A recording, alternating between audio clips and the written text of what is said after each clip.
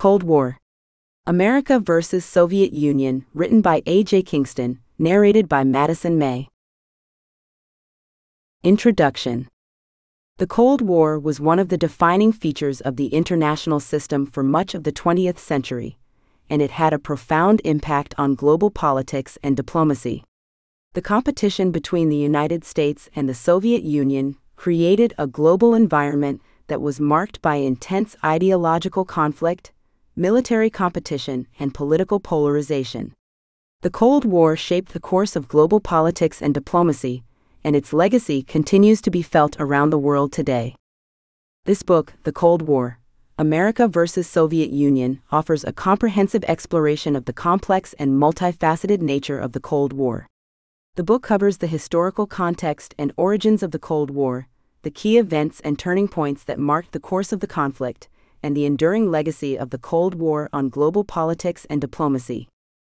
The book begins by exploring the origins of the Cold War, including the political and ideological factors that contributed to the emergence of the conflict.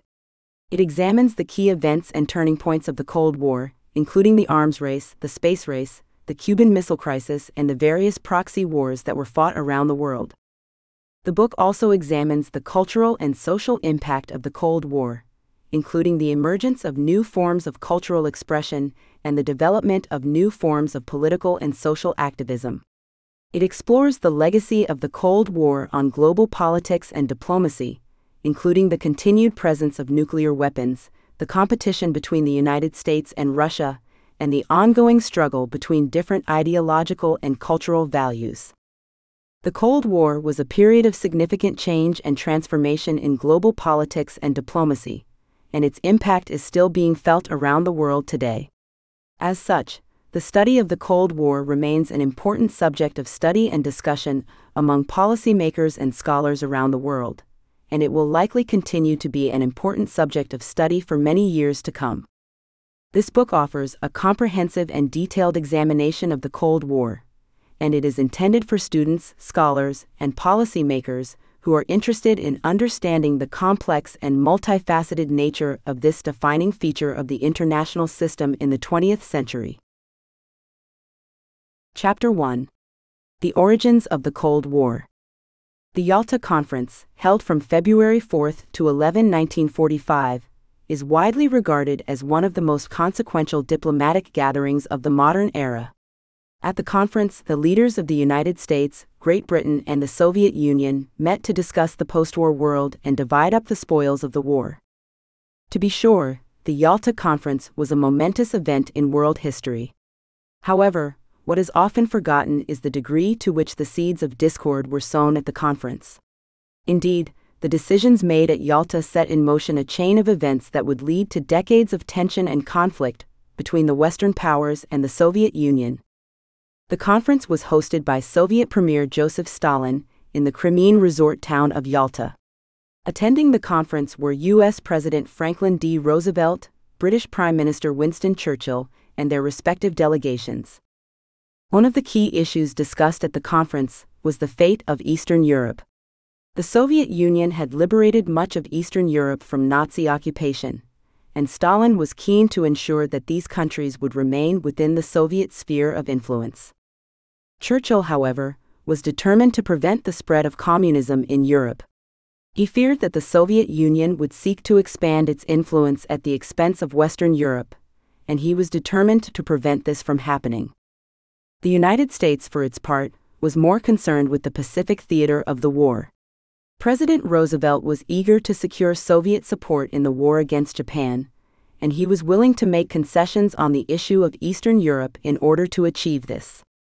The result of these conflicting interests was a series of compromises that satisfied no one.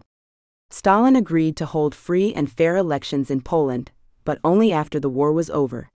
Churchill, meanwhile, secured a promise from Stalin that the Soviet Union would not interfere in Greece, but this promise was not kept. The Yalta Conference also established the United Nations, which was intended to be a forum for international cooperation and diplomacy. However, the UN was quickly beset by the same tensions and divisions that had plagued the conference. In the end, the Yalta Conference was a missed opportunity for the Western powers. They had the chance to challenge the Soviet Union and assert their dominance in Europe, but they were too preoccupied with their own interests to do so.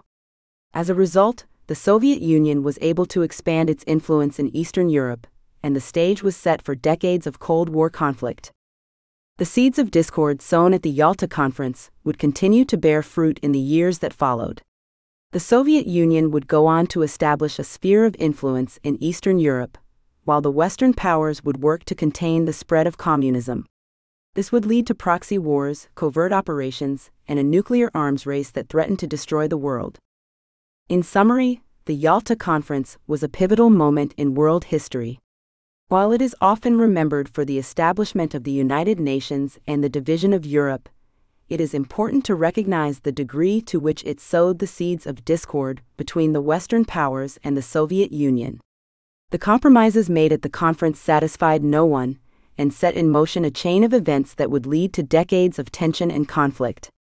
The Yalta Conference was a moment of great consequence, but one that was marked by missed opportunities and fatal compromises. In the history of the United States, few presidencies have been marked by as much upheaval and uncertainty as that of Harry S. Truman. The unexpected death of Franklin D. Roosevelt in April 1945 thrust Truman into the Oval Office just as the Second World War was entering its final phase. It was a time of immense challenges, both at home and abroad, and Truman's response to those challenges would help shape the course of American history for decades to come. One of the most consequential developments of Truman's presidency was the beginning of the Cold War, a period of heightened tensions and ideological conflict between the United States and the Soviet Union that would define international relations for the rest of the 20th century. Truman's ascension to the presidency was marked by a sense of unease and uncertainty. He was a man who had risen to power through a combination of hard work, luck, and a knack for political maneuvering but he had never before held an executive position of such magnitude. Moreover, he inherited a country that was still grappling with the aftermath of a long and grueling war, both in terms of its economy and its national psyche. As Truman himself later reflected, I felt like the moon, the stars, and all the planets had fallen on me. Despite these challenges, Truman quickly set to work. One of his first major decisions was to authorize the use of atomic bombs against Japan a controversial move that some historians have argued was unnecessary and even immoral. Truman defended his decision by pointing to the enormous cost in American lives that would have been incurred by an invasion of the Japanese mainland and to the need to end the war as quickly as possible. I knew what I was doing when I stopped the war, he later said. I have no regrets, and under the same circumstances, I would do it again. The end of the war brought with it a brief period of optimism and celebration, as Americans looked forward to a return to normalcy and prosperity. However, this sense of relief was short lived. Almost immediately, tensions began to emerge between the United States and its erstwhile ally, the Soviet Union. The roots of this conflict were deep and complex, with economic, political, and ideological factors all playing a role. But at its core, the conflict was driven by a fundamental disagreement over the nature of international relations. The Soviet Union, under the leadership of Joseph Stalin, was committed to spreading communism around the world. It viewed the United States and its capitalist allies as its chief adversaries and sought to undermine their influence through a combination of propaganda, subversion, and military force. The United States, for its part, saw itself as the defender of democracy and freedom and believed that it had a duty to protect its interests and those of its allies against Soviet aggression. Truman, who had little experience with foreign policy before becoming president, was initially uncertain about how to respond to the Soviet threat. He received conflicting advice from his advisers, some of whom advocated a conciliatory approach while others urged a more aggressive stance. Ultimately, Truman chose the latter course. In March 1947, he announced the Truman Doctrine, a policy that committed the United States to providing military and economic aid to countries threatened by communist expansion. This was followed by the Marshall Plan, a massive aid program that provided billions of dollars in assistance to Western Europe in an effort to rebuild its shattered economies and prevent the spread of communism. These policies were greeted with alarm by the Soviet Union, which viewed them as a direct threat to its interests. Stalin responded by tightening his grip on Eastern Europe and launching a campaign of subversion and propaganda aimed at undermining the United States and its allies. The history of Soviet expansionism is a story of ambition and power, of a nation seeking to extend its reach and influence across the globe. The culmination of this ambition was the establishment of the Iron Curtain, a symbol of the division between East and West that would define the post World War II era. The roots of Soviet expansionism can be traced back to the early years of the Soviet Union. Under the leadership of Lenin and Stalin, the Soviet Union sought to establish a new world order, one that would be defined by the triumph of communism. At first, Soviet expansionism was focused on the consolidation of power within the Soviet Union itself. The Bolsheviks were determined to stamp out opposition and establish a monopoly on power, and they were willing to use force and violence to achieve this. However, the Soviet Union soon turned its attention to the wider world. Stalin, in particular, saw the expansion of Soviet influence as a means of securing the Soviet Union's place in the world and defending it against the perceived threat of capitalism. The culmination of Soviet expansionism was the establishment of the Iron Curtain, a term coined by Winston Churchill in 1946. The Iron Curtain represented a physical and ideological divide between East and West, between the Soviet Union and its allies and the Western powers. The Iron Curtain was not just a physical barrier, however. It was also a symbol of the growing tensions and divisions between the Western powers and the Soviet Union. The Iron Curtain represented a challenge to the principles of freedom and democracy that had defined the Western world for centuries. The Soviet Union, for its part, saw the Iron Curtain as a means of protecting itself against the perceived threat of Western aggression. The Soviet Union saw itself as a champion of the proletariat, and it believed that the establishment of communism throughout the world was the key to achieving true justice and equality. The establishment of the Iron Curtain had far reaching consequences. It led to the division of Europe and the creation of a system of satellite states that were firmly under Soviet control. It also led to the arms race and the Cold War, a period of tension and conflict that would define the global political landscape for decades. The legacy of Soviet expansionism and the Iron Curtain is still felt today. The tensions and divisions that were established during this period continue to shape the world, particularly in Europe and the Middle East. In summary, Soviet expansionism and the establishment of the Iron Curtain were pivotal moments in world history. They represented the culmination of a vision of a world defined by the triumph of communism, and they set in motion a chain of events that would have far reaching consequences.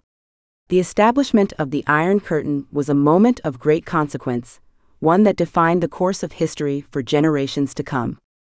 The late 1940s were a time of great upheaval and uncertainty in the world, as the international order that had emerged from the Second World War began to fracture.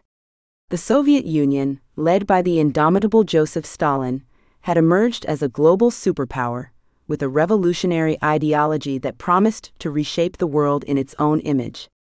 The United States, meanwhile, was struggling to come to terms with its new role as a global leader as it faced a host of economic and political challenges at home and abroad.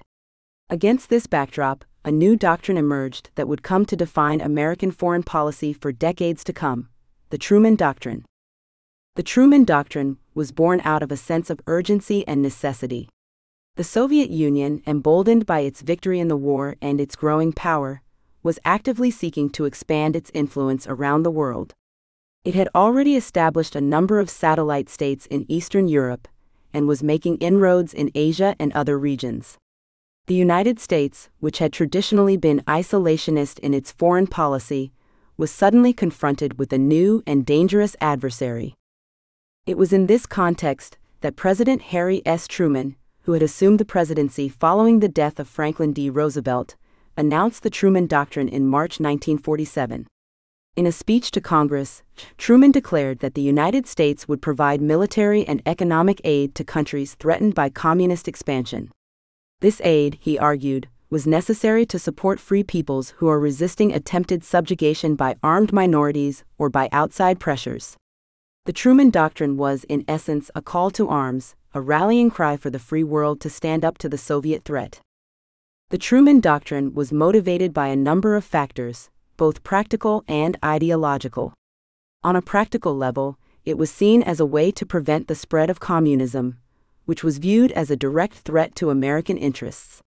The United States was still reeling from the effects of the Great Depression and the war, and was eager to avoid a new global conflict that would further destabilize the fragile post war order. By providing aid to countries threatened by communism, the United States hoped to prevent the spread of the ideology and avoid a wider conflict. On an ideological level, the Truman Doctrine was motivated by a deep seated belief in the superiority of the American way of life. The United States saw itself as the defender of democracy, freedom, and human rights, and believed that it had a moral obligation to support other nations in their struggle against tyranny. This belief was rooted in the American experience, which had been characterized by a commitment to individual liberty and limited government. The Truman Doctrine was not without its critics, both at home and abroad. Some argued that it represented an unwarranted intervention in the affairs of other nations, and that it would only serve to deepen the divisions between the United States and the Soviet Union. Others pointed out that the doctrine was vague and undefined, and that it was not clear how the United States would determine which countries were threatened by communism and which were not. Despite these criticisms, the Truman Doctrine had a profound impact on American foreign policy. It marked a dramatic shift away from isolationism and toward a more assertive role in world affairs. It also laid the groundwork for the policy of containment, which would come to define American strategy during the Cold War. The policy of containment was based on the belief that communism was a global threat and that the United States had a duty to prevent its spread. This policy was implemented through a variety of means, including military intervention, economic aid, and diplomatic pressure.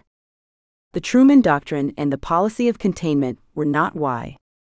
The Marshall Plan was one of the most consequential acts of American economic diplomacy in the 20th century. Conceived in the aftermath of World War II, the plan was designed to aid the devastated economies of Europe and promote economic growth and stability in the region. Its success was a testament to the power of American economic might and the importance of economic diplomacy in international relations. The Marshall Plan was named after Secretary of State George C. Marshall, who in 1947 proposed a plan to provide aid to the war ravaged nations of Europe. The plan was designed to help rebuild the economies of these nations, which had been devastated by the war and were facing the threat of communist expansion. The Marshall Plan was a massive undertaking, involving billions of dollars in aid and technical assistance. The plan provided funds to help rebuild infrastructure, restore agriculture, and promote trade and industry. It also provided technical assistance and training to help the nations of Europe develop the skills and knowledge they needed to rebuild their economies. The success of the Marshall Plan was remarkable. Within a few years, the economies of Western Europe had rebounded, and the threat of communist expansion had been contained. The Marshall Plan had played a critical role in restoring economic stability to the region and in promoting democracy and freedom. The success of the Marshall Plan was due in large part to the power and influence of the United States. The United States was, at the time, the world's largest economy, and it had the resources and expertise needed to help rebuild the economies of Europe. The Marshall Plan was a demonstration of American economic might and a testament to the importance of economic diplomacy in promoting international relations. The Marshall Plan also had far reaching consequences for the world economy. It helped to establish the United States as a dominant economic power and set the stage for the post World War II economic boom. It also established the importance of economic aid and technical assistance in promoting economic growth and stability in the developing world. The legacy of the Marshall Plan is still felt today. It remains a symbol of American economic diplomacy and a reminder of the importance of international cooperation and aid. It also serves as a model for future efforts to promote economic growth and stability in the developing world. In summary, the Marshall Plan was a remarkable achievement of American economic diplomacy. It helped to rebuild the economies of Europe and promote economic growth and stability in the region. Its success was due in large part to the power and influence of the United States, and it had far reaching consequences for the world economy. The Marshall Plan was a moment of great consequence, one that demonstrated the power of American economic might and the importance of economic diplomacy in international relations. In the aftermath of the Second World War, Europe was a shattered continent, divided and disunited by the ravages of war. The Allied powers, led by the United States and the Soviet Union, struggled to find a way to restore order and rebuild the devastated nations of Europe. The division of Germany, which had been a key player in the war, was one of the most contentious and fraught issues facing the Allies. The Berlin blockade, which began in June 1948, marked a turning point in the struggle over Germany and would help to define the contours of the Cold War for years to come. The Berlin blockade was the culmination of a series of events that had been building for years. In the aftermath of the war, Germany had been divided into four occupation zones, each controlled by one of the Allied powers. Berlin, the capital of Germany, was similarly divided, with the Soviet Union controlling the eastern half of the city and the Western powers, the United States, Great Britain, and France, controlling the western half. The division of Germany and Berlin was intended to be temporary, but as the Cold War began to heat up, it became clear that the situation was not going to be easily resolved. Tensions between the Soviet Union and the Western powers had been growing for years, as each side sought to promote its own vision of the world. The Soviet Union, under the leadership of Joseph Stalin, was committed to spreading communism around the world and saw the Western powers as its chief adversaries.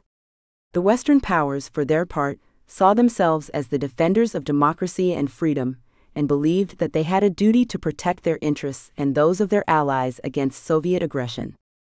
The Berlin blockade was sparked by a decision by the Western powers to introduce a new currency, the Deutsche Mark, in their occupation zones.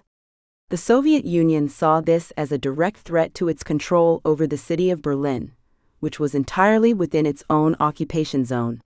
In response, Stalin ordered a blockade of all land and water routes into the western part of the city, effectively cutting it off from the rest of the world. The Berlin blockade was a dramatic escalation of the tensions between the Soviet Union and the Western powers. It was a brazen attempt to force the Western powers to abandon their presence in Berlin and to accept Soviet control over the entire city. The blockade had a profound impact on the people of Berlin, who were suddenly cut off from their friends and family on the other side of the city and who faced severe shortages of food and other essential supplies. The Western powers responded to the Berlin blockade with a massive airlift, which involved flying in supplies to the people of Berlin. The airlift was an extraordinary logistical feat, involving thousands of flights and millions of tons of supplies. It was a testament to the determination and resolve of the Western powers, who refused to be cowed by Soviet aggression. The Berlin blockade lasted for 11 months, from June 1948 to May 1949. It was ultimately unsuccessful, as the Western powers refused to abandon their presence in Berlin. However, it had a profound impact on the course of the Cold War. The blockade demonstrated the lengths to which the Soviet Union was willing to go to assert its dominance, and it showed the resolve of the Western powers to resist Soviet aggression. It also cemented the division of Germany and set the stage for the construction of the Berlin Wall in 1961. The division of Germany was one of the most consequential legacies of the Second World War. It was a stark reminder of the deep divisions that had torn Europe apart, and of the dangers posed by ideological conflict. The creation of NATO and the Warsaw Pact was a pivotal moment in world history, one that set in motion a chain of events that would define the global political landscape for decades.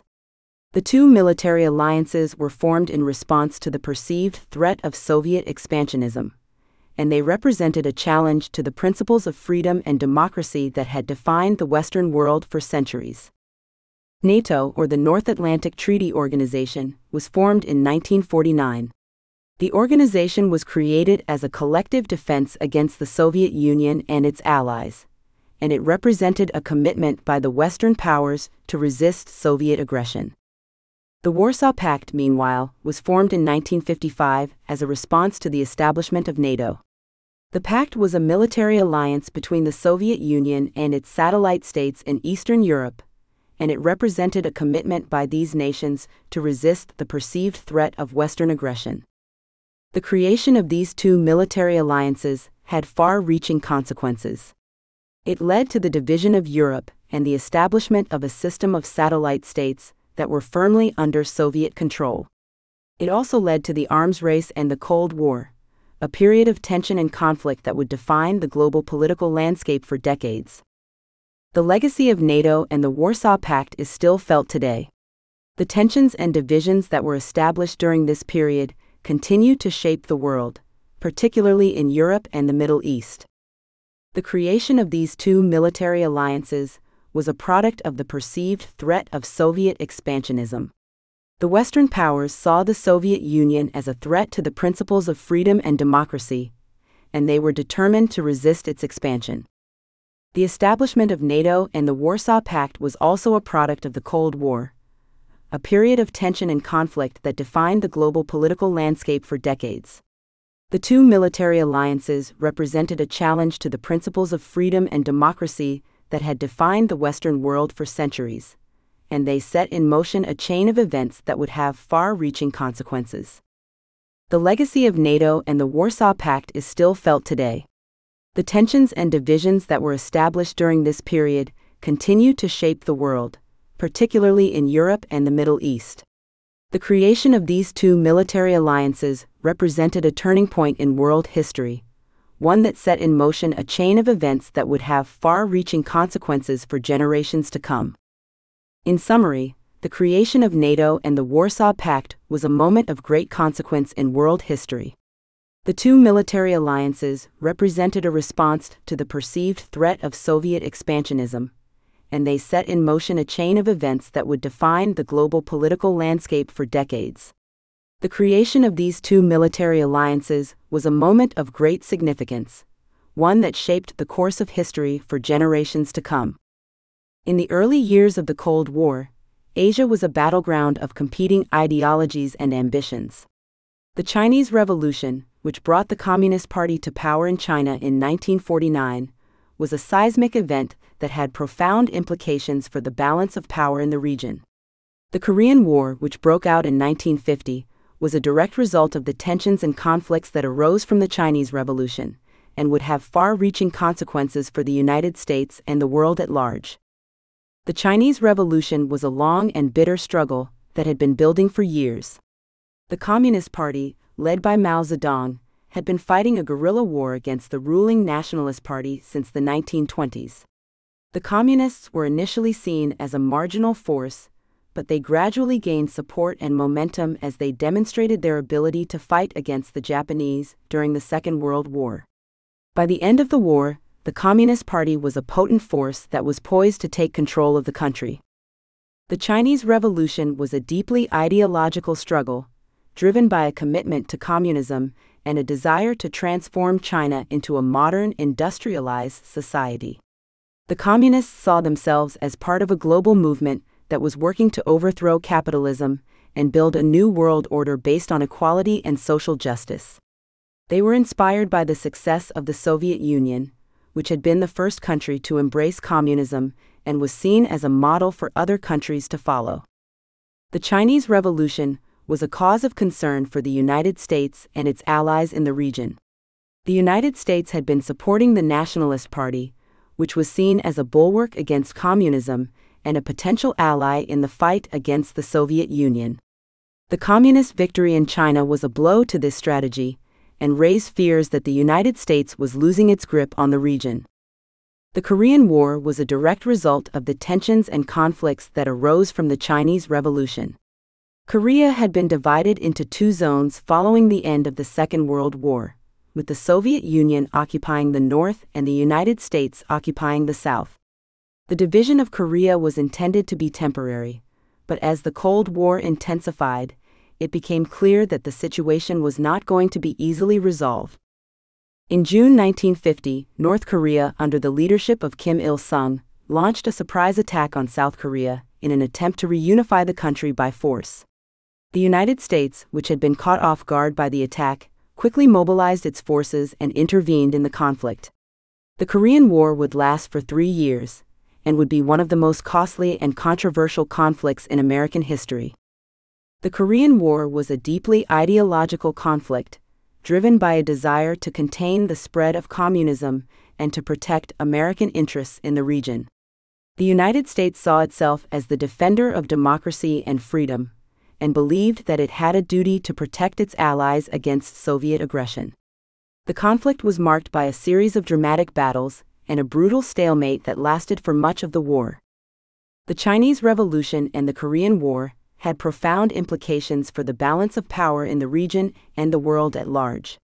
The Chinese Revolution brought the Communist Party to power in the most populous country in the world, and demonstrated the power and appeal of communism as an ideology.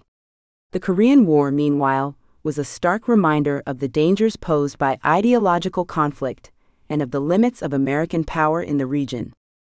The Korean War would have far reaching consequences for the United States and the world at large. It would cement the division of Korea and set the stage for decades of tension and conflict on the Korean peninsula. The nuclear arms race was a product of the Cold War, a period of tension and conflict that defined the global political landscape for decades. The race for nuclear superiority was a testament to the power of science and technology, but it also represented a grave threat to the future of humanity. The nuclear arms race began in earnest with the United States testing of the atomic bomb in 1945. The test, which took place in the New Mexico desert, was a demonstration of the power of nuclear weapons and a warning to the Soviet Union. The Soviet Union, for its part, responded by developing its own nuclear program. In 1949, the Soviet Union tested its first nuclear bomb, and the race for nuclear superiority was underway. The nuclear arms race led to a period of intense testing and proliferation. The United States and the Soviet Union conducted hundreds of nuclear tests, both above and below ground. These tests had a devastating impact on the environment and on the health of those who were exposed to the radiation. The proliferation of nuclear weapons also became a concern. The United States and the Soviet Union were not the only nations with nuclear capabilities. By the 1960s, several other nations had developed their own nuclear programs, including France, China, and the United Kingdom. The nuclear arms race also led to a dangerous escalation of tensions between the United States and the Soviet Union. The two superpowers engaged in a game of nuclear brinkmanship each trying to outdo the other in terms of nuclear capability. The Cuban Missile Crisis, which occurred in 1962, was a tense standoff between the United States and the Soviet Union that brought the world to the brink of nuclear war. It was a stark reminder of the dangers of the nuclear arms race and the need for greater international cooperation and disarmament. The legacy of the nuclear arms race is still felt today. The proliferation of nuclear weapons remains a concern, particularly with the rise of rogue states and non state actors. The threat of nuclear war continues to loom over the world, and the danger of accidental nuclear detonation remains a real possibility. In summary, the nuclear arms race was a product of the Cold War, a period of tension and conflict that defined the global political landscape for decades. The race for nuclear superiority was a testament to the power of science and technology, but it also represented a grave threat to the future of humanity. The nuclear arms race was a moment of great significance, one that shaped the course of history and continues to define the world in which we live. It is a reminder of the need for greater international cooperation and disarmament, and a warning of the dangers of weapons of mass destruction. In the early years of the Cold War, Espionage and intelligence gathering were central components of the struggle between the United States and the Soviet Union. The two superpowers were locked in a fierce competition for global dominance, and each saw intelligence gathering as a vital tool in its quest for superiority. The espionage and intelligence struggle between the United States and the Soviet Union would play a major role in shaping the course of the Cold War and would have far reaching consequences for both sides. The United States and the Soviet Union both had sophisticated intelligence agencies that were tasked with gathering information and conducting covert operations. In the United States, the Central Intelligence Agency, CIA, was established in 1947 to collect and analyze intelligence, while the Federal Bureau of Investigation, FBI, was responsible for domestic intelligence gathering. In the Soviet Union, the KGB, Komitet Gosudarstvennoy Bezopasnosti was the primary intelligence agency responsible for both domestic and foreign intelligence operations. The espionage and intelligence struggle between the United States and the Soviet Union was marked by a series of high profile incidents and dramatic operations. The most famous of these was the case of the Rosenbergs, who were accused of passing nuclear secrets to the Soviet Union in the late 1940s. The case, which led to the execution of Julius and Ethel Rosenberg, was a stark reminder of the dangers posed by espionage and the need for heightened security measures. In response to the espionage threat, the United States and the Soviet Union both adopted increasingly sophisticated and aggressive intelligence gathering techniques. The United States, for example, began to rely more heavily on satellite and aerial surveillance, while the Soviet Union developed advanced spy technologies, including hidden cameras and listening devices. The espionage and intelligence struggle between the United States and the Soviet Union also had important implications for the broader Cold War. Intelligence gathering was seen as a way to gain a strategic advantage in the struggle for global dominance, and both sides invested heavily in developing sophisticated intelligence networks and covert operations. The United States, for example, supported anti communist groups in countries around the world while the Soviet Union supported communist movements and insurgencies. The espionage and intelligence struggle between the United States and the Soviet Union would come to a head in the 1960s, with the emergence of the spy ring led by the Soviet double agent Aldrich Ames. Ames, who worked for the CIA, was able to pass a wealth of sensitive information to the Soviet Union, including the identities of American intelligence agents operating in the Soviet Union. The case was a major embarrassment for the United States and led to calls for increased security measures and tighter controls on intelligence gathering. Despite the intense competition between the United States and the Soviet Union, there were also efforts to establish lines of communication and to prevent the escalation of conflict. In the early years of the Cold War, for example, there were a number of attempts to establish a system of arms control and to reduce tensions between the two superpowers.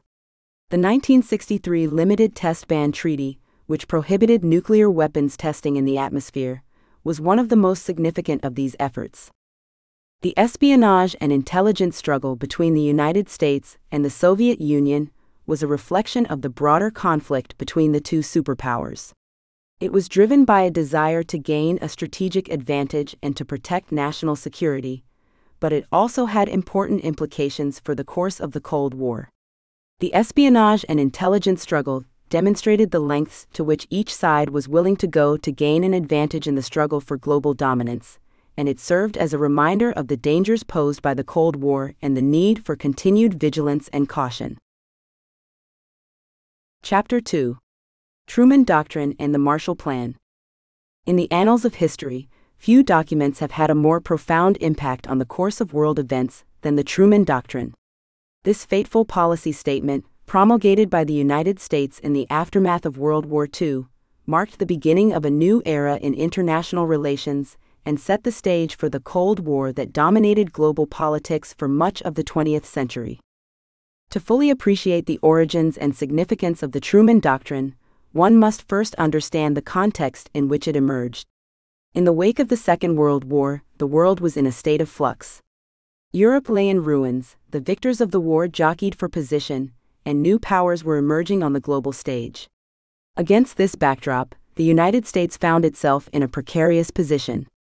As the only major power to emerge from the war relatively unscathed, it was suddenly the dominant player in international affairs.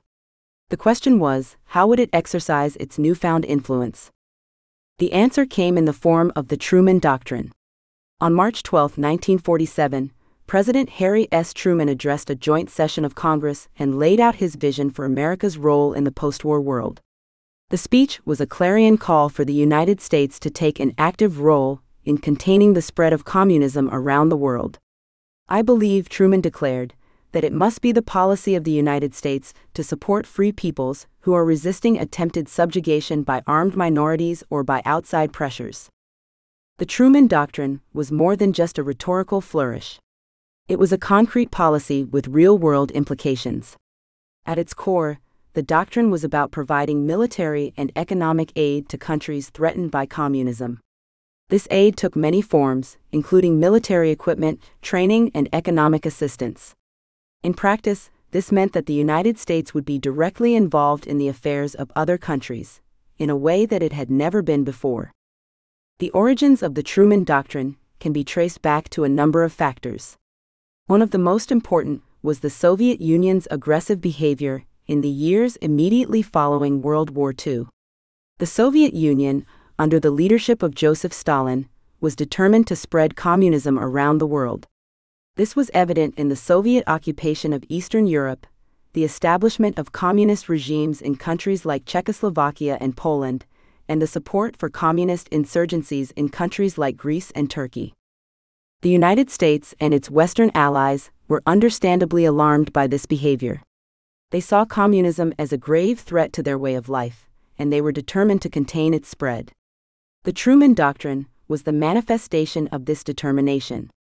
It was a clear signal to the Soviet Union that the United States would not stand idly by while it tried to spread communism around the world. The significance of the Truman Doctrine cannot be overstated. It marked a fundamental shift in American foreign policy, away from isolationism and toward active engagement in international affairs. It was also a clear signal to the rest of the world that the United States was willing to use its power to protect its interests and the interests of its allies. In many ways, the Truman Doctrine set the stage for the Cold War that would dominate international politics for much of the next four decades. But the Truman Doctrine was not without its critics. Some argued that it represented an overreach of American power, that it was too aggressive and confrontational. Others argued that it was hypocritical given America's own history of imperialism and intervention in other countries. Still, others argued that it was ultimately ineffective, that it did little to actually contain the spread of communism. These criticisms have some merit. The Truman Doctrine was, at times, overly aggressive. In the years following the Second World War, Greece was a country in turmoil. The country had been occupied by the Axis powers during the war, and had emerged from the conflict with a weak and divided government. In 1946, a civil war broke out between the Greek government and communist insurgents, who were seeking to establish a Soviet style state. The conflict would have far reaching implications for the region and for the broader struggle between the United States and the Soviet Union. The Greek Civil War was a deeply ideological struggle, driven by a desire to shape the future of the country and to align it with one of the two superpowers. The communist insurgents, who were supported by the Soviet Union, saw themselves as part of a global movement that was working to spread communism around the world. They believed that the only way to achieve social justice and equality was through a radical transformation of society. The Greek government, for its part, saw communism as a threat to its very existence. The government was supported by the United States and its allies, who saw Greece as a key battleground in the struggle to contain the spread of communism. The United States feared that if Greece fell to the communists, it would set off a domino effect that would spread throughout the region. The Truman Doctrine, which was announced by President Harry S. Truman in March 1947, was a direct response to the situation in Greece. The doctrine was a call to arms, a rallying cry for the free world to stand up to the Soviet threat. In his speech to Congress, Truman declared that the United States would provide military and economic aid to countries threatened by communist expansion. This aid, he argued, was necessary to support free peoples who are resisting attempted subjugation by armed minorities or by outside pressures. The Truman Doctrine had a profound impact on the course of the Greek Civil War. The United States provided substantial military and economic aid to the Greek government, which was able to turn the tide of the conflict. The aid was critical in allowing the government to defeat the communist insurgents and to establish a stable, democratic state. The Greek Civil War also had important implications for the broader Cold War. The conflict was seen as a test case for the Truman Doctrine and for the policy of containment, which sought to prevent the spread of communism. The success of the Greek government in defeating the communist insurgents was seen as a major victory for the United States and its allies, and demonstrated the power of American economic and military aid in achieving its foreign policy objectives. The Greek Civil War also had a profound impact on the region. The conflict set the stage for decades of tension and conflict in the Balkans, and contributed to the rise of authoritarian regimes in countries such as Greece and Turkey. The legacy of the conflict would be felt for years to come, as the region struggled to come to terms with its past and to forge a path forward. In summary, the Greek Civil War was a significant conflict that had far reaching implications for the region and for the broader struggle between the United States and the Soviet Union. The conflict was driven by deep ideological differences and was seen as a key battleground in the struggle to contain the spread of communism. The Truman Doctrine, which provided critical military and economic aid to the Greek government, was a key factor in allowing the government to defeat the communist insurgents and to establish a stable, democratic state.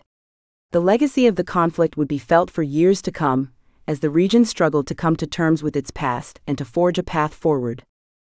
In the annals of history, few events have had a greater impact on the course of world affairs than the Berlin blockade and the Marshall Plan. These twin policies, implemented by the United States in the aftermath of World War II, marked a turning point in international relations and set the stage for the Cold War that dominated global politics for much of the 20th century. To fully appreciate the significance of these events, one must first understand the context in which they emerged. The end of World War II left the world in a state of flux. Europe lay in ruins, the victors of the war jockeyed for position, and new powers were emerging on the global stage. Against this backdrop, the United States found itself in a precarious position. As the only major power to emerge from the war relatively unscathed, it was suddenly the dominant player in international affairs. The question was how would it exercise its newfound influence? The answer came in the form of the Marshall Plan. In June 1947, Secretary of State George C. Marshall addressed a gathering of European diplomats at Harvard University and laid out his vision for American aid to the war ravaged continent. The plan was simple but ambitious. The United States would provide economic aid to Europe with the goal of rebuilding its shattered economies and preventing the spread of communism. The Marshall Plan was a resounding success. In the years that followed, the United States provided billions of dollars in aid to Europe, helping to rebuild its infrastructure and jumpstart its economies. This aid had a profound impact on the continent, both economically and politically. It helped to stabilize Europe and prevent the spread of communism in the region. It also cemented the United States' role as a global superpower, a position that it would hold for much of the next century. But the Marshall Plan was not without its critics. Some argued that it represented an overreach of American power that it was too aggressive and confrontational. Others argued that it was hypocritical, given America's own history of imperialism and intervention in other countries. Still, others argued that it was ultimately ineffective, that it did little to actually contain the spread of communism. These criticisms have some merit. The Marshall Plan was, at times, overly aggressive. It did involve the United States in conflicts around the world that were not directly related to its national interests. And it did little to address the root causes of communism, such as poverty and inequality, which continued to plague much of the world in the years that followed. But despite these criticisms, the Marshall Plan remains a pivotal moment in world history. It was a clear signal to the rest of the world that the United States was committed to international engagement and to the principles of democracy and capitalism. It also set the stage for the Berlin blockade, which would test the limits of American power and influence in Europe. The Berlin blockade was the Soviet Union's response to the Marshall Plan. In June 1948, the Soviet Union blockaded all road, rail, and water access to the city of Berlin, which was located deep within Soviet controlled territory. The goal was to starve the city into submission and force the United States to withdraw its forces from Germany. The United States responded with a massive airlift operation, flying supplies into the city around the clock. This operation, known as the Berlin Airlift, was a remarkable feat of logistical coordination and engineering. It involved thousands of planes and millions of tons of supplies, and it lasted for over a year. The Berlin blockade was ultimately unsuccessful. The Soviet Union lifted the blockade in May 1949, and the city remained a symbol of freedom and democracy in the years that followed. In the aftermath of the Second World War, the United States faced a daunting task to rebuild a devastated Europe and Asia and to establish a new world order based on democracy and capitalism. American economic diplomacy played a central role in this effort, as the United States provided massive amounts of aid and investment to help rebuild and modernize the economies of Europe and Asia.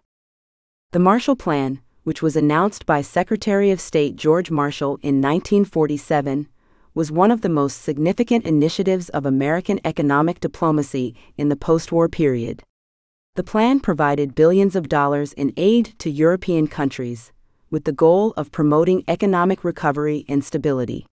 The Marshall Plan was a testament to the power of American economic might, and was seen as a way to prevent the spread of communism in Europe. The Marshall Plan was highly successful, helping to fuel a period of rapid economic growth and modernization in Europe. The aid provided by the United States was critical in allowing European countries to rebuild their infrastructure, to modernize their industries, and to promote economic integration. The plan also helped to establish the United States as the dominant economic power in the post war world and set the stage for decades of American economic dominance. In addition to the Marshall Plan, the United States also provided significant aid and investment to countries in Asia as part of its broader effort to promote economic development and modernization. The United States was a major supporter of Japan's post war reconstruction, providing aid and investment that helped to transform the country into an economic powerhouse. The United States also provided significant aid to South Korea, which was ravaged by the Korean War, and played a key role in the establishment of the World Bank and the International Monetary Fund, which provided critical financial support to developing countries. American economic diplomacy in the post war period had important implications for the broader struggle between the United States and the Soviet Union. The United States saw economic development as a way to promote stability and democracy, and as a way to counter the appeal of communism. The Soviet Union, for its part, saw economic development as a way to spread communism and to establish its influence around the world. The competition between the United States and the Soviet Union was not limited to the battlefield or the realm of espionage. It was also fought in the arena of economic diplomacy, as the two superpowers sought to promote their respective visions of the world. American economic diplomacy was seen as a way to counter the Soviet threat and to promote a new world order based on democracy, free markets, and economic development. American economic diplomacy also had important implications for the United States itself.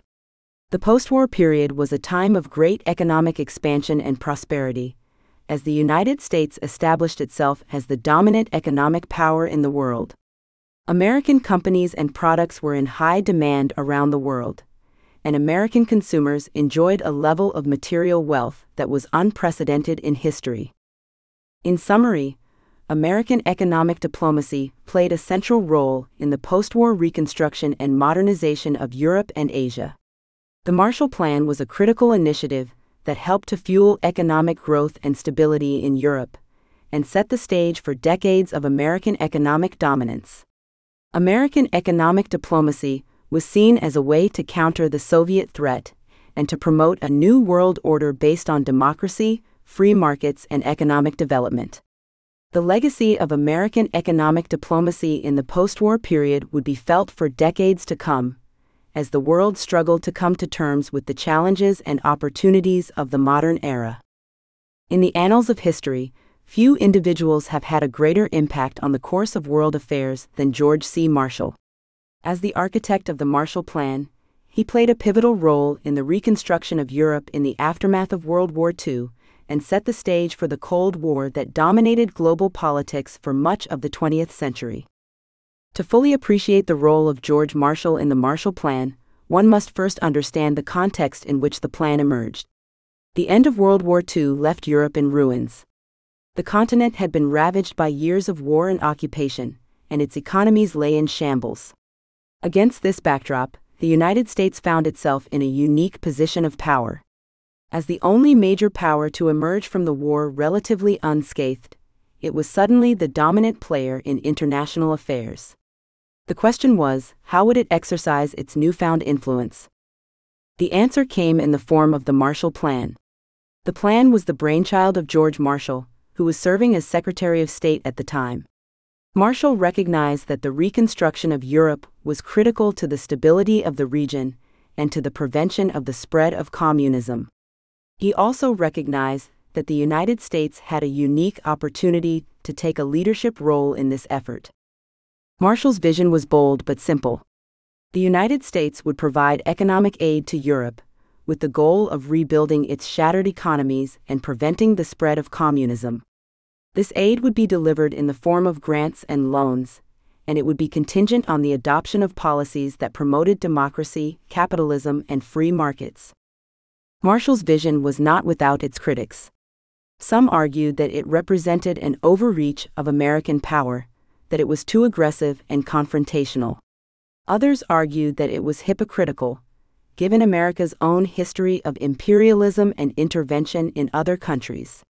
Still, Others argued that it was ultimately ineffective, that it did little to actually contain the spread of communism. But despite these criticisms, the Marshall Plan was a resounding success. It helped to stabilize Europe and prevent the spread of communism in the region. It also cemented the United States' role as a global superpower, a position that it would hold for much of the next century. The success of the Marshall Plan was due in large part to the leadership of George Marshall. Marshall was a career military officer who had served as Chief of Staff of the United States Army during World War II. He was widely respected for his leadership and strategic thinking, and he brought these skills to bear in the development of the Marshall Plan. Marshall was a tireless advocate for the plan, traveling extensively throughout Europe to promote its adoption. He met with leaders from all over the continent, and he listened to their concerns and ideas. He also worked tirelessly to secure funding for the plan, which was no easy feat given the opposition that it faced from some members of Congress. Marshall's leadership was critical to the success of the Marshall Plan. He was able to bring together the diverse interests of Europe and the United States, and he was able to rally support for the plan both at home and abroad. His strategic vision and leadership were instrumental in the reconstruction of Europe and in the prevention of the spread of communism. Marshall's legacy extends far beyond the Marshall Plan. He went on to serve as Secretary of Defense under President Truman, where he oversaw the development of America's nuclear arsenal and the establishment of the North Atlantic Treaty Organization, NATO. He was also awarded the Nobel Peace Prize in 1953 for his efforts to promote peace and stability in the world. The implementation of the Marshall Plan was a monumental undertaking, one that involved enormous logistical, political, and social challenges. But despite these challenges, the plan was a resounding success. It helped to rebuild Europe's shattered economies, prevent the spread of communism, and cement the United States' position as a global superpower. To fully appreciate the challenges of implementing the Marshall Plan, one must first understand the context in which it emerged. Europe was in ruins in the aftermath of World War II. Its economies lay in shambles, and its people were struggling to survive. Against this backdrop, the United States offered a lifeline a massive program of economic aid that would help to rebuild the continent and prevent the spread of communism. But implementing this aid was easier said than done.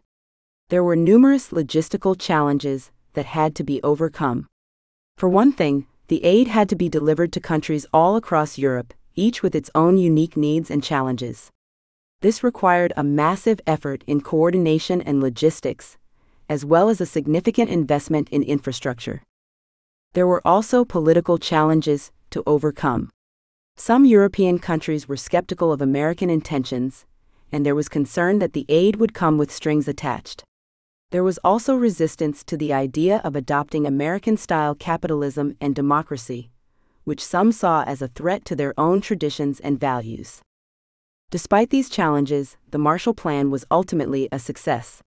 The United States provided over $13 billion in aid to Europe over the course of four years, an amount that represented a significant investment at the time.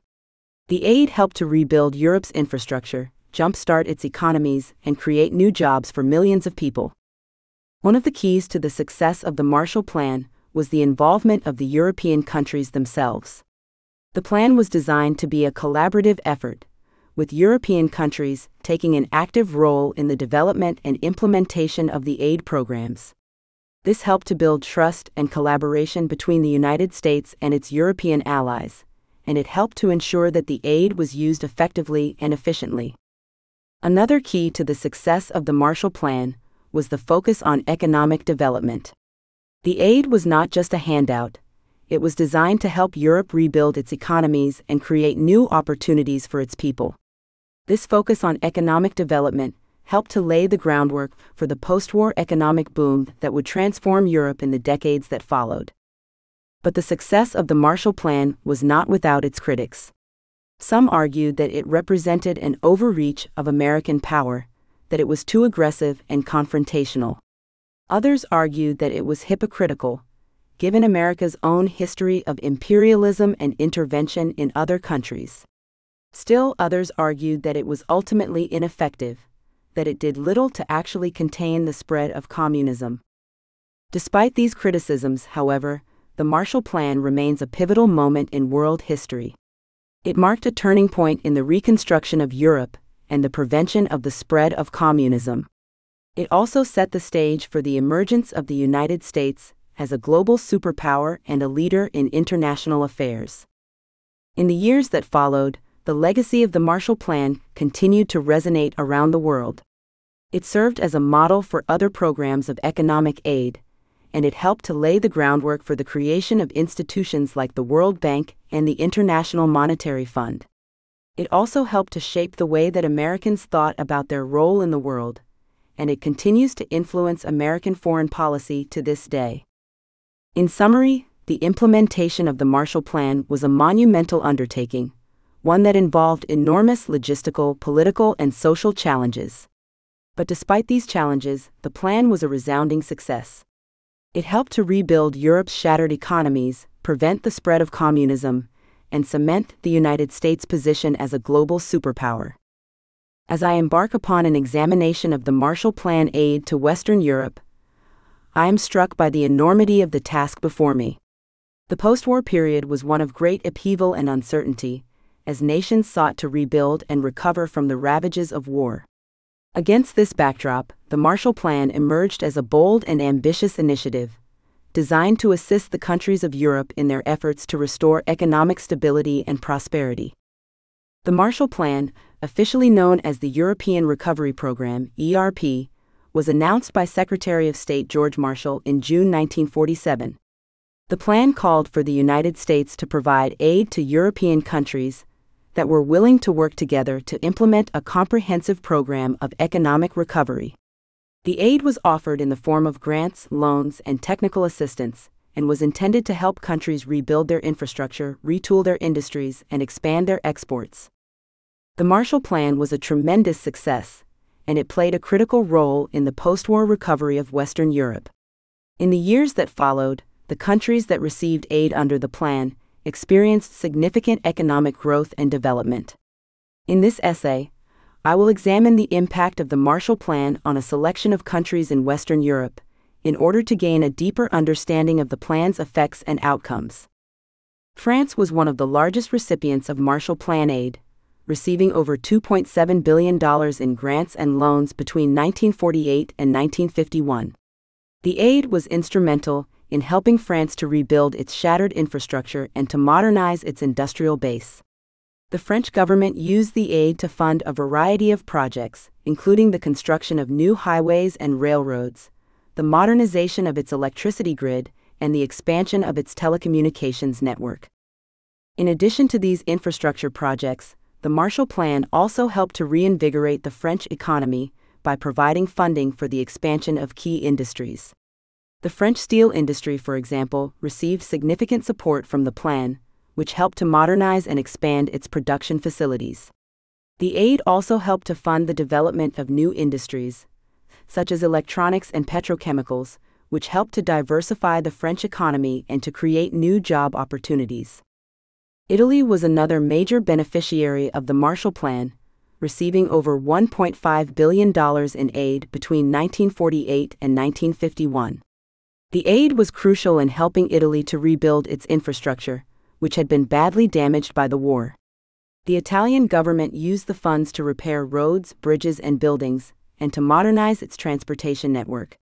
The Marshall Plan also provided funding for the development of new industries, such as chemicals and machinery, which helped to diversify the Italian economy and to create new job opportunities. One of the most significant outcomes of the Marshall Plan in Italy was the improvement of living standards for ordinary citizens. The aid helped to increase access to healthcare and education, and it provided funding for the construction of new housing. As a result, many Italians were able to enjoy a higher standard of living than they had before the war. Germany, which had been the epicenter of the war, was also a major recipient of Marshall Plan aid. The country received over $1.4 billion in aid, between 1948 and 1951, which was used to fund a wide range of projects aimed at rebuilding the country's infrastructure and economy. The aid was used to repair and modernize Germany's transportation network and to fund the development of new industries, such as chemicals and electronics. The Marshall Plan was particularly important in helping to rebuild the city of Berlin, which had been badly damaged by the war. The aid was used to fund the reconstruction of buildings and infrastructure, and to provide food and other essential supplies to the city's residents. In the annals of history, few programs have had a greater impact on the course of world affairs than the Marshall Plan and the European Recovery Program. These twin initiatives, launched by the United States in the aftermath of World War II, marked a turning point in the reconstruction of Europe and set the stage for the emergence of the United States as a global superpower. To fully appreciate the significance of the Marshall Plan and the European Recovery Program, one must first understand the context in which they emerged. The end of World War II left Europe in ruins. The continent had been ravaged by years of war and occupation, and its economies lay in shambles. Against this backdrop, the United States found itself in a unique position of power. As the only major power to emerge from the war relatively unscathed, it was suddenly the dominant player in international affairs. The question was how would it exercise its newfound influence? The answer came in the form of the Marshall Plan and the European Recovery Program. These initiatives were the brainchild of Secretary of State George C. Marshall, who recognized that the reconstruction of Europe was critical to the stability of the region and to the prevention of the spread of communism. He also recognized that the United States had a unique opportunity to take a leadership role in this effort. The Marshall Plan was the centerpiece of the United States' efforts to rebuild Europe. It involved the provision of economic aid to European countries, with the goal of rebuilding their shattered economies and preventing the spread of communism. The aid was provided in the form of grants and loans, and it was contingent on the adoption of policies that promoted democracy, capitalism, and free markets. The European Recovery Program was a complementary initiative that focused on the physical reconstruction of Europe. It involved the provision of aid to European countries to help them rebuild their infrastructure, including roads, bridges, and buildings. The aid was provided in the form of supplies, equipment, and technical assistance, and it helped to jumpstart the physical reconstruction of Europe. Implementing these initiatives was a monumental task. It involved enormous logistical, political, and social challenges. For one thing, the aid had to be delivered to countries all across Europe, each with its own unique needs and challenges. This required a massive effort in coordination and logistics, as well as a significant investment in infrastructure. There were also political challenges to overcome. Some European countries were skeptical of American intentions, and there was concern that the aid would come with strings attached. There was also resistance to the idea of adopting American style capitalism and democracy, which some saw as a threat to their own traditions and values. Despite these challenges, the Marshall Plan and the European Recovery Program were ultimately a success. The United States provided over $13 billion in aid to Europe over the course of four years, an amount that represented a significant investment at the time. The aid helped to rebuild Europe's infrastructure, jumpstart its economies, and create new jobs for millions of people. One of the keys to the success of these initiatives was the involvement of the European countries themselves. The plan was designed to be a collaborative effort with European countries taking an active role in the development and implementation of the aid programs. This helped to build trust and collaboration between the United States and its European allies, and it helped to ensure that the aid was used effectively and efficiently. Another key to the success of the Marshall Plan and the European Recovery Program was the focus on economic and physical development. The aid was not just a handout, it was designed to help Europe rebuild its economies and physical infrastructure and create new opportunities for its people. This focus on economic and physical development helped to lay the groundwork for the post war economic boom that would transform Europe in the decades that followed. As I delve into the study of the Marshall Plan and its impact on European integration, I am reminded of the complexities of the post war period. Europe had emerged from the Second World War battered and bruised, with its economies shattered and its social fabric frayed.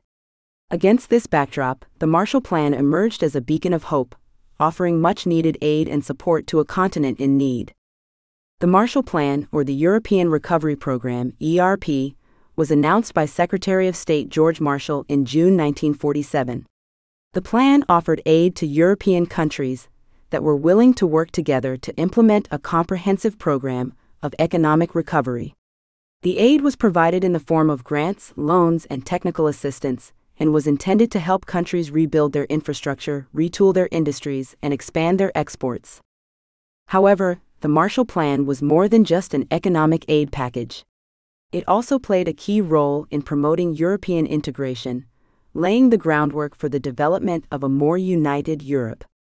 The plan recognized that the fate of Europe was intertwined, and that the only way to achieve lasting peace and prosperity was through cooperation and collaboration.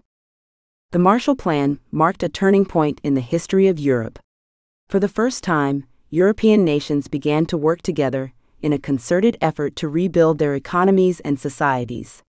The aid provided by the plan helped to create a sense of shared purpose and common identity, and it encouraged European nations to set aside their differences and work towards a common goal. The Marshall Plan was also instrumental in the formation of the European Coal and Steel Community, ECSC, which was established in 1951. The ECSC was the first step towards the creation of a more integrated Europe, and it represented a bold and visionary effort to bring European nations closer together. The ECSC was formed by six founding members France, Germany, Italy, Belgium, the Netherlands, and Luxembourg. Its primary objective was to create a common market for coal and steel, which were essential inputs for heavy industry. The ECSC was a historic achievement, and it represented a major step towards the development of a more united Europe. It laid the groundwork for the formation of the European Economic Community, EEC, which was established in 1957. The EEC was a more comprehensive economic union which aimed to create a common market for goods, services, and capital. The formation of the EEC was a direct outgrowth of the Marshall Plan. The aid provided by the plan helped to create a sense of shared purpose and common identity among European nations, and it encouraged them to work together towards a common goal. The Marshall Plan also helped to create the conditions for economic growth and prosperity, which made the development of a more integrated Europe possible. The impact of the Marshall Plan on European integration was profound and far reaching.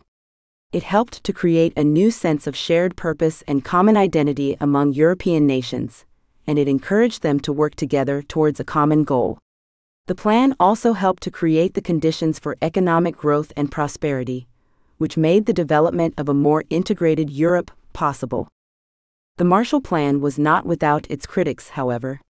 Some argued that the aid provided by the plan was too closely tied to American interests and that it was designed to promote American economic and political influence in Europe. Others argued that the plan was too focused on Western Europe and that it ignored the needs of Eastern Europe. Despite these criticisms, the Marshall Plan remains a landmark achievement in the history of European integration. It helped to create a new sense of shared purpose and common identity among European nations, and it encouraged them to work together towards a common goal. The plan also helped to create the conditions for economic growth and prosperity, which made the development of a more integrated Europe possible. The Marshall Plan was a pivotal moment in the Cold War, marking a turning point in the reconstruction of Europe and the prevention of the spread of communism. It had a profound impact on the dynamics of the Cold War, setting the stage for the United States to emerge as a global superpower and establishing a new order in international relations. To fully appreciate the impact of the Marshall Plan on the Cold War, one must first understand the context in which it emerged. The end of World War II left Europe in ruins. The continent had been ravaged by years of war and occupation, and its economies lay in shambles. Against this backdrop, the United States found itself in a unique position of power. As the only major power to emerge from the war relatively unscathed, it was suddenly the dominant player in international affairs. The question was how would it exercise its newfound influence? The answer came in the form of the Marshall Plan.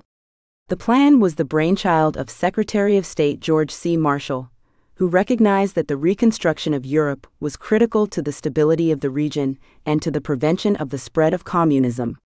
He also recognized that the United States had a unique opportunity to take a leadership role in this effort. The Marshall Plan was designed to promote democracy, capitalism, and free markets in Europe. It involved the provision of economic aid to European countries, with the goal of rebuilding their shattered economies and preventing the spread of communism.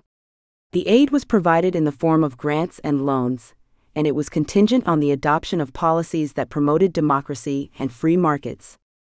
The impact of the Marshall Plan on the Cold War was significant. The plan helped to rebuild Europe's economies, stabilizing the region and preventing the spread of communism. It also established the United States as a global superpower and a leader in international affairs. The Marshall Plan helped to contain Soviet expansion in Europe. By providing economic aid to European countries, the plan helped to build strong, stable, and prosperous democracies that were less vulnerable to Soviet influence. It also helped to create a sense of solidarity among the Western powers, making it more difficult for the Soviet Union to divide and conquer. The Marshall Plan also established a new order in international relations. It helped to promote the idea of collective security, in which nations would work together to prevent the spread of communism and promote democratic values. This idea was later enshrined in the North Atlantic Treaty Organization, NATO, which was established in 1949 to promote collective defense among the Western powers. The Marshall Plan also had a profound impact on the United States itself. It helped to establish the country as a global superpower and a leader in international affairs. The United States became the dominant economic power in the world, and its policies and values became a model for other nations to follow. The impact of the Marshall Plan on the Cold War was not without its critics. Some argued that it represented an overreach of American power, that it was too aggressive and confrontational. Others argued that it was hypocritical, given America's own history of imperialism and intervention in other countries. Still, others argued that it was ultimately ineffective, that it did little to actually contain the spread of communism. Despite these criticisms, however, the Marshall Plan remains a pivotal moment in world history. It marked a turning point in the reconstruction of Europe and the prevention of the spread of communism. It also set the stage for the emergence of the United States as a global superpower and a leader in international affairs. In summary, the Marshall Plan had a profound impact on the dynamics of the Cold War. It helped to rebuild Europe's economies, stabilizing the region and preventing the spread of communism. It also established the United States as a global superpower and a leader in international affairs. Chapter 3 The Berlin Blockade and Airlift. As I delve into the history of the Soviet blockade of West Berlin, I am struck by the profound implications of this event on the course of post war Europe. The blockade, which lasted from June 1948 to May 1949, was a dramatic escalation of tensions between the Soviet Union and the Western powers. It also marked a turning point in the early stages of the Cold War and set the stage for a prolonged period of political and military confrontation between the two superpowers. The blockade was the culmination of a series of events that had taken place in the immediate aftermath of the Second World War. Germany had been divided into four occupation zones, with the Soviet Union taking control of the eastern part of the country and the United States, Britain, and France taking control of the western part. The city of Berlin, which was located in the Soviet zone, was also divided into four sectors. Tensions between the Soviet Union and the Western powers had been simmering for some time, but they came to a head in 1948 when the Western powers announced plans to create a new currency in their sectors of Germany. The Soviet Union saw this move as a direct challenge to its authority and responded by blockading all road, rail, and water access to West Berlin, which was located deep in the Soviet zone. The blockade was a daring move by the Soviet Union, designed to put pressure on the Western powers and to test their resolve. It was also a risky move, however, as it risked provoking a military response from the United States and its allies. The response of the Western powers was swift and determined. The United States responded by launching a massive airlift, designed to supply the residents of West Berlin with food, fuel, and other essential supplies. The airlift was a remarkable feat of logistics, and it demonstrated the commitment of the United States to defend the freedom and independence of West Berlin. The blockade had far reaching implications for the course of the Cold War. It marked a dramatic escalation of tensions between the Soviet Union and the Western powers, and it set the stage for a prolonged period of political and military confrontation between the two superpowers.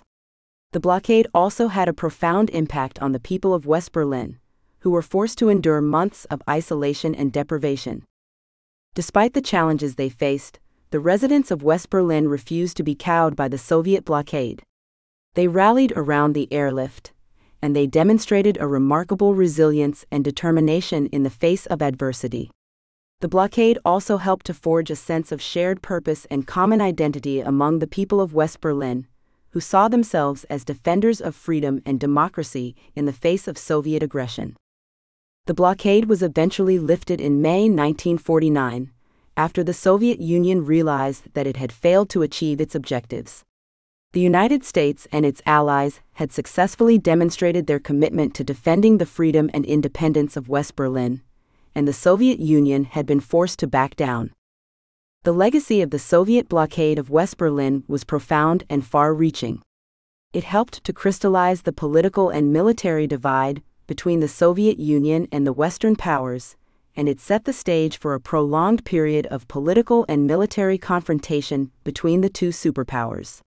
The blockade also had a profound impact on the people of West Berlin, who demonstrated a remarkable resilience and determination in the face of adversity.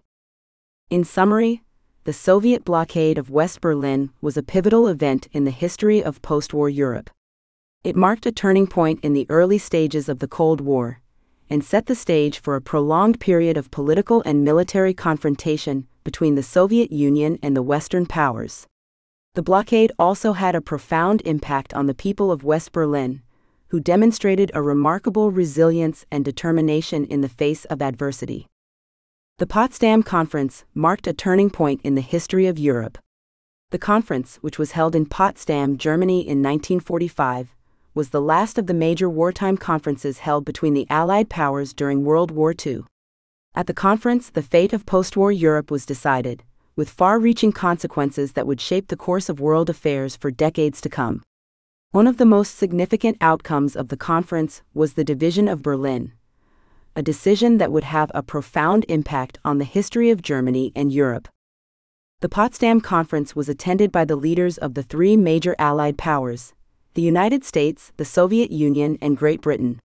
The conference was held at a time when the Allies had already achieved a decisive victory over Germany, and the main focus of the conference was on the post war settlement of Europe. One of the key issues discussed at the conference was the division of Germany. The Allies had already agreed to the unconditional surrender of Germany, and the question was how to divide the country and administer its post war reconstruction. The Soviet Union was eager to ensure that it had a significant role in the reconstruction of Germany, and it pushed for a zone of occupation in eastern Germany that would be under Soviet control. Another key issue discussed at the conference was the future of Berlin. The city had been heavily bombed during the war, and it was in ruins. The Allies were divided over the fate of the city, with the Soviet Union pushing for the city to be divided into four sectors, each under the control of one of the Allied powers. The decision to divide Berlin was one of the most significant outcomes of the Potsdam Conference. The city was divided into four sectors, with the United States, Great Britain, France, and the Soviet Union each controlling one sector. The division of Berlin reflected the broader division of Germany, and it would have profound implications for the history of Europe. The division of Berlin created a stark division between the East and the West, with the Soviet controlled sector becoming part of the Communist East and the other three sectors becoming part of the Democratic West.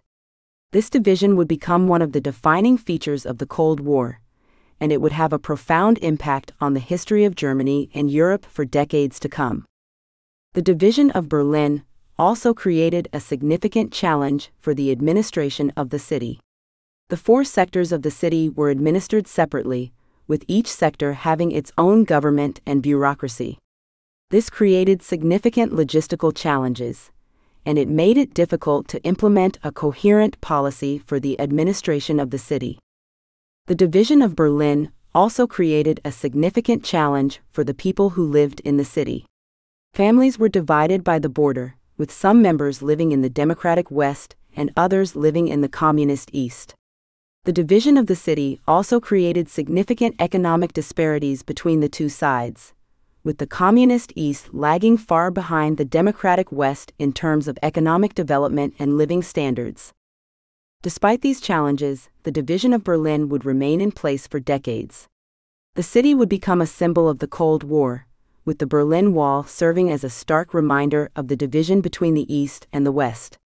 The city would also become the focus of significant political tension, with a number of high profile incidents, such as the construction of the wall and the airlift of supplies to the city, marking important moments in the history of the Cold War. In summary, the Potsdam Conference marked a turning point in the history of Europe. The conference was a key moment in the post war settlement of Europe, and it had far reaching consequences that would shape the course of world affairs for decades to come. The Berlin airlift, which lasted from June 1948 to September 1949, was a massive logistical effort that demonstrated the resolve of the United States to defend the freedom and independence of West Berlin. It was also a turning point in the early stages of the Cold War, and it set the stage for a prolonged period of political and military confrontation between the two superpowers. The decision to launch the Berlin airlift was a bold and risky move by the United States. The Soviet Union had blockaded all road, rail, and water access to West Berlin, which was located deep in the Soviet zone. The residents of West Berlin were cut off from the rest of the world, and were facing the very real prospect of starvation and deprivation. The United States responded by launching a massive airlift, designed to supply the residents of West Berlin with food, fuel, and other essential supplies. The airlift was a logistical feat of extraordinary proportions, and it required the cooperation and coordination of military, civilian, and government organizations. The United States Air Force, in particular, played a key role in the airlift, deploying hundreds of aircraft to transport supplies to West Berlin. The Berlin airlift was not without its challenges, however. The airlift was subject to intense scrutiny and opposition from the Soviet Union, which viewed it as a provocative move by the United States. The Soviet Union also attempted to disrupt the airlift by jamming radio signals, shooting down aircraft, and imposing various other obstacles. Despite these challenges, the United States persevered, and the airlift continued for over a year. The airlift demonstrated the resolve of the United States to defend the freedom and independence of West Berlin, and it also helped to forge a sense of shared purpose and common identity among the people of West Berlin. The Berlin airlift was a defining moment in the history of the Cold War. It marked a dramatic escalation of tensions between the Soviet Union and the Western powers, and it set the stage for a prolonged period of political and military confrontation between the two superpowers.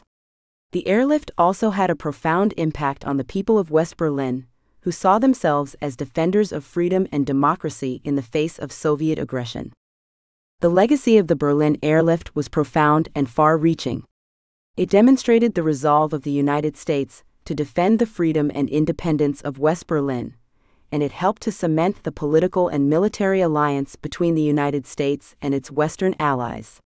The airlift also helped to forge a sense of shared purpose and common identity among the people of West Berlin, who saw themselves as defenders of freedom and democracy in the face of Soviet aggression.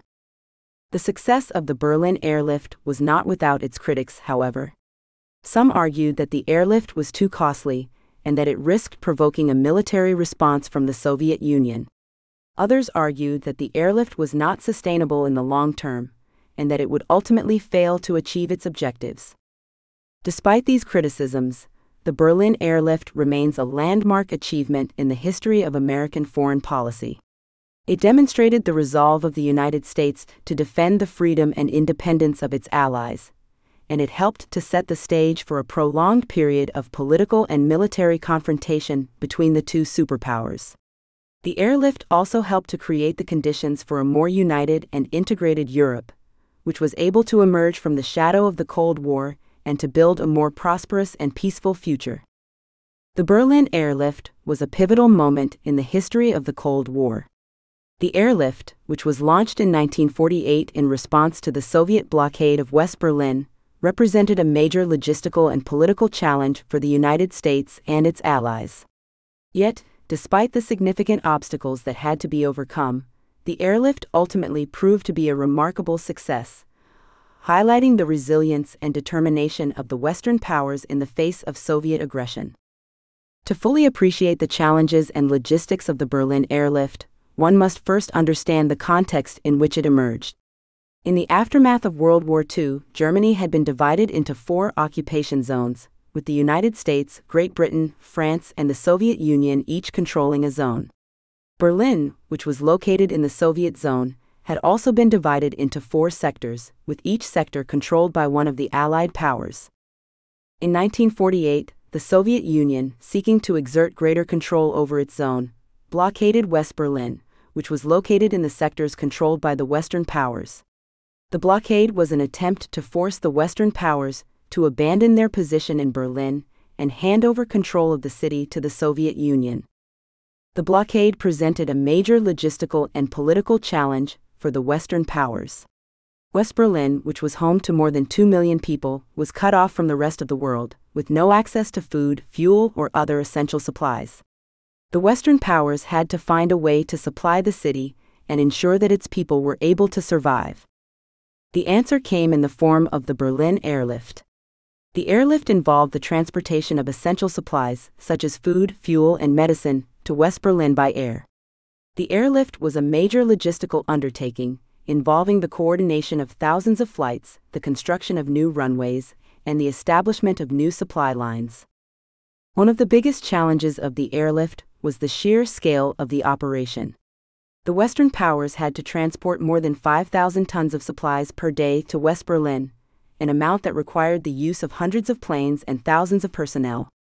This placed a significant strain on the resources of the Western powers, which had to divert significant amounts of personnel and resources to the airlift effort.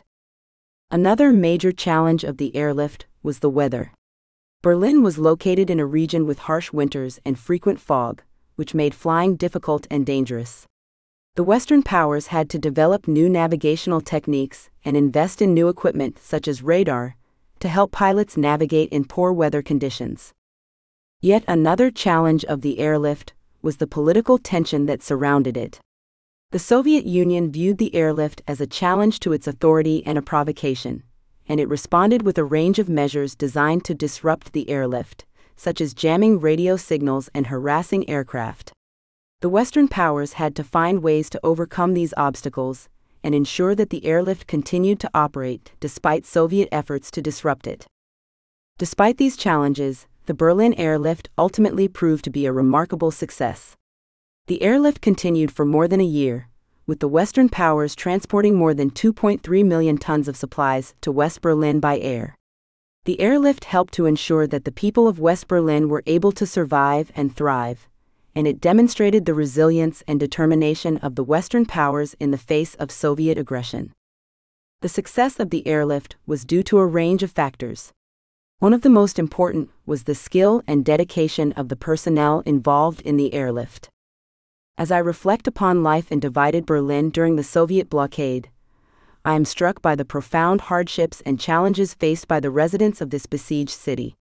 Berlin had been divided into four sectors at the end of the Second World War, with the Soviet Union taking control of the eastern part of the city and the Western powers taking control of the western part. The blockade, which lasted from June 1948 to May 1949, saw the Soviet Union cut off all road, rail, and water access to West Berlin, which was located deep in the Soviet zone. The residents of West Berlin were effectively cut off from the rest of the world, and were facing the very real prospect of starvation and deprivation. Life in divided Berlin during the blockade was characterized by scarcity and deprivation. The residents of West Berlin were forced to endure months of isolation and hardship, as they struggled to survive in the face of Soviet aggression. Food and other essential supplies were in short supply, and the residents of West Berlin were forced to make do with meager rations of bread, potatoes, and other basic provisions. The situation in East Berlin was markedly different, as the Soviet Union continued to provide the eastern part of the city with essential supplies. However, life in East Berlin was also marked by hardship and deprivation, as the Soviet Union imposed strict controls on the population and restricted basic freedoms. The blockade had far reaching implications for the social fabric of the city. Families were separated by the blockade, with some members trapped in the Soviet zone and others in the Western zone. The blockade also had a profound impact on the economy of the city, as businesses and industries were forced to shut down in the face of Soviet aggression. Despite the challenges they faced, the residents of West Berlin refused to be cowed by the Soviet blockade. They rallied around the Berlin airlift, and they demonstrated a remarkable resilience and determination in the face of adversity. The Berlin airlift, which was launched by the United States to supply the residents of West Berlin with food, fuel, and other essential supplies, provided a lifeline for the people of the city, and it helped to create a sense of shared purpose and common identity among the people of West Berlin. The Berlin airlift also helped to create a sense of international solidarity, as countries from around the world contributed to the effort. The airlift demonstrated the resolve of the Western powers to defend the freedom and independence of West Berlin, and it helped to lay the groundwork for a more united and integrated Europe. The legacy of the Soviet blockade of Berlin is profound and far reaching. It marked a dramatic escalation of tensions between the Soviet Union and the Western powers, and it set the stage for a prolonged period of political and military confrontation between the two superpowers.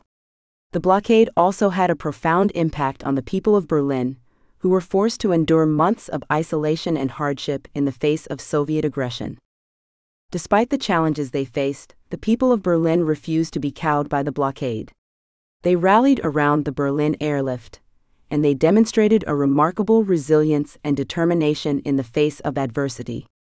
The blockade helped to forge a sense of shared purpose and common identity among the people of West Berlin, who saw themselves as defenders of freedom and democracy in the face of Soviet aggression.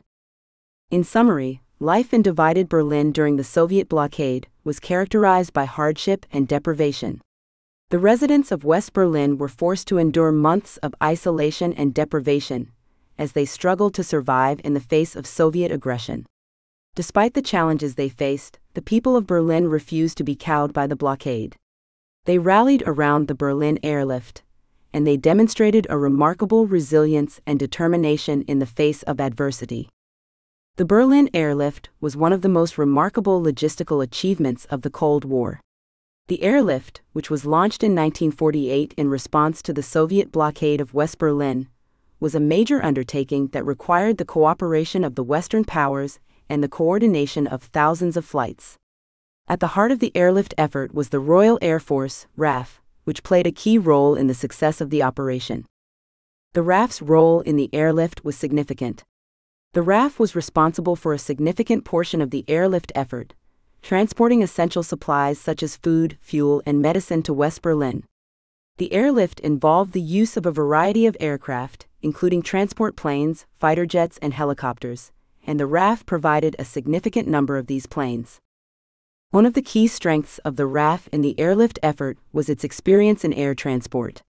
The RAF had a long history of transporting troops and supplies, and it had a deep understanding of the challenges and logistics involved in such operations. This experience proved invaluable in the airlift effort, as the RAF was able to provide skilled pilots, ground crews, and other personnel who were able to ensure that the airlift continued to operate smoothly despite the significant challenges that had to be overcome. Another key strength of the RAF in the airlift effort was its technological expertise. The RAF was a pioneer in the development of new technologies, such as radar and navigational aids, that were essential to the success of the airlift. The RAF also invested heavily in new equipment, such as transport planes and helicopters, that were specifically designed to meet the unique challenges of the airlift effort. The RAF's role in the airlift was also significant from a political perspective. The RAF was a key symbol of British power and prestige, and its participation in the airlift demonstrated the United Kingdom's commitment to the Western Alliance and to the defense of West Berlin. The RAF's involvement in the airlift helped to establish a sense of solidarity and cooperation among the Western powers, which was essential to the success of the operation. Despite the significant challenges involved in the airlift effort, the RAF played a crucial role in the success of the operation. The RAF transported more than 400,000 tons of supplies to West Berlin, and it operated more than 70% of the transport planes used in the airlift. The RAF's pilots and ground crews worked tirelessly to ensure that the airlift continued to operate smoothly, despite the significant obstacles that had to be overcome. The RAF's role in the airlift effort had a profound impact on the history of the Cold War. The airlift demonstrated the Western powers' commitment to democracy and freedom, and it helped to establish the United States and its allies as a bulwark against Soviet aggression. The RAF's participation in the airlift also helped to cement the United Kingdom's position as a key player in the Western Alliance, and it highlighted the country's unique expertise and technological prowess in the field of aviation. In summary, the Royal Air Force played a crucial role in the Berlin airlift. The RAF's experience in air transport, technological expertise, and political symbolism were all essential to the success of the airlift effort. The RAF's participation in the airlift helped to establish a sense of solidarity and cooperation among the Western powers, and it demonstrated the United Kingdom's commitment to the defense of West Berlin and to the principles of democracy and freedom. The RAF's role in the airlift effort remains a testament to the dedication and skill of the men and women who worked tirelessly to ensure the success of the operation. As I reflect upon the Berlin blockade and its impact on the formation of the Federal Republic of Germany, West Germany, I am struck by the profound historical significance of this event. The blockade, which lasted from June 1948 to May 1949, was a dramatic escalation of tensions between the Soviet Union and the Western powers. It also marked a turning point in the early stages of the Cold War, and it set the stage for the formation of a new, democratic Germany. The blockade had a profound impact on the political and social fabric of Germany. The country had been divided into four occupation zones at the end of the Second World War with the Soviet Union taking control of the eastern part of the country and the United States, Britain, and France taking control of the western part. The blockade saw the Soviet Union cut off all road, rail, and water access to West Berlin, which was located deep in the Soviet zone. The residents of West Berlin were effectively cut off from the rest of the world, and were facing the very real prospect of starvation and deprivation. The Western powers responded by launching the Berlin Airlift, which was designed to supply the residents of West Berlin with food, fuel, and other essential supplies. The airlift was a remarkable feat of logistics, and it demonstrated the commitment of the Western powers to defend the freedom and independence of West Berlin. The airlift also helped to create a sense of shared purpose and common identity among the people of West Berlin. The blockade helped to galvanize support for the idea of a new, democratic Germany. The Western powers recognized that the fate of Germany was inextricably tied to the fate of Europe, and that the only way to achieve lasting peace and prosperity was through cooperation and collaboration. The blockade helped to create a sense of urgency and purpose around the idea of a new, democratic Germany, and it provided a rallying cry for those who sought to break free from the constraints of the past. The blockade also helped to create the conditions for the formation of the Federal Republic of Germany, West Germany. The Western powers recognized that the old order in Germany had been irreparably damaged by the Second World War, and that a new, democratic Germany was needed to move forward. The formation of the Federal Republic of Germany in May 1949 marked a major milestone in the history of Germany, and it set the stage for a new democratic era in German history. The Federal Republic of Germany was established as a democratic federal state, with a constitution that guaranteed individual rights and freedoms. The new state was also committed to the principles of free market economics and social democracy. The formation of the Federal Republic of Germany represented a bold and visionary effort to break with the past and to create a new democratic Germany that was committed to the principles of freedom, democracy, and prosperity. The formation of the Federal Republic of Germany was not without its challenges, however. The country remained divided, with East Germany remaining under Soviet control. The legacy of the Second World War also cast a long shadow over the new state, as Germany struggled to come to terms with the atrocities of the past. The Federal Republic of Germany also faced the challenge of building a new, democratic society in the midst of the Cold War, and of forging a new national identity that was based on the principles of freedom and democracy. Despite these challenges, the formation of the Federal Republic of Germany represented a major milestone in the history of Germany and it set the stage for a new, democratic era in German history. The blockade had helped to create the conditions for the formation of the new state, and it had demonstrated the commitment of the Western powers to defend the freedom and independence of West Berlin. The Berlin blockade was a pivotal moment in the history of the Cold War. The blockade, which was launched by the Soviet Union in 1948, in response to the Western powers' decision to introduce a new currency in West Germany, was a clear demonstration of the Soviet Union's determination to exert its influence in Europe. Soviet diplomacy played a key role in the Berlin blockade, as the Soviet Union sought to use the blockade as a means of advancing its own strategic goals. The Soviet Union's diplomatic strategy during the Berlin blockade was multifaceted. On the one hand, the Soviet Union sought to use the blockade as a means of strengthening its own position in Europe. The Soviet Union believed that the blockade would force the Western powers to abandon their position in Berlin and hand over control of the city to the Soviet Union. The Soviet Union also believed that the blockade would help to create divisions among the Western powers and weaken the Western alliance.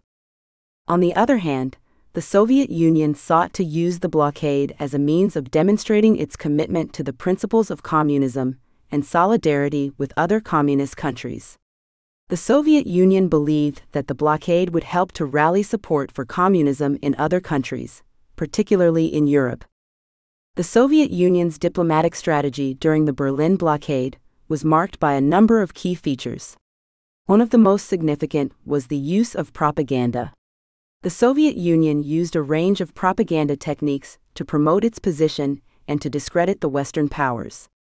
This included the use of posters, films, and other forms of media, as well as the deployment of agents and other operatives to spread Soviet propaganda in Western Europe.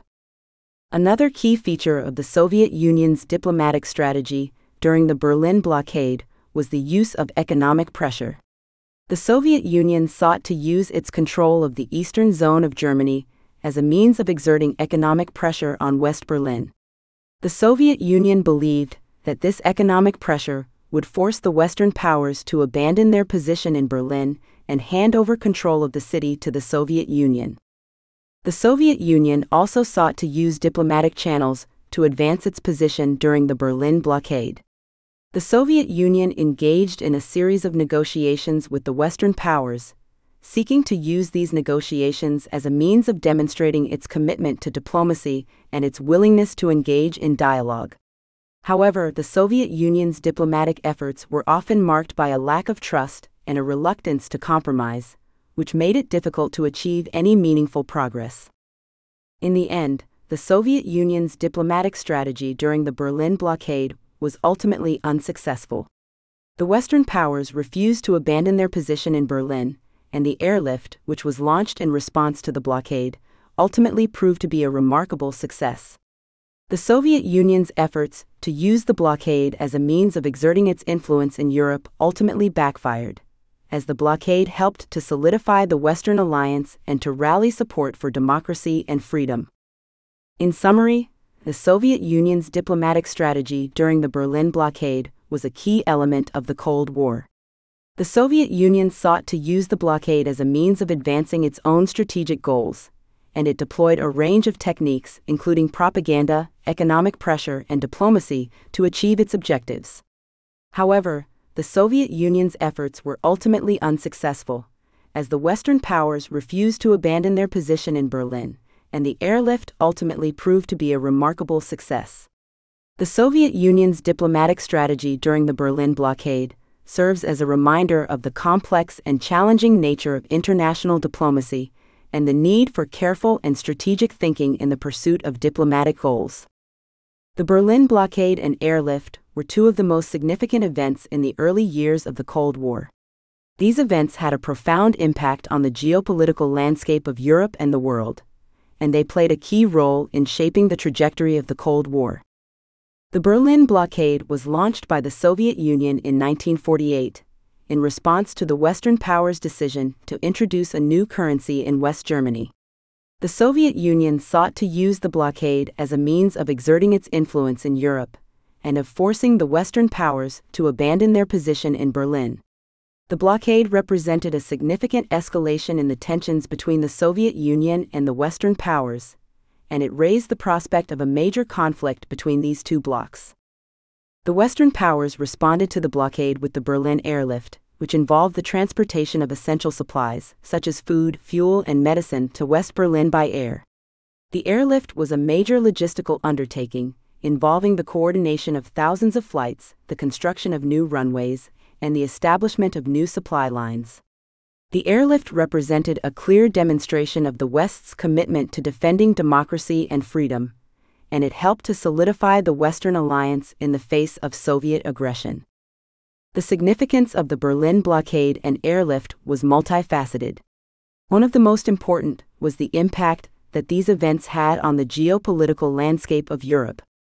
The Berlin blockade and airlift helped to establish a clear divide between the Soviet Union and the Western powers, and they contributed to the emergence of a bipolar world in which two superpowers, the United States and the Soviet Union, vied for global dominance. The Berlin blockade and airlift also highlighted the importance of Germany as a key battleground in the Cold War, and they set the stage for the division of Germany into two separate states, which would endure until the end of the Cold War. Another significant aspect of the Berlin blockade and airlift was the impact that these events had on the public perception of the Cold War. The Berlin blockade and airlift were widely covered by the media, and they captured the attention of people around the world.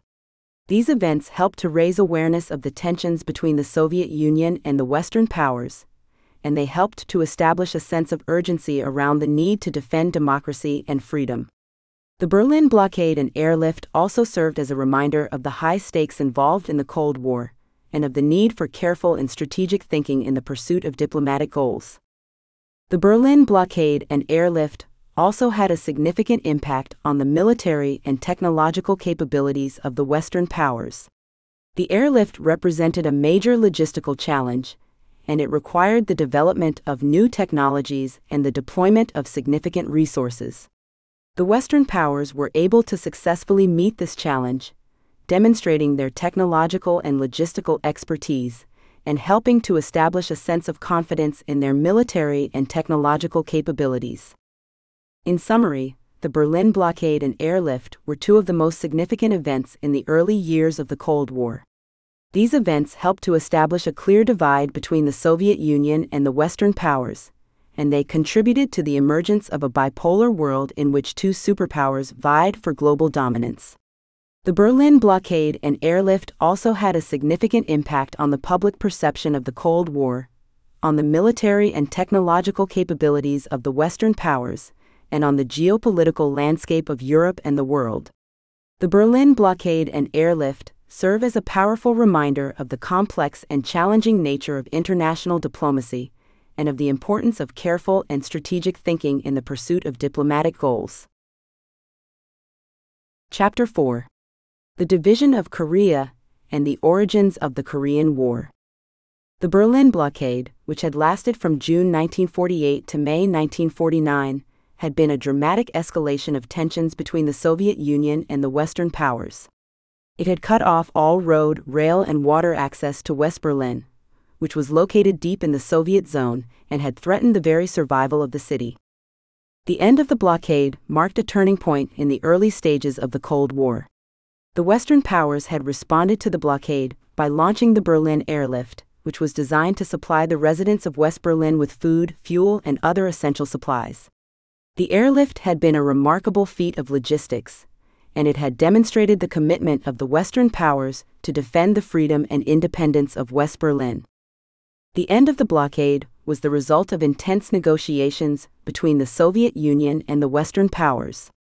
The Soviet Union had come under increasing international pressure to end the blockade, and had recognized that the continuation of the blockade would only serve to isolate the Soviet Union further from the international community. The Western powers, for their part, had demonstrated their resolve and determination to defend the freedom and independence of West Berlin. The end of the blockade had profound implications for the future of Germany and Europe. It had helped to galvanize support for the idea of a new democratic Germany and had set the stage for the formation of the Federal Republic of Germany, West Germany, just a few months later. The end of the blockade had also helped to create a sense of shared purpose and common identity among the people of West Berlin, who had come to see themselves as defenders of freedom and democracy in the face of Soviet aggression. The end of the blockade had also marked a major milestone in the history of the Cold War. It had demonstrated the commitment of the Western powers to defend the freedom and independence of their allies and had set the stage for a prolonged period of political and military confrontation between the two superpowers. The end of the blockade had also created the conditions for a more united and integrated Europe, which was able to emerge from the shadow of the Cold War and to build a more prosperous and peaceful future. The legacy of the Berlin blockade and its end is profound and far reaching. It marked a turning point in the early stages of the Cold War and set the stage for a prolonged period of political and military confrontation between the two superpowers. The blockade had helped to create the conditions for the formation of the Federal Republic of Germany and had helped to forge a sense of shared purpose and common identity among the people of West Berlin. The end of the blockade had also demonstrated the resolve and determination of the Western powers to defend the freedom and independence of their allies. In summary, the end of the Berlin blockade was a momentous event in the history of the Cold War. It marked a turning point in the early stages of the confrontation between the Soviet Union and the Western powers, and it set the stage for a prolonged period of political and military confrontation. The end of the blockade had profound implications for the future of Germany and Europe, and had helped to create the conditions for a more united and integrated continent. The end of the blockade had also demonstrated the resolve and determination of the Western powers to defend the freedom and independence of their allies, and had helped to create a sense of shared purpose and common identity among the people of West Berlin. The North Korean invasion, which began on June 25, 1950, marked the first major conflict of the Cold War and set the stage for a prolonged period of military confrontation between the United States and its allies and the Soviet Union and its allies. The North Korean invasion of South Korea was a dramatic escalation of tensions between the two Koreas, which had been divided at the end of the Second World War. The invasion caught the United States and its allies by surprise and threatened to destabilize the fragile balance of power in the region. The United States, which had only recently emerged from the Second World War, was still in the process of rebuilding and rearming and was ill prepared to respond to this new threat. The early stages of the war were marked by intense fighting and rapid territorial gains by the North Koreans. The United States and its allies were caught off guard and were forced to retreat rapidly in the face of the North Korean advance. The North Koreans quickly seized control of the capital city of Seoul and threatened to conquer the entire country. The United States responded by launching a series of counteroffensives designed to drive the North Koreans back across the border. The first of these counteroffensives, launched in September 1950, was successful in pushing the North Koreans back across the 38th parallel, which divided the two Koreas. However, the Chinese, who had recently come to power under the leadership of Mao Zedong, soon intervened in the conflict, and the tide of the war began to turn in favor of the North Koreans. The Korean War had far reaching implications for the future of Asia and the world. The conflict demonstrated the willingness of the United States and its allies to defend the principles of freedom and democracy, and to confront aggression and tyranny wherever they may be found. The Korean War also demonstrated the resolve and determination of the Chinese and the Soviet Union to challenge the power and influence of the United States and its allies. The Korean War also had a profound impact on the people of Korea. The country had been divided at the end of the Second World War, and the war had only served to deepen the divisions between the North and the South. The conflict had resulted in the loss of countless lives and had devastated the economy and infrastructure of both North and South Korea. Despite the challenges they faced, the United States and its allies refused to be cowed by the North Korean invasion. They demonstrated a remarkable resilience and determination in the face of adversity, and worked tirelessly to defend the principles of freedom and democracy. The Korean War helped to forge a sense of shared purpose and common identity among the people of South Korea, who saw themselves as defenders of freedom and democracy in the face of aggression and tyranny. In summary, the North Korean invasion and the early stages of the Korean War were a turning point in the history of the Cold War. The invasion marked the first major conflict of the Cold War and set the stage for a prolonged period of military confrontation between the United States and its allies and the Soviet Union and its allies. The conflict had far reaching implications for the future of Asia and the world, and helped to create a sense of shared purpose and common identity among the people of South Korea.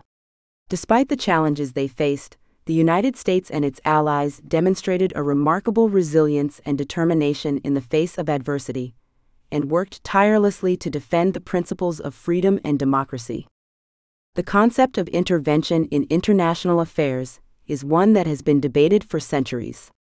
In the aftermath of World War II, the United States, along with its allies, saw the need for intervention in the affairs of other nations in order to maintain stability and promote democracy. The United Nations was established as a forum for this intervention, and the United States became a major proponent of UN action in the post war era. The American and United Nations intervention can be seen in a number of different contexts. The United States and its allies saw themselves as the champions of democracy and freedom in the aftermath of World War II and they believed that it was their responsibility to promote these values around the world. The United Nations was established as a means of achieving this goal, and the United States played a major role in shaping the institution and promoting its values. One of the most significant examples of American and United Nations intervention was the Korean War. In 1950, North Korea invaded South Korea, and the United Nations Security Council voted to send a multinational force to repel the invasion. The United States played a leading role in this intervention, providing troops, resources, and strategic guidance. The Korean War was a clear demonstration of the United States' commitment to intervention in the affairs of other nations. And it highlighted the importance of the United Nations in achieving this goal. Another significant example of American and United Nations intervention was the Gulf War. In 1990, Iraq invaded Kuwait, and the United Nations Security Council voted to authorize the use of force to expel Iraqi forces from Kuwait the United States once again played a leading role in this intervention, providing troops, resources, and strategic guidance. The Gulf War was a clear demonstration of the United States' commitment to promoting democracy and stability in the Middle East, and it highlighted the importance of the United Nations in achieving this goal.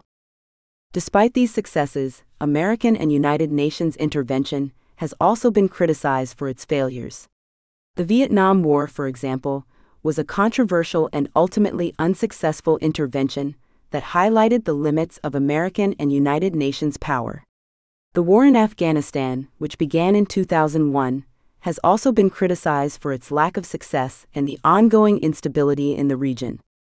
In summary, American and United Nations intervention has been a key feature of the post war era. The United States and its allies have seen themselves as champions of democracy and freedom, and they have been willing to intervene in the affairs of other nations to promote these values. The United Nations has played a key role in this intervention, providing a forum for international cooperation and a means of achieving global stability. While there have been successes, such as the Korean War and the Gulf War, there have also been failures, such as the Vietnam War and the ongoing war in Afghanistan. American and United Nations intervention remains a controversial and complex topic, highlighting the challenges and opportunities of international diplomacy and intervention. The war had begun with a dramatic invasion of South Korea by North Korea and had quickly escalated into a brutal and bloody conflict that had lasting implications for the region and the world. The stalemate and trench warfare on the Korean peninsula had come about as a result of the intense fighting and rapid territorial gains made by the North Koreans in the early stages of the war. The United States and its allies had been caught off guard by the invasion and had been forced to retreat rapidly in the face of the North Korean advance. However, they had launched a series of counteroffensives which had pushed the North Koreans back across the 38th parallel, which divided the two Koreas. The situation on the Korean peninsula soon deteriorated into a stalemate, with neither side able to make significant territorial gains. The front lines of the conflict became entrenched, with both sides dug in and holding their positions. The conflict had become a war of attrition, with both sides suffering heavy casualties in their efforts to gain even the slightest advantage. The stalemate and trench warfare on the Korean peninsula had a profound impact on the people of Korea. The country had already been deeply divided at the end of the Second World War, and the war had only served to deepen those divisions. The conflict had resulted in the loss of countless lives and had devastated the economy and infrastructure of both North and South Korea. The stalemate and trench warfare only added to the suffering and hardship of the Korean people. The Korean War had far reaching implications for the future of Asia and the world. The conflict had demonstrated the willingness of the United States and its allies to defend the principles of freedom and democracy, and to confront aggression and tyranny wherever they may be found. The Korean War had also highlighted the deep divisions and tensions between the United States and the Soviet Union, and had set the stage for a prolonged period of political and military confrontation between the two superpowers. The stalemate and trench warfare on the Korean Peninsula had far reaching implications for the conduct of modern warfare. The conflict had demonstrated the effectiveness of defensive positions and tactics, and had highlighted the need for new and innovative approaches to military strategy. The lessons learned on the Korean Peninsula would inform the development of new tactics and technologies in the years to come, and would have lasting implications for the future of warfare. Despite the challenges they faced, the United States and its allies refused to be cowed by the stalemate and trench warfare on the Korean Peninsula.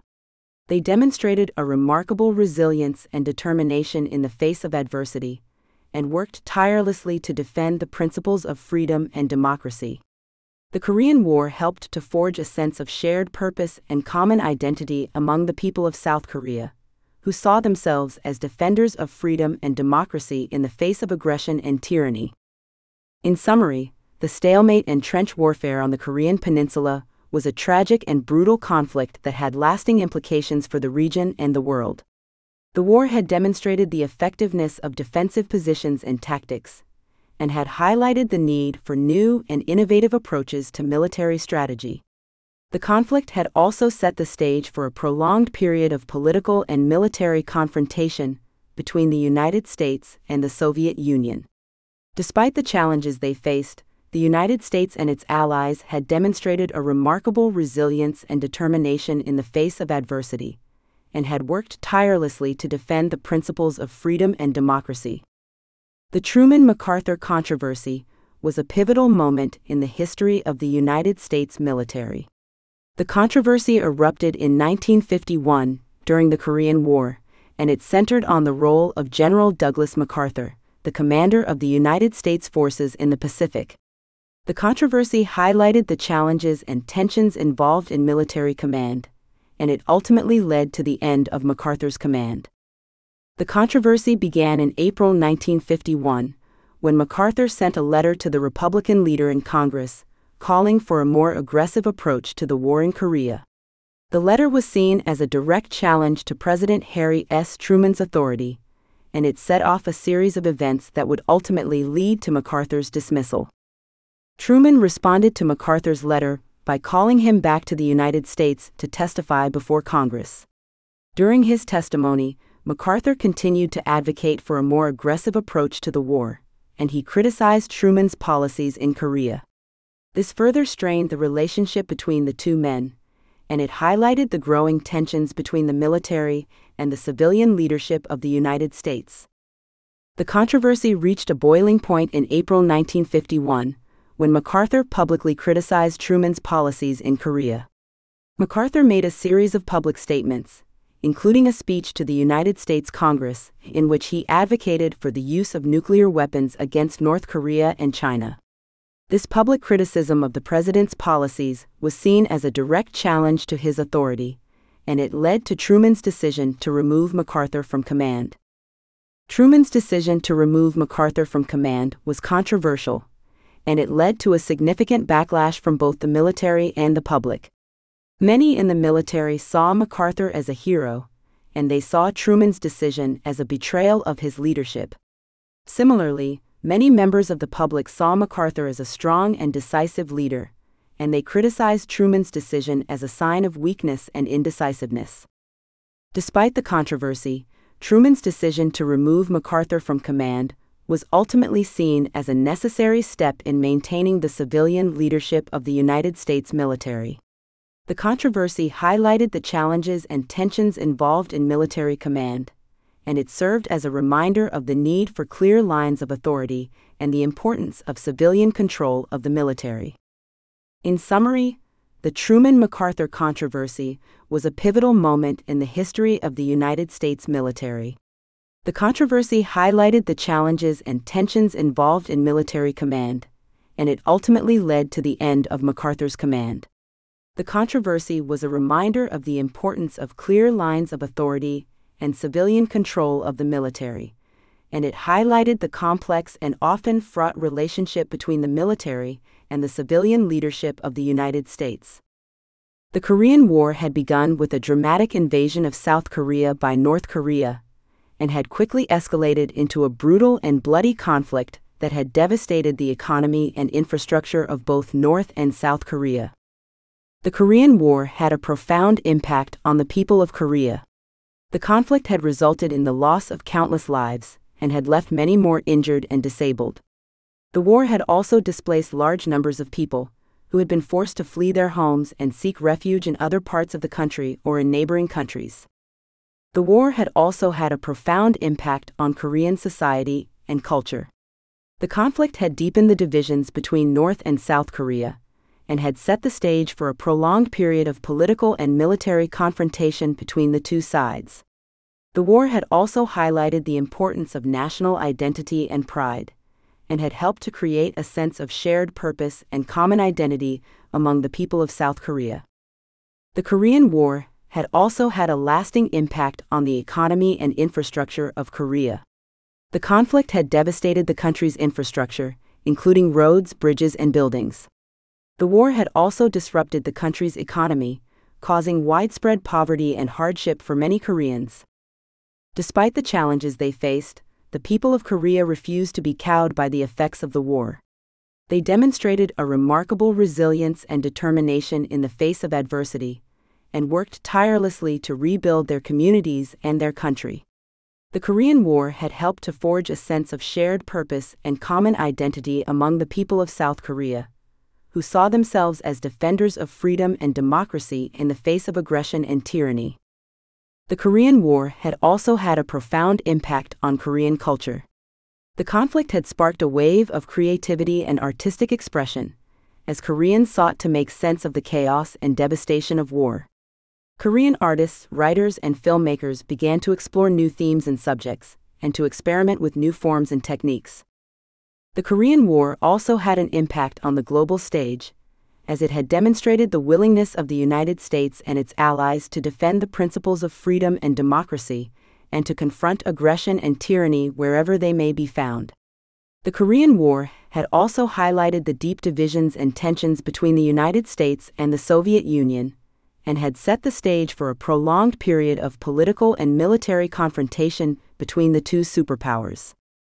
In summary, the Korean War had a profound and lasting impact on Korean society and culture. The conflict had devastated the economy and infrastructure of both North and South Korea, and had deepened the divisions between the two sides. The war had also sparked a wave of creativity and artistic expression, as Koreans sought to make sense of the chaos and devastation of war. Despite the challenges they faced, the people of Korea had demonstrated a remarkable resilience and determination in the face of adversity, and had worked tirelessly to rebuild their communities and their country. The Korean War had helped to forge a sense of shared purpose and common identity among the people of South Korea, who saw themselves as defenders of freedom and democracy in the face of aggression and tyranny. The Korean War was a pivotal moment in the history of warfare and it marked a significant shift in the role of technology in military operations. The Korean War was fought from 1950 to 1953, and it was characterized by a range of technological innovations that played a key role in shaping the outcome of the conflict. One of the most significant technological innovations of the Korean War was the use of jet aircraft. The Korean War was the first conflict in which jet aircraft were used on a large scale, and this technology gave the United States an important advantage over North Korea and China. The use of jet aircraft allowed the United States to gain air superiority over the Korean peninsula, and it allowed American forces to launch devastating airstrikes against North Korean and Chinese forces. Another significant technological innovation of the Korean War was the use of helicopters. The Korean War was the first conflict in which helicopters were used on a large scale, and this technology proved to be a game changer. The use of helicopters allowed American forces to transport troops and supplies quickly and efficiently, and it allowed them to launch surprise attacks against North Korean and Chinese forces. The Korean War was also characterized by the use of new weapons and tactics. One of the most significant was the use of napalm, a highly flammable gel that was used to destroy enemy positions and kill enemy soldiers. Napalm proved to be a highly effective weapon, and it was used extensively during the Korean War. The Korean War also saw the introduction of new communications technologies. The use of radios and telephones allowed American forces to communicate more effectively, and it allowed them to coordinate their operations more efficiently. The use of code breaking technology also played a significant role in the Korean War as American codebreakers were able to intercept and decode enemy communications. The role of technology in the Korean War was not limited to military operations. The Korean War also saw the use of new technologies for medical treatment and support. The use of helicopters, for example, allowed medical personnel to transport wounded soldiers quickly and efficiently, and it allowed them to provide medical treatment to soldiers in the field. In summary, the Korean War marked a significant shift in the role of technology in military operations. The use of jet aircraft, helicopters, new weapons, and communications technologies played a key role in shaping the outcome of the conflict. The Korean War also highlighted the importance of technology for medical treatment and support. The role of technology in the Korean War serves as a reminder of the importance of innovation and technological advancement in the field of military operations, and of the complex and evolving nature of warfare. The Armistice Agreement, which was signed on July 27, 1953, marked the end of the Korean War and brought an end to three years of intense fighting and bloodshed on the Korean Peninsula. The Armistice Agreement was a remarkable achievement and represented a major milestone in the history of the Cold War. The agreement had been negotiated by representatives of the United States, North Korea, and China, and had been signed in the presence of representatives of the United Nations Command. The agreement had been designed to create a permanent ceasefire on the Korean Peninsula and to establish a demilitarized zone between North and South Korea. The signing of the Armistice Agreement marked the end of one of the most brutal and devastating conflicts of the Cold War. The Korean War had resulted in the loss of countless lives and had left many more injured and disabled. The conflict had also devastated the economy and infrastructure of both North and South Korea, and had left many Koreans struggling to rebuild their communities and their country. The Armistice Agreement had profound implications for the future of Korea and the world. The agreement had created a lasting ceasefire on the Korean peninsula and had established a demilitarized zone between North and South Korea. The agreement had also set the stage for a prolonged period of political and military confrontation between North Korea and the rest of the world. The Armistice Agreement had also had a lasting impact on the people of Korea. The conflict had deepened the divisions between North and South Korea and had set the stage for a prolonged period of political and military confrontation between the two sides. The agreement had created a sense of stability and predictability on the Korean peninsula and had helped to create the conditions for a more peaceful and prosperous future for the Korean people. The signing of the Armistice Agreement had also had an impact on the global stage. The agreement had demonstrated the willingness of the United States and its allies to defend the principles of freedom and democracy, and to confront aggression and tyranny wherever they may be found. The agreement had also highlighted the deep divisions and tensions between the United States and the Soviet Union, and had set the stage for a prolonged period of political and military confrontation between the two superpowers. Despite the challenges they faced, the people of Korea refused to be cowed by the effects of the war. They demonstrated a remarkable resilience and determination in the face of adversity, and worked tirelessly to rebuild their communities and their country. The Armistice Agreement had helped to forge a sense of shared purpose and common identity among the people of South Korea, who saw themselves as defenders of freedom and democracy in the face of aggression and tyranny. In summary, the Armistice Agreement was a remarkable achievement that had a profound and lasting impact on the history of Korea and the world. The agreement had marked the end of one of the most brutal and devastating conflicts of the Cold War, and had helped to create the conditions for a more peaceful and prosperous future for the Korean people. The agreement had also had a significant impact on the global stage, and had demonstrated the willingness of the United States and its allies to defend the principles of freedom and democracy. The Armistice Agreement had helped to create a sense of stability and predictability on the Korean Peninsula, and had set the stage for a prolonged period of political and military confrontation between North Korea and the rest of the world. The legacy of the Korean War is one that continues to shape U.S. foreign policy and military strategy to this day. The Korean War, fought from 1950 to 1953, was a pivotal moment in the history of the United States, and it marked a significant shift in the country's approach to international diplomacy and military operations. One of the most significant legacies of the Korean War was the emergence of a more aggressive and interventionist U.S. foreign policy. The Korean War was seen as a test of the United States' commitment to global stability and democracy, and it led to a greater willingness to intervene in the affairs of other nations in order to promote these values. This legacy was further cemented by the Vietnam War, which highlighted the complexities and challenges involved in foreign intervention, but which also reinforced the importance of American leadership and engagement in the world. Another significant legacy of the Korean War was the impact it had on U.S. military strategy. The Korean War marked a shift away from the large scale conventional warfare of World War II and toward a more flexible and mobile military force. The Korean War also highlighted the importance of air power and logistics in modern warfare, and it set the stage for the development of new military technologies and tactics. The Korean War also had a significant impact on the geopolitics of East Asia. The division of Korea into North and South and the ongoing conflict between these two states remains a major source of tension in the region.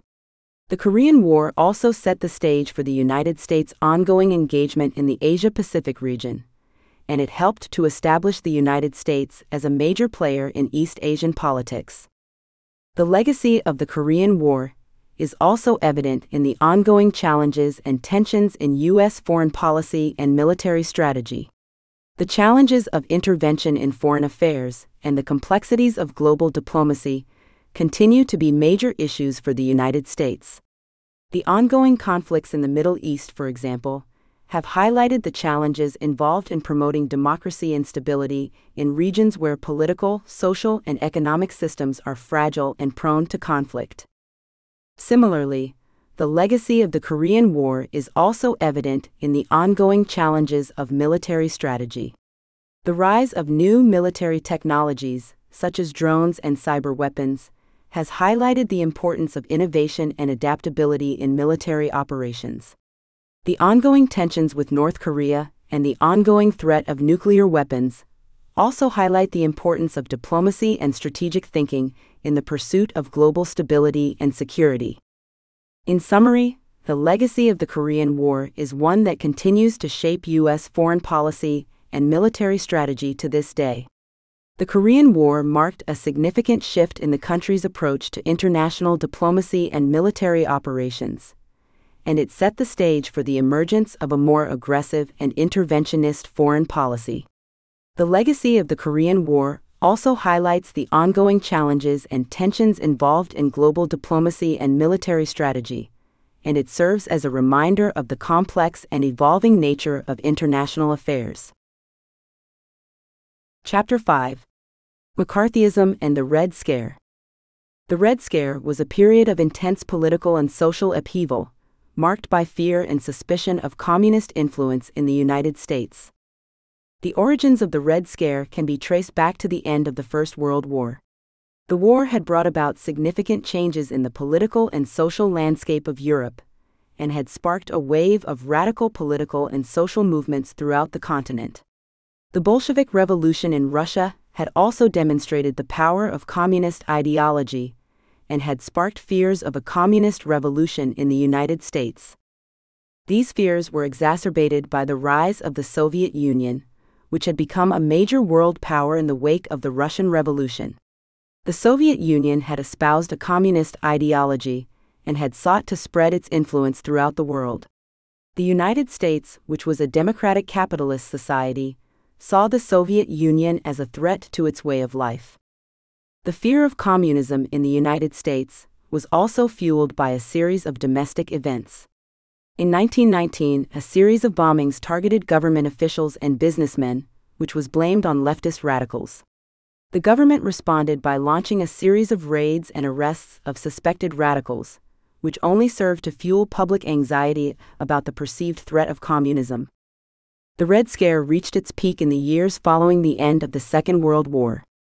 The Soviet Union had emerged as a major world power, and had demonstrated its ability to challenge the United States in areas such as nuclear weapons and space exploration.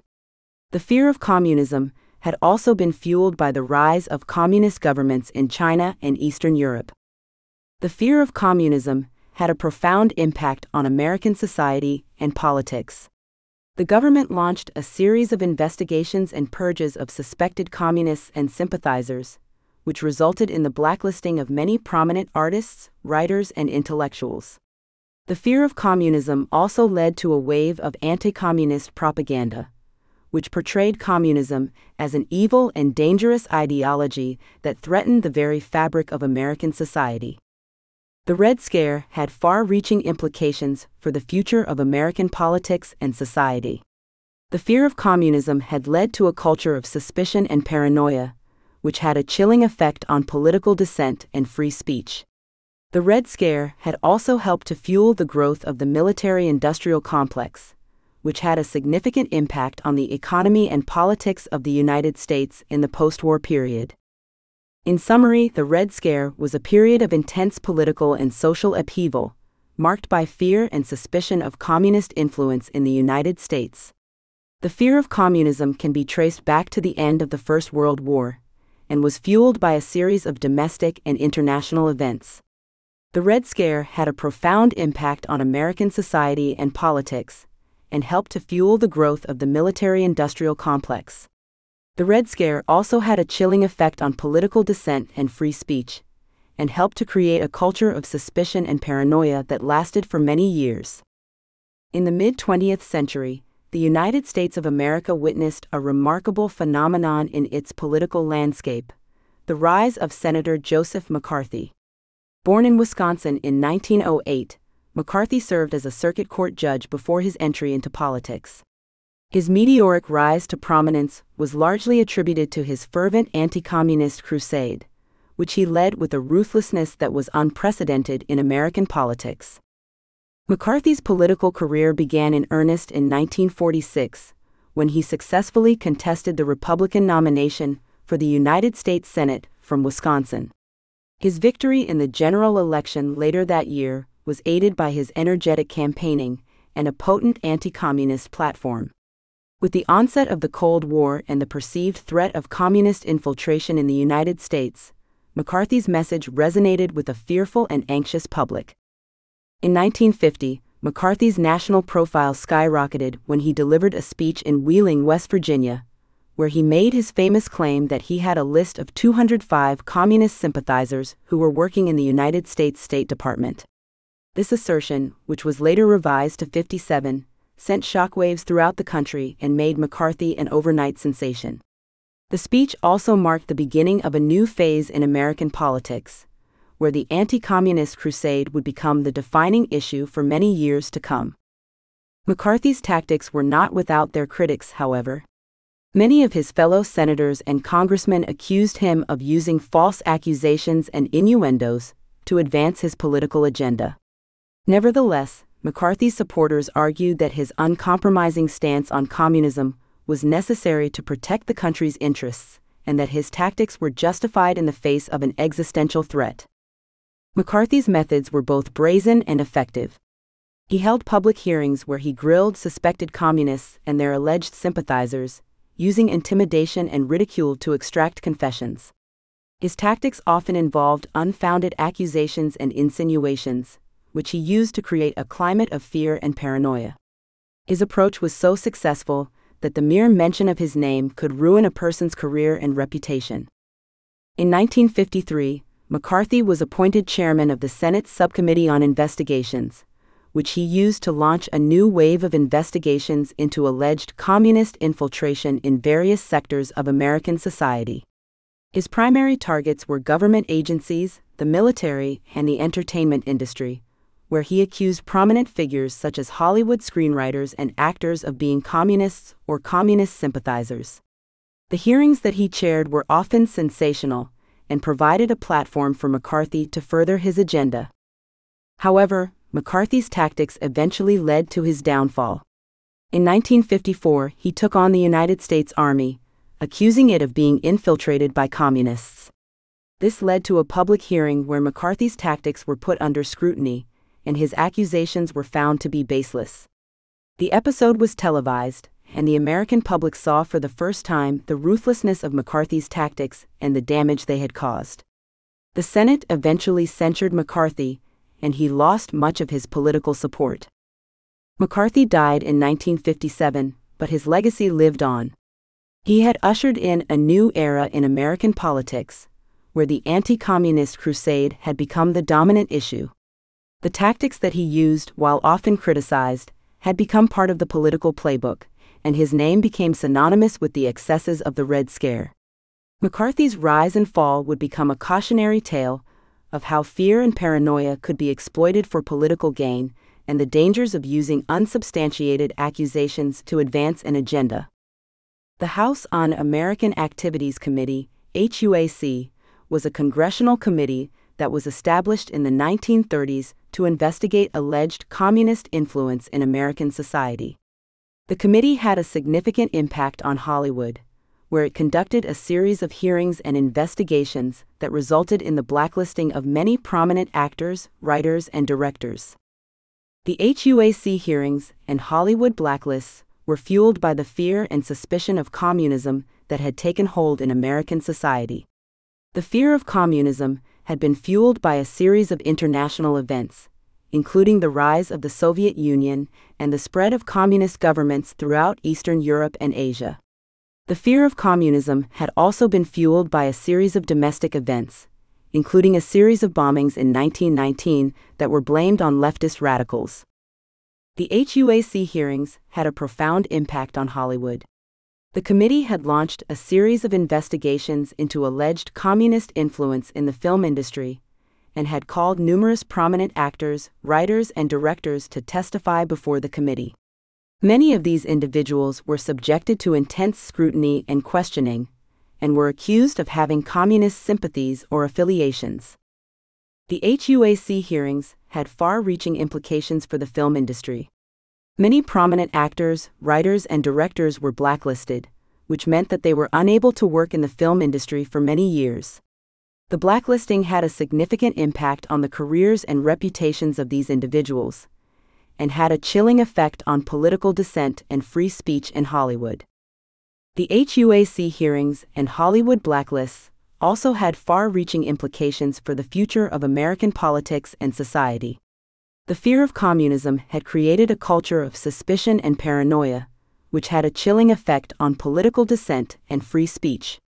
The HUAC hearings had helped to create a climate of fear and intimidation, which had a significant impact on the political and cultural landscape of the United States in the post war period.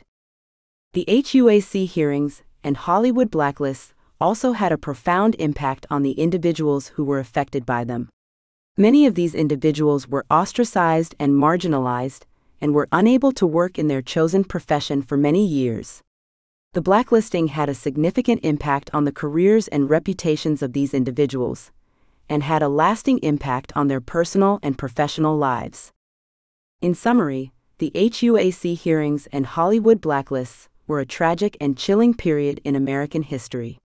The fear of communism had created a culture of suspicion and paranoia, which had a chilling effect on political dissent and free speech. The HUAC hearings had helped to create a climate of fear and intimidation, which had a significant impact on the political and cultural landscape of the United States in the post war period. The Hollywood blacklists had a profound impact on the careers and reputations of many prominent actors, writers, and directors, and had a lasting impact on their personal and professional lives. The HUAC hearings and Hollywood blacklists serve as a powerful reminder of the dangers of political extremism and the importance of defending the principles of free speech and political dissent.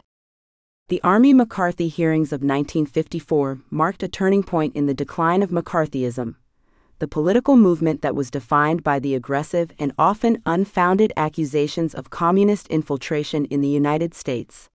The hearings, which were broadcast live on national television, exposed the excesses and tactics of Senator Joseph McCarthy, who had become the public face of the movement. The hearings were initiated by McCarthy's investigation into alleged communist infiltration in the United States Army. McCarthy, who was the chairman of the Senate Subcommittee on Investigations, had accused the Army of harboring communist sympathizers and demanded that the Army release personnel files for scrutiny. The Army resisted, and the dispute eventually led to a public hearing, which would become a defining moment in American politics. The Army McCarthy hearings were a spectacle. The proceedings were broadcast live on television, and the public was able to witness the confrontations and accusations firsthand.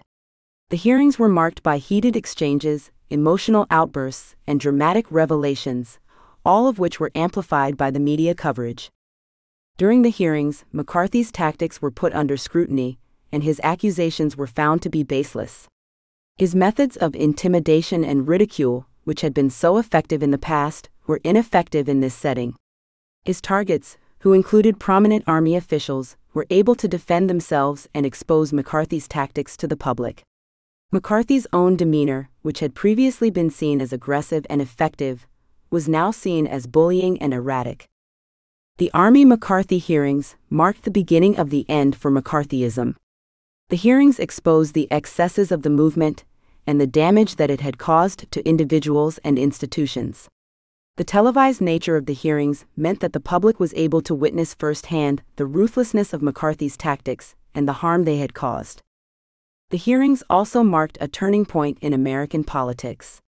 The anti communist crusade, which had been the dominant issue in American politics for several years, began to lose its appeal the public began to question the methods and motives of McCarthy and his supporters, and the movement lost much of its political support. The decline of McCarthyism was also aided by the political climate of the time.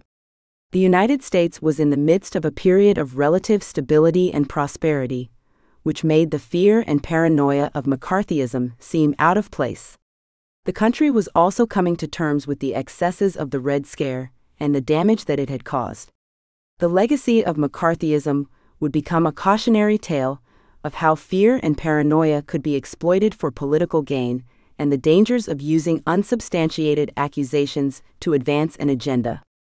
The Army McCarthy hearings also had broader implications for American politics. The hearings exposed the potential of the media to shape public opinion and influence political outcomes. The televised nature of the hearings meant that the public was able to witness firsthand the proceedings, and the coverage by the media had a significant impact on the public's perception of the movement. The hearings marked a turning point in the role of the media in American politics, and the impact of the hearings on the public's perception of McCarthyism would be a precedent for the media's role in future political controversies. In summary, the Army McCarthy hearings of 1954 marked a turning point in the decline of McCarthyism. The hearings exposed the excesses and tactics of Senator Joseph McCarthy and the damage that the movement had caused. The televised nature of the hearings meant that the public was able to witness firsthand the proceedings, and the coverage by the media had a significant impact on the public's perception of the movement. The Rosenberg case was a highly publicized trial of Julius and Ethel Rosenberg, a couple who had been accused of passing atomic secrets to the Soviet Union during the Cold War. The Rosenberg case was fueled by the fear and suspicion of communism that had taken hold in American society. The fear of communism had been fueled by a series of international events, including the rise of the Soviet Union and the spread of communist governments throughout Eastern Europe and Asia. The fear of communism had also been fueled by a series of domestic events, including a series of bombings in 1919 that were blamed on leftist radicals. The Rosenberg case had a profound impact on American society and politics. The trial had been highly publicized and had been widely covered by the media. The trial had created a climate of fear and suspicion and had fueled the growth of anti communist sentiment in American society. The Rosenberg case had far reaching implications for the future of American politics and society. The case had helped to create a culture of suspicion and paranoia, which had a chilling effect on political dissent and free speech. The case had also helped to fuel the growth of the military industrial complex, which had a significant impact on the economy and politics of the United States in the post war period. The Rosenberg case also had a profound impact on the individuals who were involved in the trial.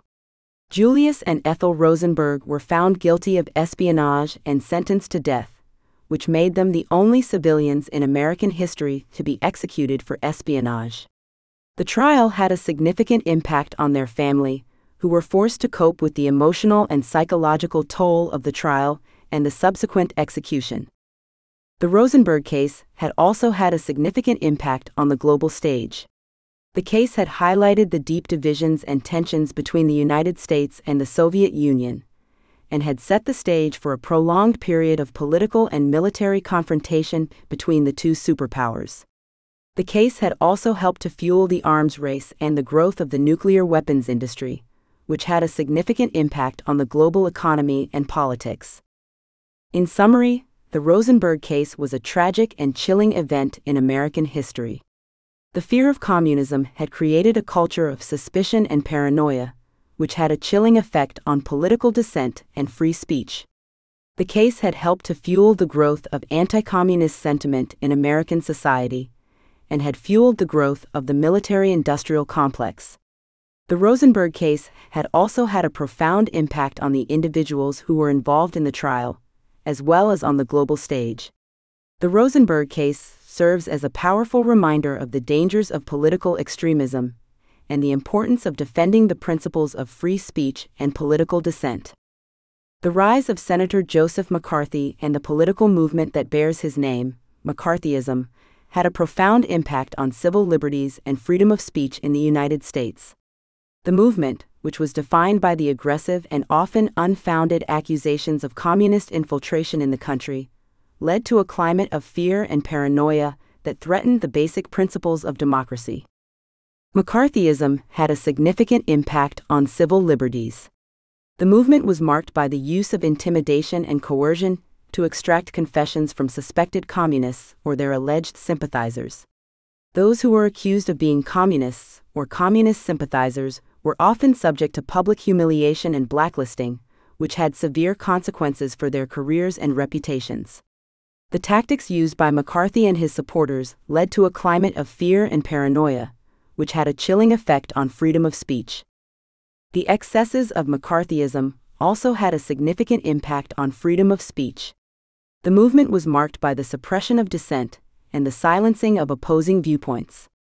Those who spoke out against McCarthyism or expressed sympathy for communist ideals were subject to public scrutiny and condemnation. The excesses of McCarthyism had a chilling effect on freedom of speech, which was a fundamental principle of American democracy.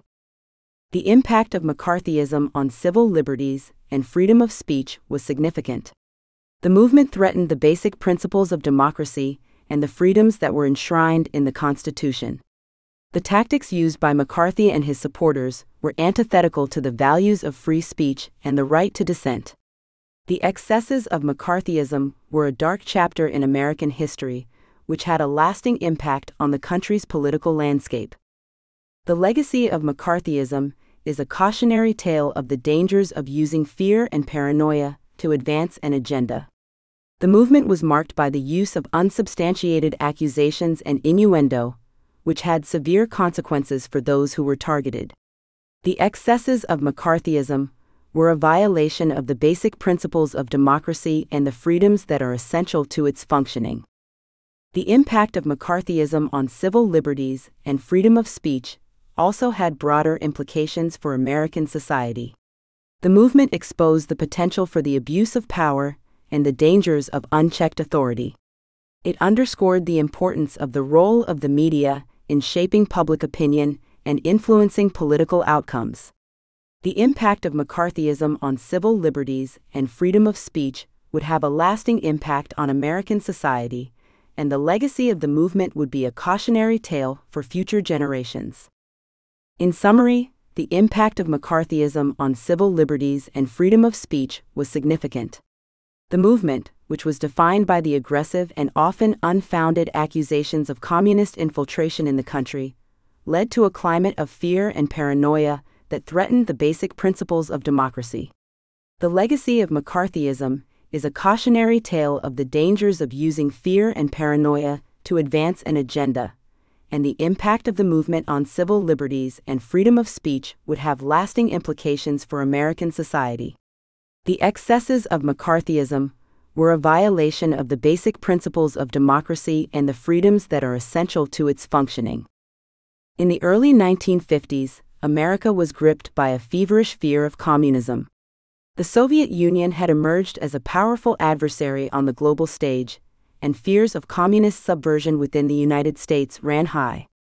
The Red Scare was in full swing, and it extended to every corner of American society, including education. Loyalty oaths and witch hunts were the order of the day, as educators and students alike were subjected to a barrage of accusations and investigations. The Red Scare in education had its roots in the McCarran Internal Security Act, which was passed by Congress in 1950. This law required all federal employees to swear an oath of loyalty to the United States and to disavow any affiliation with the Communist Party or any other subversive organization. This oath was later extended to all employees of state and local governments, including teachers. The loyalty oath was a powerful tool in the hands of those who sought to root out communist sympathizers in the education system.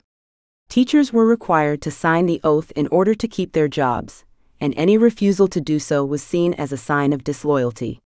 This led to a wave of resignations and firings, as teachers who were suspected of communist sympathies were forced out of their positions. The loyalty oath was only the beginning. Soon, educators were subjected to a series of investigations and interrogations aimed at uncovering any ties to subversive organizations. The House Un American Activities Committee, HUAC, held a series of high profile hearings in which educators were called to testify about their political beliefs and associations. Many of these hearings were little more than witch hunts. Educators were accused of being communists or communist sympathizers based on flimsy or non existent evidence. Their reputations were ruined and their careers were destroyed. The fear of being labeled a communist sympathizer was so great that many teachers were afraid to express any political opinions at all, for fear of being accused of subversion. The impact of the Red Scare on education was significant. Many teachers were forced to resign or were fired, and those who remained were often afraid to speak out on any controversial issues. The educational system suffered as a result, as teachers who had been dismissed were often replaced by less qualified or less experienced educators. The Red Scare in education also had a broader impact on American society. The fear of communist subversion was used to justify a wide range of repressive measures, including the blacklisting of actors, writers, and other public figures. The impact of the Red Scare was felt for years to come, as the fear of communist subversion lingered in American society. In many ways, the Red Scare in education was a reflection of the broader cultural and political climate of the time. The Cold War had created a climate of fear and suspicion, and the Red Scare was the result. The fear of communist subversion was exploited by politicians and other figures in order to gain power and advance their own agendas. The Red Scare in education was a dark chapter in American history but it is also a reminder of the dangers of political hysteria and the need to protect the rights of individuals in the face of such hysteria. The loyalty oaths and witch hunts of the Red Scare were an assault on the principles of free speech and academic freedom, and they should serve as a cautionary tale for future generations. In the end, the Red Scare in education was largely a failure. While it did succeed in driving some educators out of their jobs, it did little to root out actual communist subversion. Instead, it served to undermine the educational system and to erode the principles of free speech and academic freedom that are essential to a democratic society. The Federal Bureau of Investigation, FBI, played a pivotal role in the domestic surveillance of suspected communists in the United States during the mid 20th century. The FBI, under the leadership of its director, J. Edgar Hoover, was responsible for monitoring and investigating individuals and groups that were suspected of communist sympathies. The domestic surveillance program of the FBI had a significant impact on civil liberties and the right to privacy, and its legacy would be a cautionary tale of the dangers of unchecked government authority. The FBI's domestic surveillance program began in earnest during the early years of the Cold War. The perceived threat of communist infiltration in the United States led the FBI to conduct extensive surveillance on individuals and groups that were suspected of having communist sympathies. The program was marked by the use of informants, wiretaps, and other surveillance techniques that were often invasive and unconstitutional. The FBI's domestic surveillance program had a significant impact on civil liberties. The surveillance of suspected communists often led to the violation of privacy and the infringement of civil liberties. Those who were targeted by the FBI's surveillance program were often subject to intimidation and harassment, which had a chilling effect on free speech and the right to dissent. The FBI's domestic surveillance program was also marked by the use of informants, who were often coerced into providing information. The use of informants led to a culture of suspicion and distrust, which had a corrosive effect on American society. The tactics used by the FBI had a chilling effect on the right to privacy and freedom of speech, which were fundamental principles of American democracy. The impact of the FBI's domestic surveillance program was significant. The program had a profound impact on the political and cultural landscape of the United States, and its legacy would be a cautionary tale of the dangers of unchecked government authority. The tactics used by the FBI had a chilling effect on free speech and the right to dissent, and the violation of privacy was a clear violation of civil liberties. The excesses of the FBI's domestic surveillance program were exposed in the 1970s with the revelation of the COINTELPRO program. The program, which was designed to disrupt and discredit political organizations that were deemed a threat to national security, was marked by the use of illegal and unethical tactics. The COINTELPRO program underscored the dangers of unchecked government authority and the potential for the abuse of power. The FBI's domestic surveillance program was a violation of the basic principles of democracy and the freedoms that are essential to its functioning. The legacy of the program would be a cautionary tale of the dangers of unchecked government authority and the importance of protecting civil liberties and the right to privacy. In summary, the FBI's domestic surveillance program of suspected communists had a significant impact on civil liberties and the right to privacy. The program was marked by the use of invasive and unconstitutional surveillance techniques, which had a chilling effect on free speech and the right to dissent. The excesses of the program were a violation of the basic principles of democracy and the freedoms that are essential to its functioning. The legacy of the program would be a cautionary tale of the dangers of unchecked government authority and the importance of protecting civil liberties and the right to privacy. In the early 1950s, America was gripped by a feverish fear of communism. The Red Scare, as it was called, swept across the nation, leaving a trail of suspicion and paranoia in its wake. This fear was fueled by a variety of factors, including the growing power of the Soviet Union, the memories of the Great Depression, and the fear of another world war. The Red Scare had a profound impact on American society and culture, as it touched nearly every aspect of American life. The Red Scare was not just a political phenomenon, it had a deep cultural impact as well. The fear of communism was reflected in movies, television shows, and other forms of popular culture. The media portrayed communists as evil, subversive agents who were plotting to destroy America from within. This portrayal was often exaggerated and sensationalized, but it had a powerful impact on the American psyche. The Red Scare also had a profound impact on the way that Americans thought about themselves and their country. The fear of communist subversion led many Americans to question their own loyalty and patriotism. They wondered if they were doing enough to protect their country from the communist threat. This fear was exploited by politicians and other figures who used it to gain power and to advance their own agendas. The Red Scare was not just a political phenomenon, it also had a profound impact on the economy. The fear of communist subversion led to a wave of anti union sentiment, as many Americans believed that labor unions were infiltrated by communist sympathizers. This led to a wave of strikes and labor unrest, which disrupted the economy and led to widespread job losses. The Red Scare also had a profound impact on the legal system the government began to use a variety of tactics to root out suspected communists, including wiretapping, surveillance, and informants. These tactics often violated the rights of individuals and led to a wave of arrests and prosecutions. The fear of communist subversion was used to justify a wide range of repressive measures, including the blacklisting of actors, writers, and other public figures. The impact of the Red Scare was felt throughout American society, but it was particularly pronounced in the academic world. The fear of communist subversion led to a wave of investigations and interrogations aimed at uncovering any ties to subversive organizations.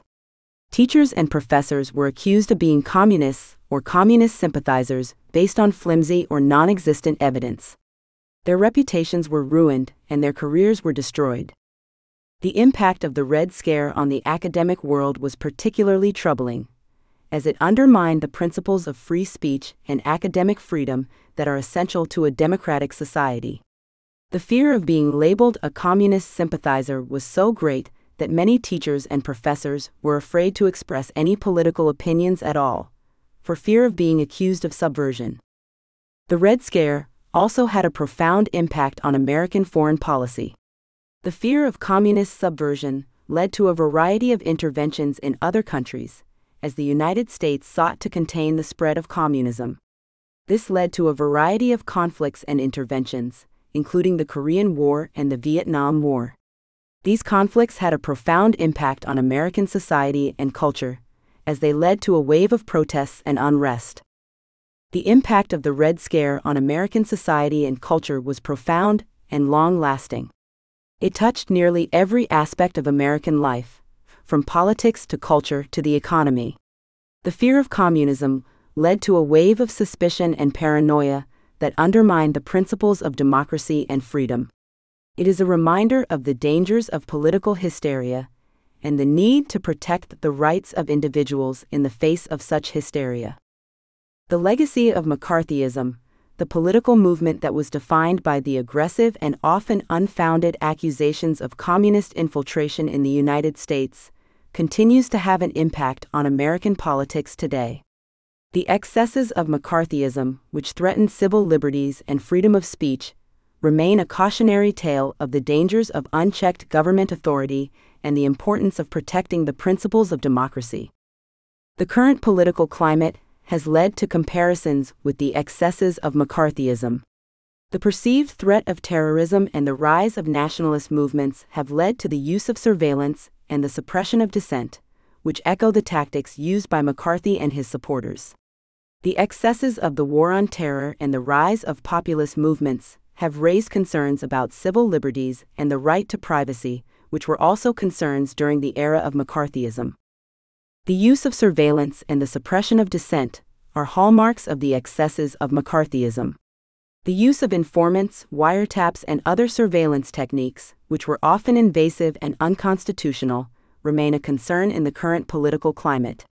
The use of social media and other forms of digital communication have led to new forms of surveillance, which have raised concerns about the right to privacy and freedom of speech.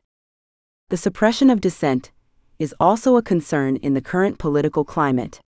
The rise of nationalism and populism has led to a culture of suspicion and distrust, which has had a chilling effect on free speech and the right to dissent. Those who speak out against the prevailing political winds are often subject to public scrutiny and condemnation, which echoes the tactics used by McCarthy and his supporters. The comparison with McCarthyism underscores the importance of protecting civil liberties and the principles of democracy. The legacy of McCarthyism is a cautionary tale of the dangers of unchecked government authority and the importance of protecting civil liberties and the right to privacy. The excesses of the war on terror and the rise of populist movements have raised concerns about the potential for the abuse of power and the importance of protecting civil liberties has become more apparent. The comparison with McCarthyism also underscores the importance of the media in shaping public opinion and influencing political outcomes. The impact of the media on the public's perception of McCarthyism was significant, and the impact of the media on the current political climate is also significant. The role of the media in protecting civil liberties and the principles of democracy is more important than ever, and the legacy of McCarthyism is a reminder of the potential for the media to shape public opinion. In summary, the legacy of McCarthyism continues to have an impact on American politics today.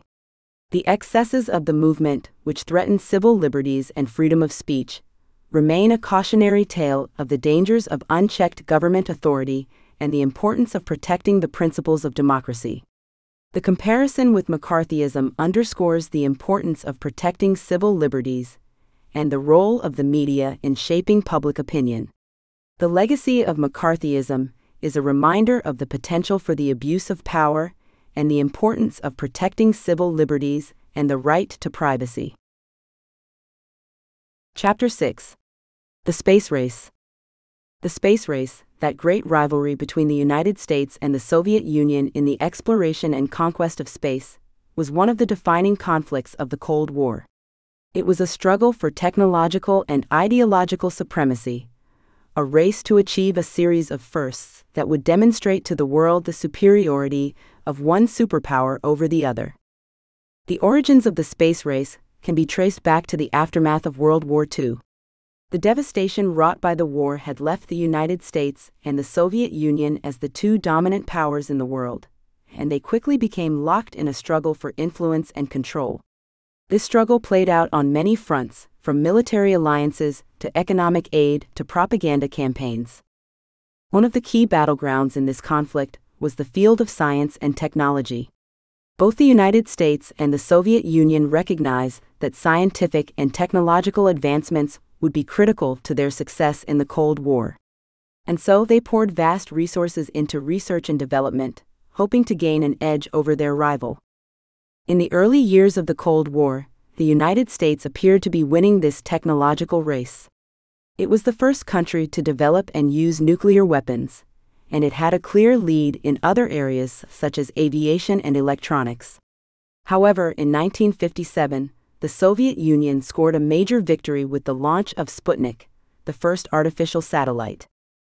The launch of Sputnik was a shock to the United States and the rest of the world.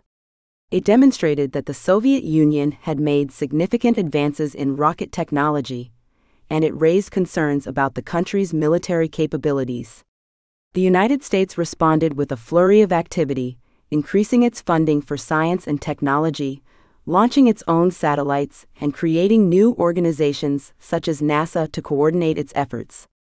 In the years that followed, the space race escalated rapidly both the United States and the Soviet Union set their sights on increasingly ambitious goals, such as manned spaceflight and landing a human on the moon. The rivalry between the two superpowers became more intense, with each country seeking to outdo the other in terms of technological achievements. The space race was not just a battle for technological supremacy, however. It was also a battle of ideas and ideologies. The United States and the Soviet Union had very different visions of the world and how it should be organized. The United States believed in the importance of individual freedom and democracy, while the Soviet Union espoused the values of socialism and collective action. The space race served as a symbol of these competing ideologies. The United States saw its efforts to conquer space as a demonstration of the superiority of its system of government and its way of life. The Soviet Union, meanwhile, saw its successes in space as a validation of its socialist ideals and a challenge to the capitalist order. The space race also had significant implications for the global balance of power. The United States and the Soviet Union were locked in a struggle for influence around the world, with each seeking to spread its influence and undermine the other. The space race was seen as a critical battleground in this conflict. The country that could dominate space would have a significant advantage in terms of military and technological capabilities, as well as in terms of global prestige and influence. In the end, it was the United States that emerged victorious in the space race. The country achieved a series of historic firsts, including the first manned spaceflight, the first moon landing, and the establishment of a permanent space station. These accomplishments helped to cement the United States' position as the dominant superpower in the world. The space race had profound implications for the course of human history. It demonstrated the incredible potential of human ingenuity and technological progress, while also highlighting the dangers of unchecked competition and conflict. In the annals of human history, Few endeavors have captured the imagination and the ambition of our species quite like the exploration of space. From the earliest dreams of flight to the latest missions to the outer reaches of our solar system, the pursuit of knowledge and adventure beyond our earthly boundaries has driven some of the most remarkable achievements of our time. And in the early 1960s, at the dawn of the space age, the United States of America embarked on a grand and audacious mission to send a man into orbit around the Earth and then to land him on the Moon. This was the Mercury program and Project Gemini, two pioneering efforts that would lay the foundation for one of the greatest triumphs of human ingenuity and will. At the heart of these historic undertakings was NASA, the National Aeronautics and Space Administration, a fledgling agency born out of the Cold War tensions and the technological advances of the post World War II era. Tasked with pushing the limits of human knowledge and exploration, NASA marshaled the best and the brightest minds of the nation, from the engineers and the scientists to the astronauts who would risk their lives to make the impossible possible. The Mercury program was the first step in this epic journey, a series of manned spaceflights designed to test the feasibility of sending a human being into orbit and to explore the challenges of spaceflight. Launched in 1959, the program was named after the mythical Roman god Mercury, the messenger of the gods who was known for his speed and agility. And like its namesake, the Mercury program aimed to be swift and nimble, taking advantage of the latest technology and the most daring pilots to push the boundaries of what was possible. The first Mercury mission, launched on May 5, 1961, was piloted by Alan Shepard, a decorated Navy test pilot and veteran of the Korean War. Shepard's flight, dubbed Freedom 7, lasted just over 15 minutes, reaching an altitude of 116 miles and a speed of 5,134 miles per hour. It was a momentous achievement, not only for Shepard and NASA but for the entire nation as it signaled the beginning of a new era of exploration and discovery. The Mercury program continued with a series of other missions, each one building on the knowledge and experience gained from the previous ones. Among the most notable was the flight of John Glenn, a Marine Corps pilot and veteran of World War II and the Korean War, who became the first American to orbit the Earth on February 20, 1962. Glenn's flight lasted just over four hours and circled the Earth three times, demonstrating the feasibility of longer spaceflights and the potential of human space exploration. But the Mercury program was just the beginning. Even as Glenn was circling the Earth, NASA was already planning the next phase of its grand mission, a more ambitious and complex endeavor known as Project Gemini. Named after the twin brothers Castor and Pollux of Greek mythology, the project aimed to build on the achievements of the Mercury program and to pave the way for the ultimate goal of landing a man on the moon. At its core, Project Gemini was a series of missions designed to test the capabilities of the astronauts and the spacecraft in a variety of challenging scenarios, from extended spaceflights to docking maneuvers with other spacecraft. The first Gemini mission, launched on April 8, 1964, was piloted by Virgil Gus Grissom and John Young, two seasoned test pilots with a wealth of experience in the aerospace industry. Their mission, dubbed Gemini 3, was a short four hour flight that tested the basic systems of the spacecraft and the procedures for rendezvous and recovery. The launch of Sputnik, the first artificial satellite by the Soviet Union in 1957, was a turning point in the history of science and technology. It was a moment that signaled the beginning of a new era, one in which space exploration and conquest would become a critical focus of the world's leading powers.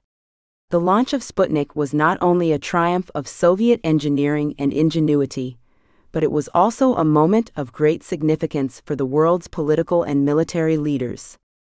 The Soviet Union's achievement in launching Sputnik was a stunning demonstration of its technological prowess. It marked a major milestone in the country's efforts to catch up with the United States in the field of science and technology. For decades, the United States had been the undisputed leader in areas such as aviation, electronics, and nuclear technology. The launch of Sputnik showed that the Soviet Union was not content to be left behind. The launch of Sputnik also had significant political implications. The Soviet Union was engaged in a global struggle for influence with the United States, and the launch of the satellite was seen as a major propaganda victory. It demonstrated to the world that the Soviet Union was capable of achieving great feats of engineering and technology, and it raised concerns among the United States and its allies about the country's military capabilities. The launch of Sputnik had a profound impact on the United States and its response to the Soviet challenge. It was a wake up call for the country's political and military leaders, who suddenly realized that they were no longer the unquestioned leaders in the field of science and technology. In the years that followed, the United States poured vast resources into research and development, hoping to regain its technological edge. The response of the United States to the Soviet launch of Sputnik was swift and determined. President Eisenhower established the National Aeronautics and Space Administration, NASA, to coordinate the country's efforts in space exploration. The United States launched a series of satellites, including the first successful American satellite, Explorer 1, in 1958. The country also began investing heavily in education and research, recognizing that its ability to compete in the space race depended on a well trained and well educated workforce. The impact of the launch of Sputnik extended far beyond the United States and the Soviet Union, however. It sparked a global interest in space exploration and inspired countries around the world to invest in their own space programs.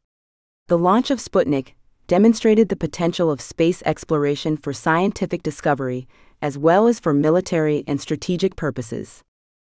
The launch of Sputnik also had significant cultural and social implications.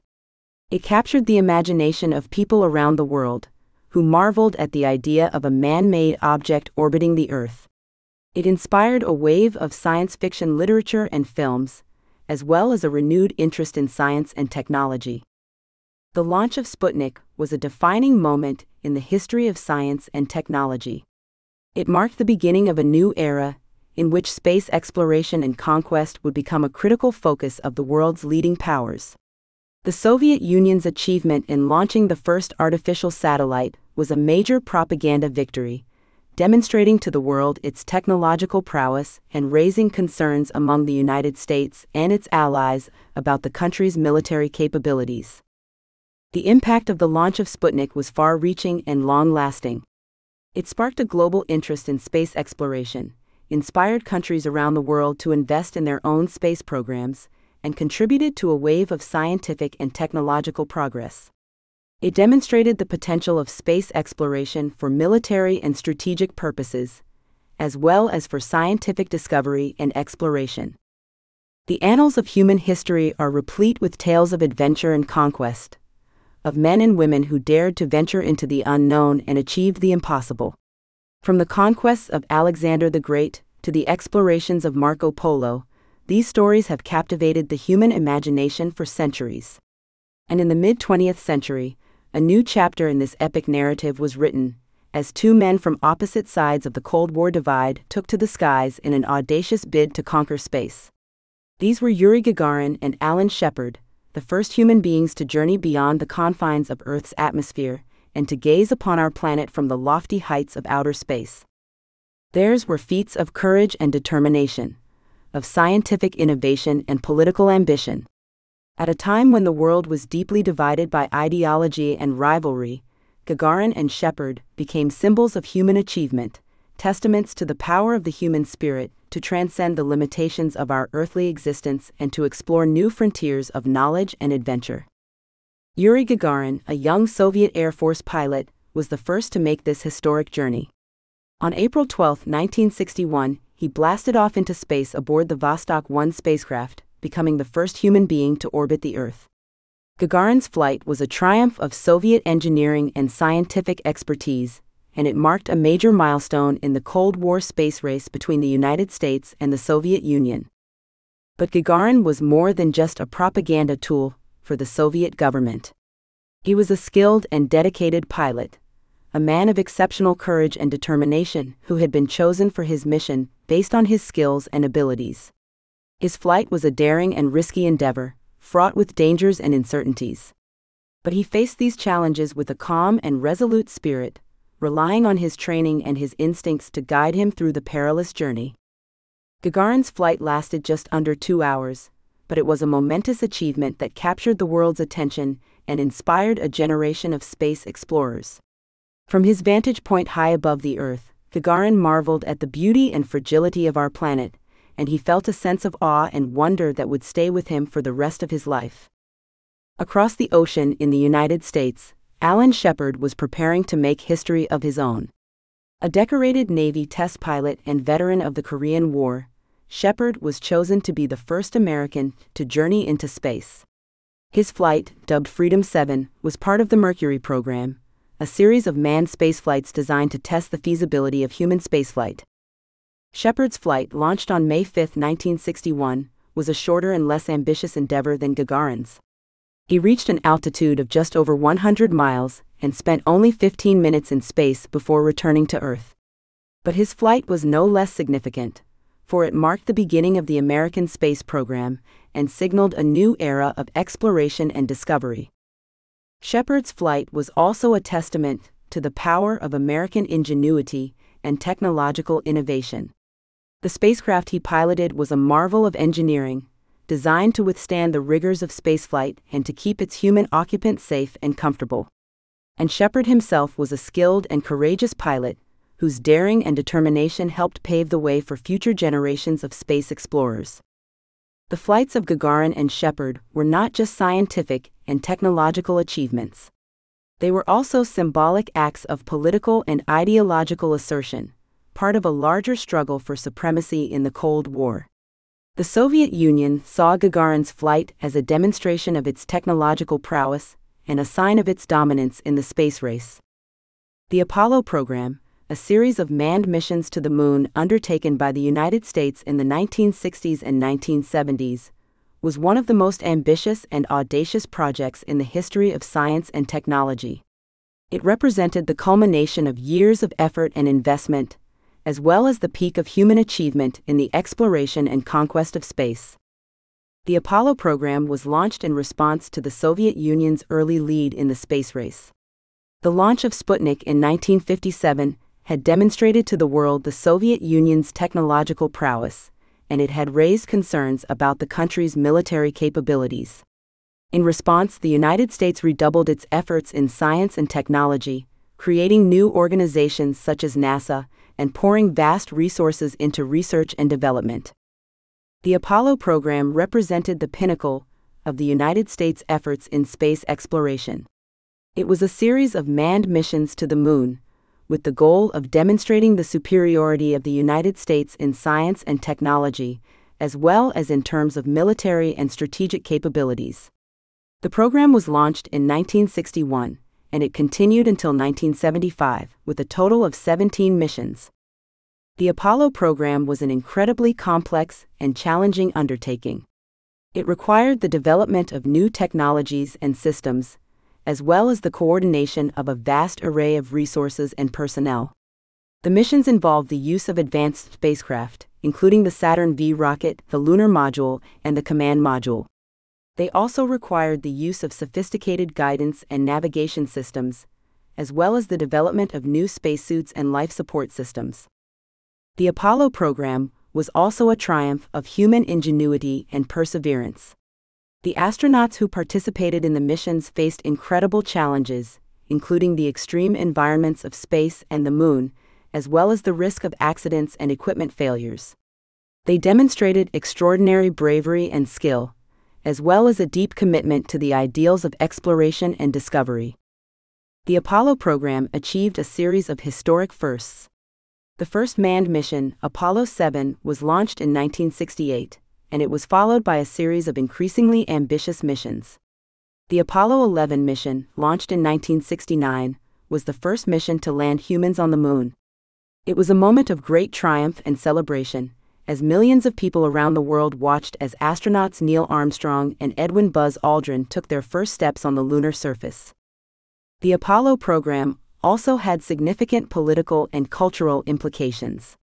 The United States was engaged in a global struggle for influence with the Soviet Union, and the missions to the moon were seen as a critical battleground in this conflict. They demonstrated the superiority of the United States in science and technology, as well as in terms of military and strategic capabilities. They also inspired a sense of national pride and accomplishment, as well as a renewed interest in science and technology. The Apollo program was not without its controversies and criticisms, however. Some critics argued that the vast resources devoted to the program could have been better used to address social and economic problems at home. Others questioned the wisdom of risking human lives in such a dangerous and uncertain enterprise. Despite these criticisms, the Apollo program remains a landmark achievement in the history of science and technology.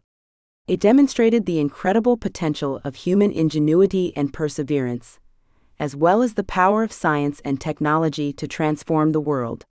The missions to the moon were a moment of great triumph and celebration, as well as a reminder of the endless possibilities of human achievement. In the end, the Apollo program was a defining moment in the history of science and technology.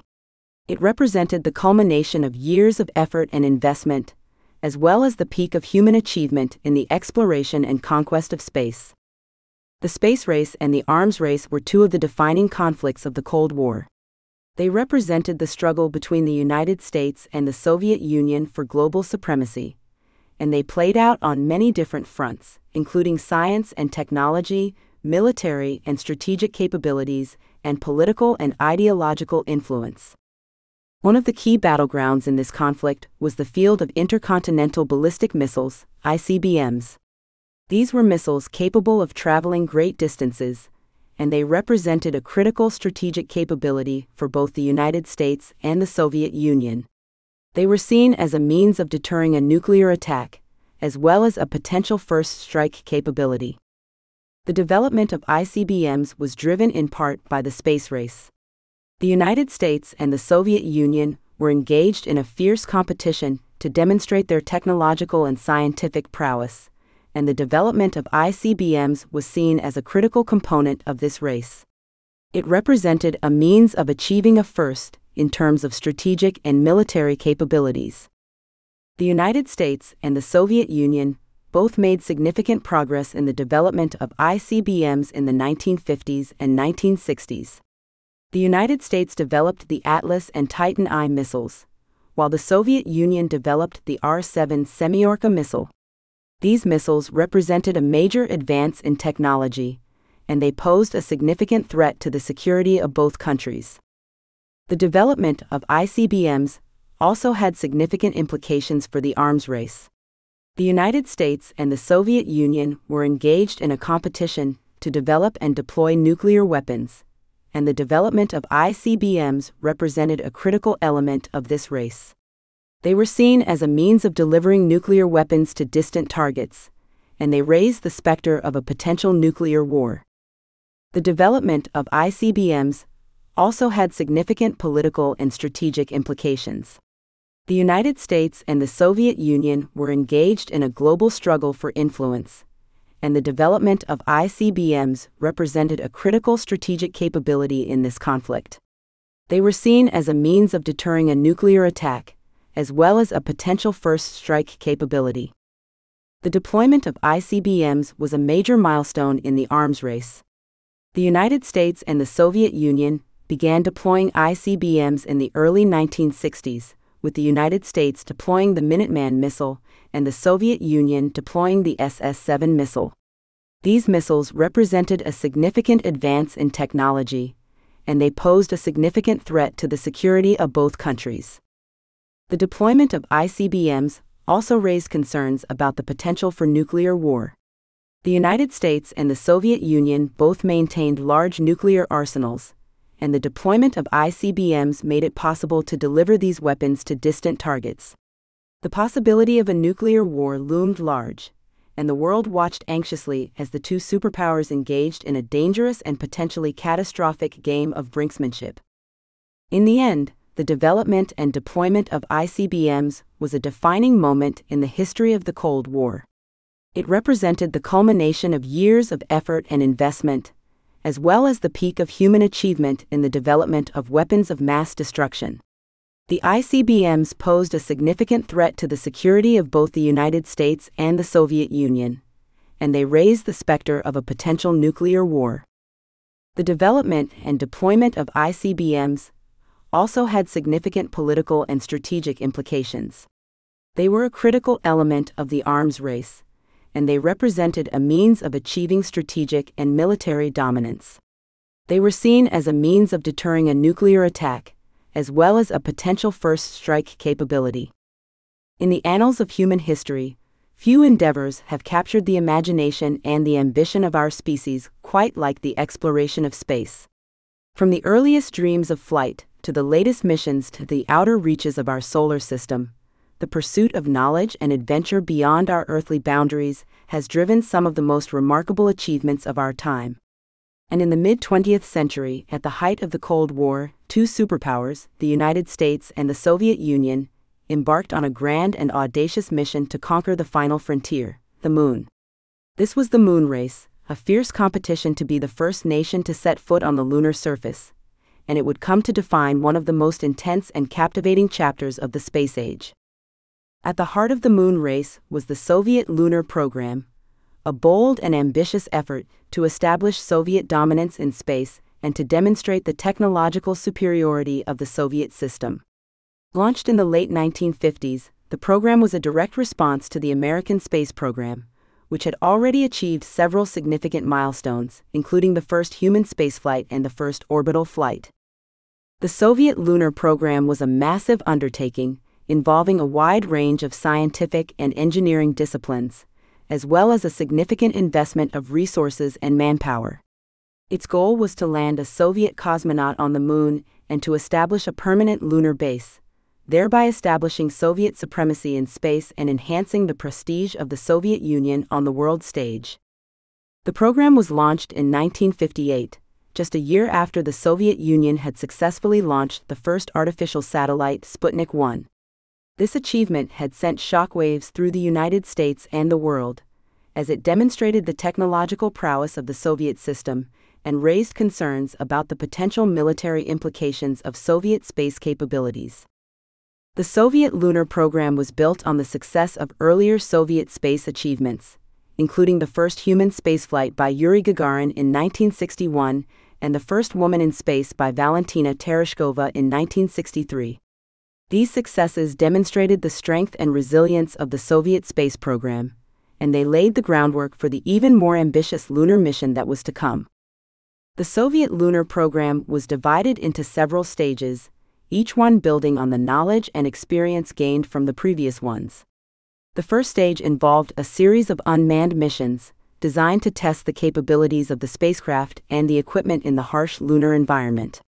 The second stage involved manned missions to the moon, with cosmonauts orbiting the moon and performing a variety of scientific and engineering tasks.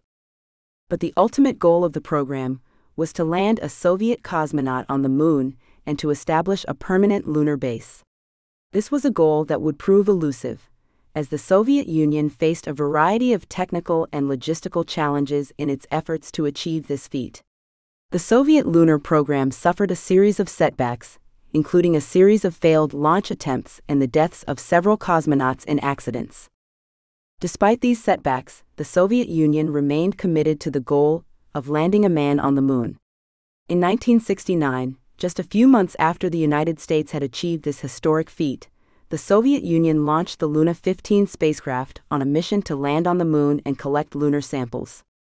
The mission was not successful, and the spacecraft crashed on the lunar surface, but it demonstrated the continued determination of the Soviet Union to achieve lunar success. The Soviet lunar program ultimately came to an end in the mid 1970s, as the Soviet Union shifted its focus to other priorities, including military and economic issues. But the legacy of the program lives on, as a testament to the human spirit of exploration and the drive to push beyond the boundaries of our world. The history of human civilization is marked by the ebb and flow of competition and cooperation, of conflict and collaboration. From the wars of antiquity to the diplomacy of modern times, the struggle for power and influence has shaped the destinies of nations and peoples. And in the 20th century, this dynamic played out on a global scale, as two superpowers, the United States and the Soviet Union, vied for dominance in the realms of politics, economics, and science. Nowhere was this struggle more apparent than in the race to conquer space, a competition that would come to define one of the most captivating and dramatic chapters of the space age. At its heart, the space race was a story of cooperation and competition, of collaboration and conflict. In the early years of the space age, the United States and the Soviet Union pursued their space programs with a sense of shared purpose, working together to achieve the common goal of exploring the cosmos and pushing the boundaries of human knowledge. But as the Cold War intensified and the stakes grew higher, this spirit of cooperation gave way to a more combative and competitive approach, as each nation sought to outdo the other and demonstrate its technological and political superiority. The early years of the space race were characterized by a sense of optimism and collaboration. In 1958, just a year after the launch of Sputnik, the Soviet Union proposed a joint space mission with the United States, a plan that was later endorsed by President Eisenhower. This proposal, known as the Open Skies Policy, would have allowed each nation to conduct reconnaissance flights over the other's territory in order to promote transparency and reduce tensions. Though the proposal was ultimately rejected by the Soviet Union, it demonstrated a willingness on both sides to explore the potential benefits of space cooperation. This spirit of cooperation was also evident in other areas of the space race, including the development of the International Geophysical Year in 1957. This international scientific initiative brought together scientists from around the world to conduct research on a variety of topics, including the Earth's magnetic field, the properties of the ionosphere, and the behavior of cosmic rays. The United States and the Soviet Union both participated in this initiative, and it served as a model for future international scientific collaborations. But as the space race intensified and the stakes grew higher, the spirit of cooperation gave way to a more competitive and confrontational approach. This was particularly evident in the race to land a man on the moon, a goal that both the United States and the Soviet Union pursued with intense and single minded determination. The race to the moon was marked by a series of high profile achievements and setbacks, as each nation sought to outdo the other and demonstrate its technological and scientific prowess. In 1961, the Soviet Union achieved a major milestone with the launch of Yuri Gagarin, the first human being to journey into space. This achievement was followed by a series of other Soviet space successes, including the first woman in space and the first spacewalk. But the United States was not to be outdone. In 1969, just a few months after the Soviet Union had achieved its greatest space triumph with the first manned moon landing, the United States launched its own successful mission, with Neil Armstrong and Buzz Aldrin becoming the first humans to set foot on the lunar surface. The competition between the United States and the Soviet Union was not just about technological and scientific achievement. It was also about political and ideological influence, as each nation sought to demonstrate the superiority of its system and the viability of its way of life. The space race was a reflection of the larger struggle for global supremacy, a struggle that would shape the destinies of nations and peoples for decades to come. In the annals of human history, few endeavors have captured the imagination and the spirit of exploration like the Space Shuttle program and the International Space Station. These two remarkable feats of human ingenuity and perseverance have been hailed as the pinnacle of human achievement in the realm of space exploration, and have played a pivotal role in shaping the course of humanity's journey beyond the confines of Earth. The Space Shuttle program, which began in 1972, was the world's first reusable spacecraft system and represented a major milestone in the evolution of spaceflight technology. Designed to be able to launch like a rocket and land like an airplane, the Space Shuttle was a true marvel of engineering. With its iconic delta wings and tail fins, it could carry up to eight astronauts and a vast array of payloads into orbit and then return to Earth for reuse. Over the course of its 30 year history, the Space Shuttle program achieved a remarkable record of success, launching over 130 missions and carrying more than 350 people into space. It played a crucial role in the construction of the International Space Station and helped to lay the foundation for a new era of human spaceflight. The International Space Station, which began construction in 1998, is a joint project of five space agencies NASA, Roscosmos, Russia, JAXA, Japan, ESA, Europe, and CSA, Canada. The station is a true marvel of international cooperation and collaboration, representing a triumph of diplomacy and technological innovation. The station is the largest and most complex spacecraft ever built, weighing in at over 450 tons and measuring roughly the size of a football field. It is home to a rotating crew of six astronauts, who conduct a wide range of scientific experiments and research in fields such as biology, physics, and astronomy. The station has been instrumental in advancing our understanding of the universe and our place within it. It has enabled scientists to study the effects of microgravity on human physiology and has helped to pave the way for long duration space missions, such as a potential mission to Mars. Despite its many successes, the Space Shuttle program and the International Space Station have not been without their challenges and setbacks. The Space Shuttle Challenger disaster in 1986 and the Columbia disaster in 2003 were tragic reminders of the risks inherent in human spaceflight. These tragedies led to a renewed focus on safety and a reevaluation of the risks and benefits of human space exploration. Moreover, the costs associated with these programs have been a subject of controversy and debate. Critics have argued that the money spent on space exploration could be better used to address pressing issues on Earth, such as poverty, hunger, and disease. Proponents, on the other hand, argue that space exploration is a worthy investment that can yield important scientific and technological advancements, as well as inspire future generations to pursue careers in science and engineering.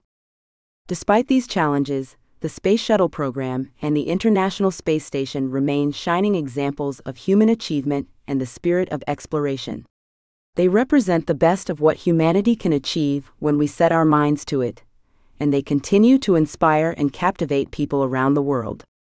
As we look to the future of space exploration, it is clear that the lessons learned from the Space Shuttle program and the International Space Station will be invaluable. They have shown us that the path to the stars is long and difficult, but ultimately worth the effort.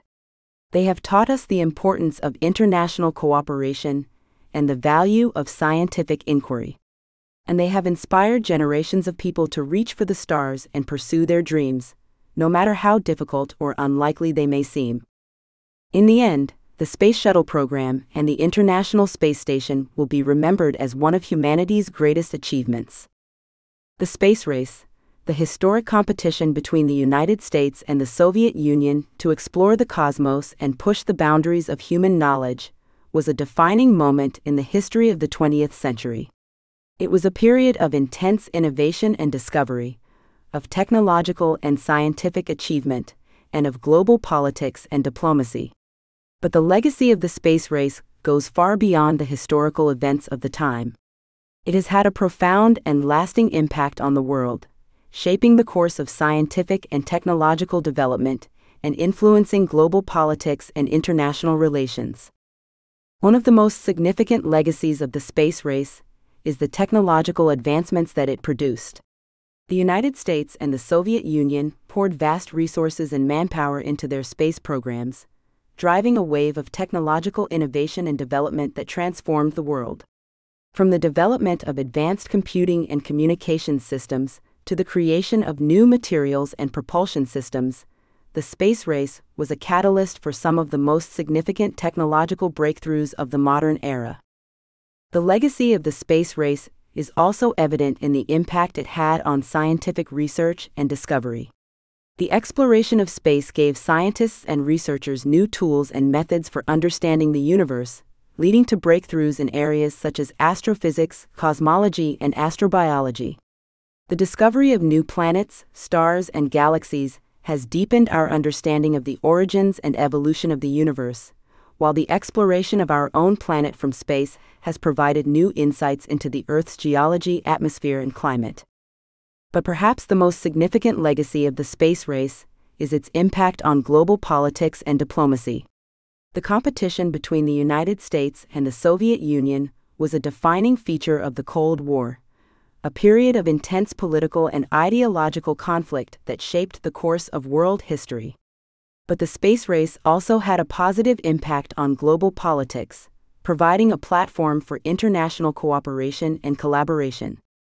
In the early years of the space race, the United States and the Soviet Union worked together on a number of initiatives, including the International Geophysical Year and the joint mission proposal known as the Open Skies Policy.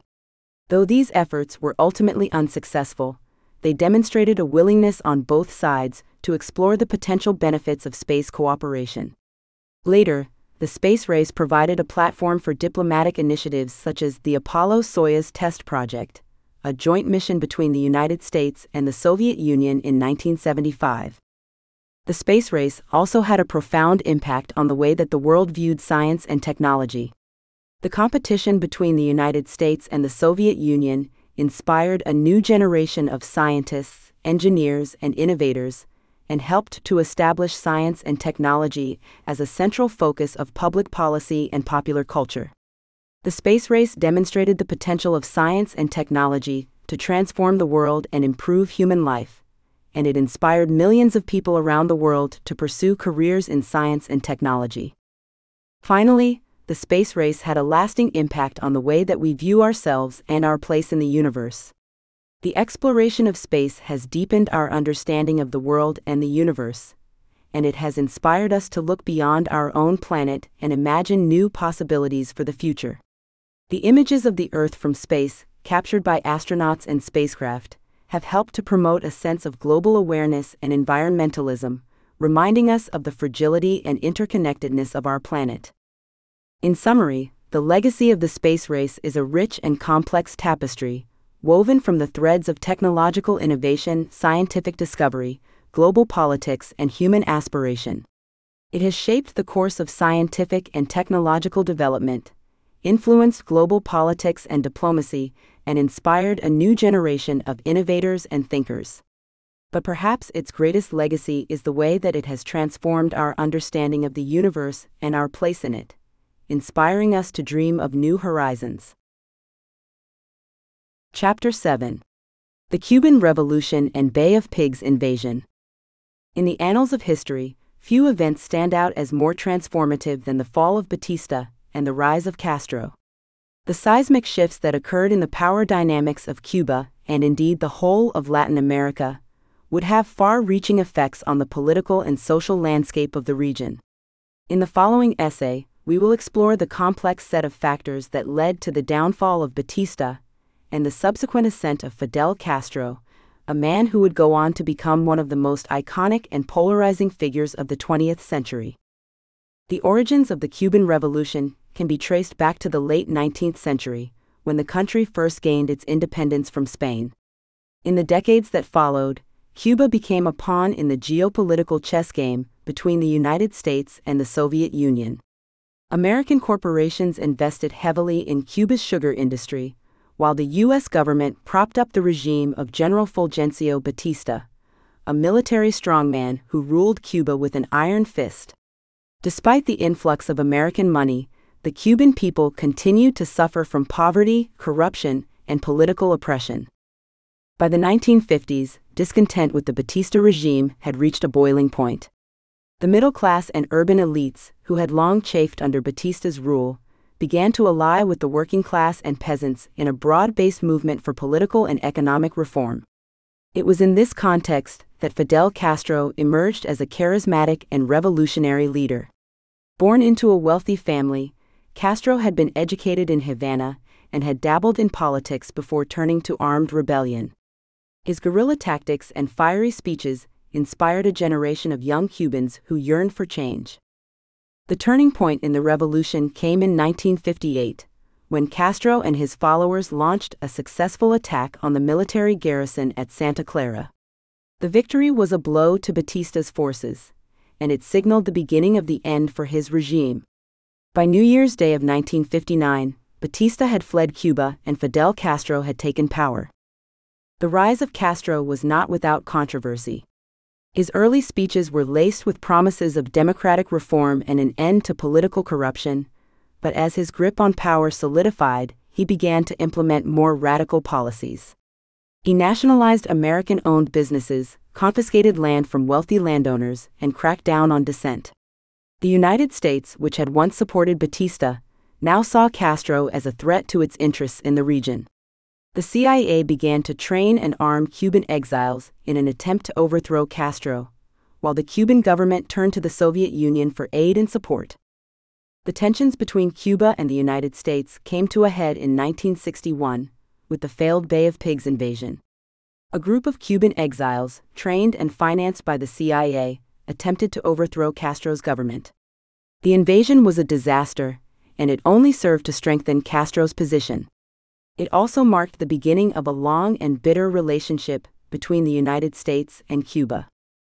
Castro's government continued to pursue socialist policies, including the establishment of a planned economy and the implementation of universal healthcare and education. His policies were popular with many Cubans, who saw them as a way to improve their lives after years of poverty and political oppression. However, they were also controversial, and Castro's regime was accused of human rights violations and political repression. The legacy of the Cuban Revolution is complex and multifaceted. On the one hand, it represents a triumph of the will of the people over a corrupt and oppressive regime. It inspired other revolutionary movements throughout Latin America, and it challenged the hegemony of the United States in the region.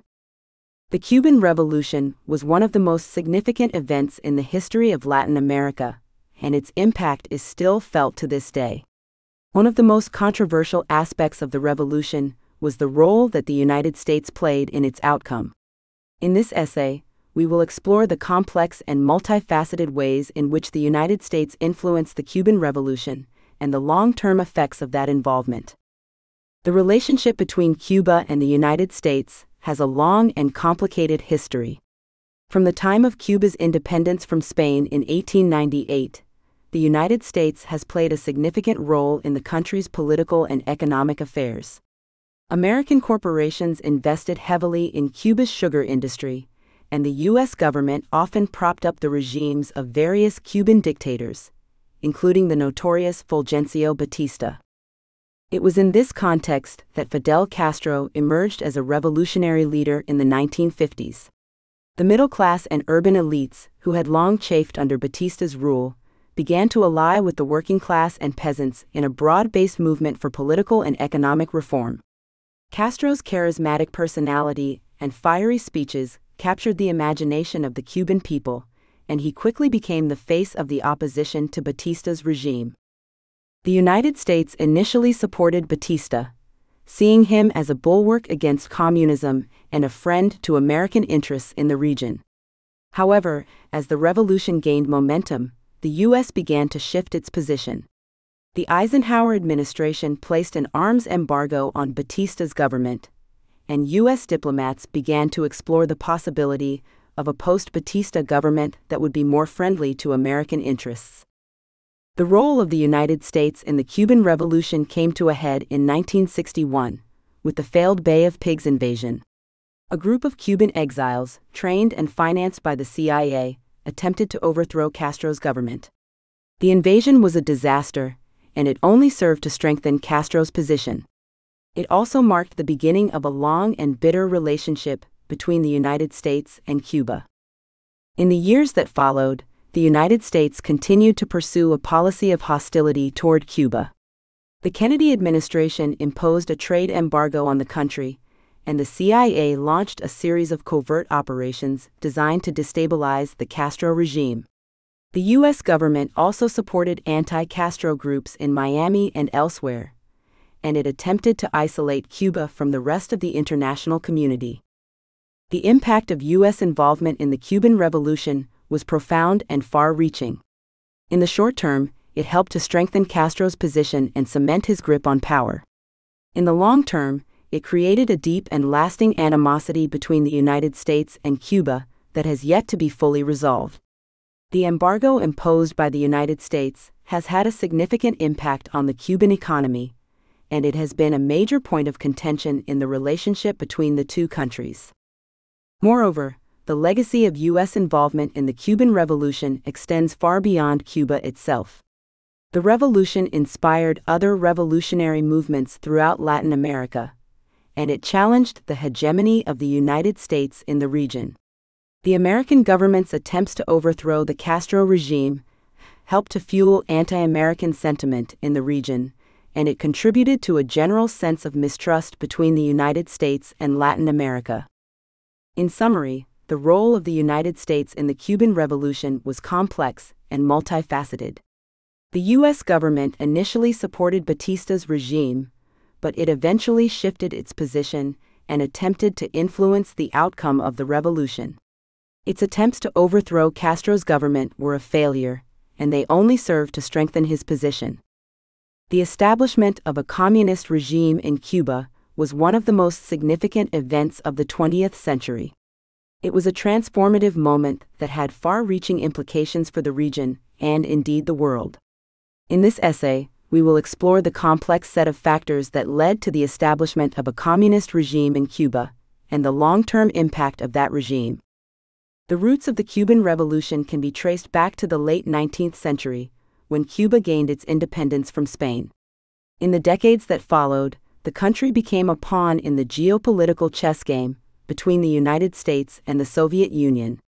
American corporations invested heavily in Cuba's sugar industry, while the U.S. government propped up the regime of General Fulgencio Batista, a military strongman who ruled Cuba with an iron fist. Despite the influx of American money, the Cuban people continued to suffer from poverty, corruption, and political oppression. By the 1950s, discontent with the Batista regime had reached a boiling point.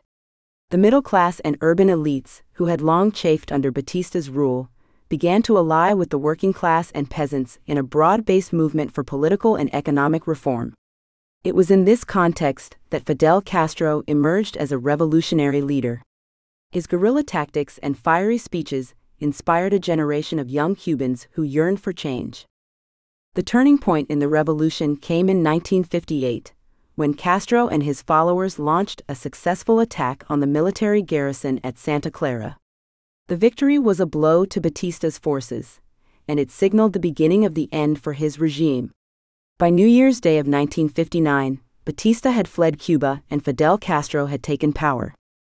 The establishment of a communist regime in Cuba was not an immediate outcome of the revolution. Initially, Castro portrayed himself as a nationalist and populist leader, and he made promises of democratic reform and an end to political corruption. However, as his grip on power solidified, he began to implement more radical policies. He nationalized American owned businesses, confiscated land from wealthy landowners, and cracked down on dissent. The relationship between Cuba and the United States quickly deteriorated as the American government saw Castro as a threat to its interests in the region.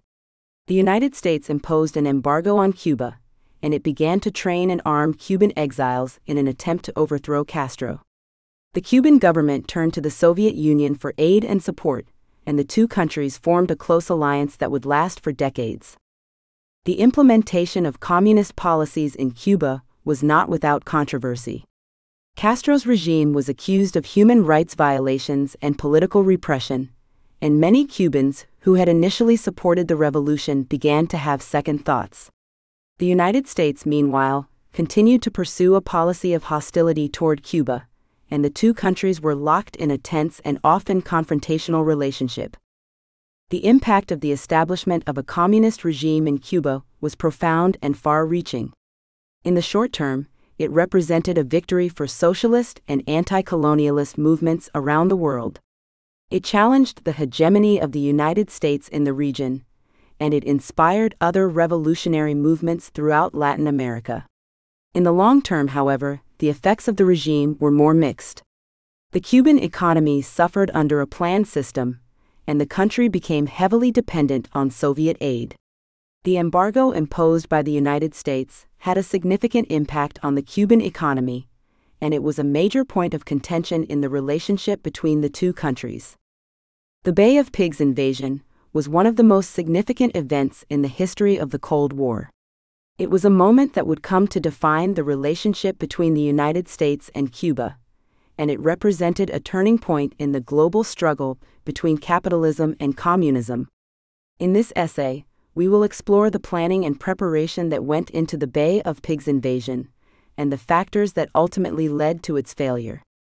The origins of the Bay of Pigs invasion can be traced back to the early 1960s, when the administration of President John F. Kennedy began to explore ways to overthrow the government of Fidel Castro in Cuba. The United States had long been hostile to the Castro regime, and it saw the island nation as a strategic threat to its interests in the region. The CIA was tasked with developing a plan to overthrow the Cuban government, and it began to train and arm Cuban exiles who were opposed to Castro's regime. The plan that emerged was a complex and multifaceted operation that involved a number of different elements.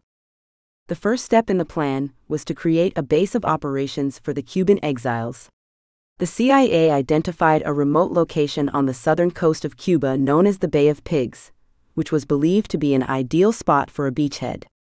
The CIA began to construct a base on the beach, complete with barracks, storage facilities, and a runway for planes.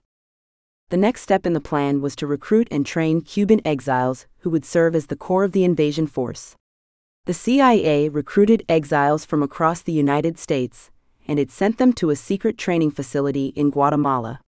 There, they underwent an intensive training program that included weapons training, guerrilla tactics, and psychological warfare. In addition to the training of the invasion force, the CIA also began to build up a network of intelligence assets inside Cuba.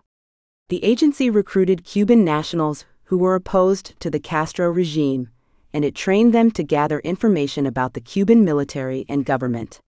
The information gathered by these assets would be used to guide the invasion force and to provide critical intelligence to the CIA. As the invasion force was being trained and prepared, the Kennedy administration began to put in place a diplomatic and political strategy to support the operation. The United States government sought to win the support of the international community for the invasion, and it worked to build a coalition of countries that would support the anti Castro forces.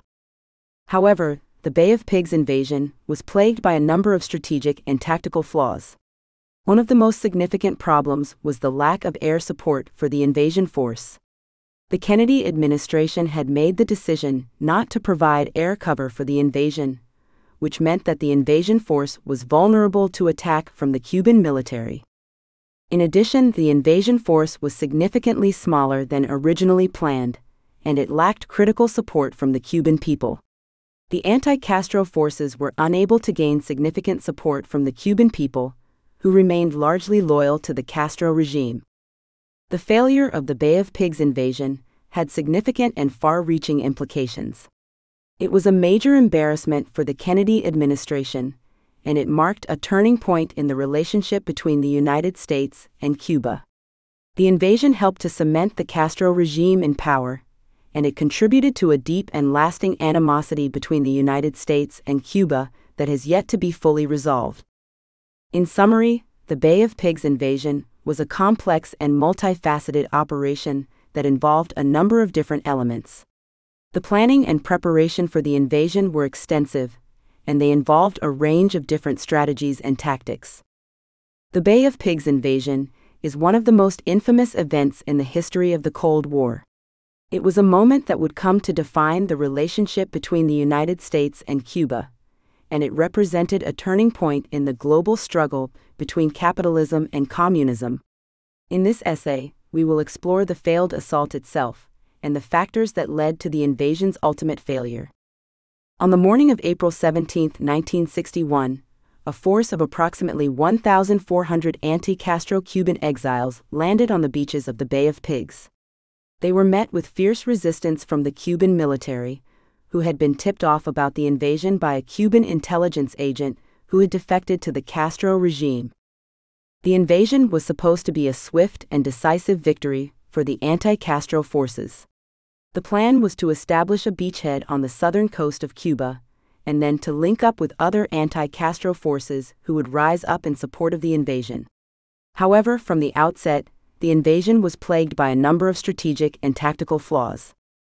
One of the most significant problems was the lack of air support for the invasion force. The Kennedy administration had made the decision not to provide air cover for the invasion which meant that the invasion force was vulnerable to attack from the Cuban military. The Cuban military quickly gained the upper hand, and the invasion force was unable to establish a beachhead. In addition, the invasion force was significantly smaller than originally planned, and it lacked critical support from the Cuban people. The anti Castro forces were unable to gain significant support from the Cuban people, who remained largely loyal to the Castro regime. As a result, the invasion force was isolated and cut off from any potential support. The anti Castro forces were also hampered by a lack of effective leadership. The leaders of the invasion force were inexperienced and ill prepared for the challenges they faced. They were unable to provide effective guidance to the troops on the ground, and they were unable to coordinate their actions effectively. Despite these problems, the anti Castro forces fought fiercely and bravely. They were able to hold out for three days against overwhelming odds, but ultimately they were forced to surrender. The Cuban military took the invasion force captive, and the prisoners were paraded before the international press as evidence of the failure of the invasion. The failure of the Bay of Pigs invasion had significant and far reaching implications. It was a major embarrassment for the Kennedy administration, and it marked a turning point in the relationship between the United States and Cuba. The invasion helped to cement the Castro regime in power, and it contributed to a deep and lasting animosity between the United States and Cuba that has yet to be fully resolved. In summary, the Bay of Pigs invasion was a failure of epic proportions. It was plagued by a range of strategic and tactical flaws, including a lack of air support, a lack of effective leadership, and a lack of support from the Cuban people. Despite the bravery and determination of the anti Castro forces, they were ultimately unable to overcome the odds, and the invasion was a resounding failure. The impact of the failed assault was significant, and it would shape the course of the Cold War for years to come. The Bay of Pigs invasion was a turning point in the relationship between the United States and Cuba, and it had a significant impact on the global struggle between capitalism and communism. In this essay, we will explore the reaction of the United States to the failure of the Bay of Pigs invasion and the factors that shaped its response. In the aftermath of the failed invasion, the Kennedy administration was faced with a range of challenges. The invasion had been a significant embarrassment for the United States, and it had damaged the credibility of the administration both at home and abroad. The United States had also lost a significant number of Cuban exiles who had been trained and financed by the CIA. The Kennedy administration's initial response was to deny any involvement in the invasion. However, as more information about the operation became public, it became clear that the United States had been heavily involved in the planning and execution of the invasion. The administration was forced to admit its role, and it faced a barrage of criticism both at home and abroad. In the wake of the failure of the invasion, the Kennedy administration took a number of steps to address the fallout.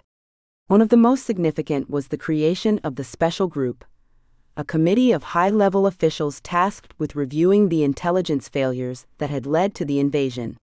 The committee was chaired by the president's brother, Robert Kennedy, and it included a range of experts in intelligence and national security. The special group was tasked with reviewing the intelligence failures that had led to the invasion and with making recommendations for how to improve the intelligence gathering process. The committee also reviewed the overall strategy of the United States in Cuba, and it recommended a number of changes to the approach that had been taken up to that point. One of the most significant changes was a shift in strategy away from covert operations and toward diplomatic and economic pressure. The Kennedy administration imposed a trade embargo on Cuba, and it worked to isolate the country from the rest of the international community. The administration also began to explore ways to improve relations with other Latin American countries in an attempt to reduce the influence of the Soviet Union in the region.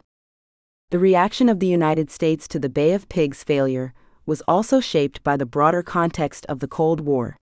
The Kennedy administration was acutely aware of the need to project strength and resolve in the face of the Soviet Union and the failure of the invasion was seen as a major setback in that regard. The administration took steps to bolster its military and intelligence capabilities, and it worked to develop new strategies for confronting the Soviet Union in other parts of the world. In addition to these broader strategic considerations, the reaction of the United States to the Bay of Pigs failure was also shaped by the political climate of the time. The Kennedy administration was facing mounting criticism from political opponents and the media, and the failure of the invasion only added to that criticism. The administration was forced to defend its policies and to reassure the American people that it was capable of protecting the country's interests abroad. In summary, the reaction of the United States to the failure of the Bay of Pigs invasion was shaped by a range of factors, including strategic considerations, political pressures, and the broader context of the Cold War. The Kennedy administration took a number of steps to address the fallout from the invasion, including the creation of the Special Group and a shift in strategy away from covert operations. The impact of the Bay of Pigs failure was significant, and it would shape the course of U.S. Cuban relations for decades to come. The Bay of Pigs invasion was a significant event in the history of the Cold War, and it had a profound impact on the relationship between the United States and Cuba. However, the invasion also had important implications for the Soviet Union, which had become a key ally of the Cuban government. In this essay, we will explore the Soviet Union's response to the Bay of Pigs invasion and the factors that shaped its reaction. In the years leading up to the Bay of Pigs invasion, the Soviet Union had become a close ally of the Cuban government. The two countries had established a close economic and military relationship, with the Soviet Union providing significant aid and support to the Cuban government. The Soviet Union viewed Cuba as a key strategic partner in the region, and it saw the Castro regime as a bulwark against American influence in the region. When the Bay of Pigs invasion began in April of 1961, the Soviet Union was quick to respond. The Soviet government issued a strong statement condemning the invasion, and it pledged its support to the Cuban government.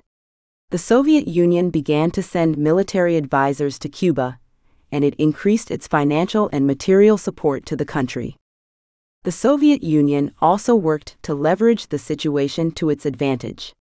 The invasion had the potential to destabilize the region, and the Soviet Union saw an opportunity to increase its influence in the area.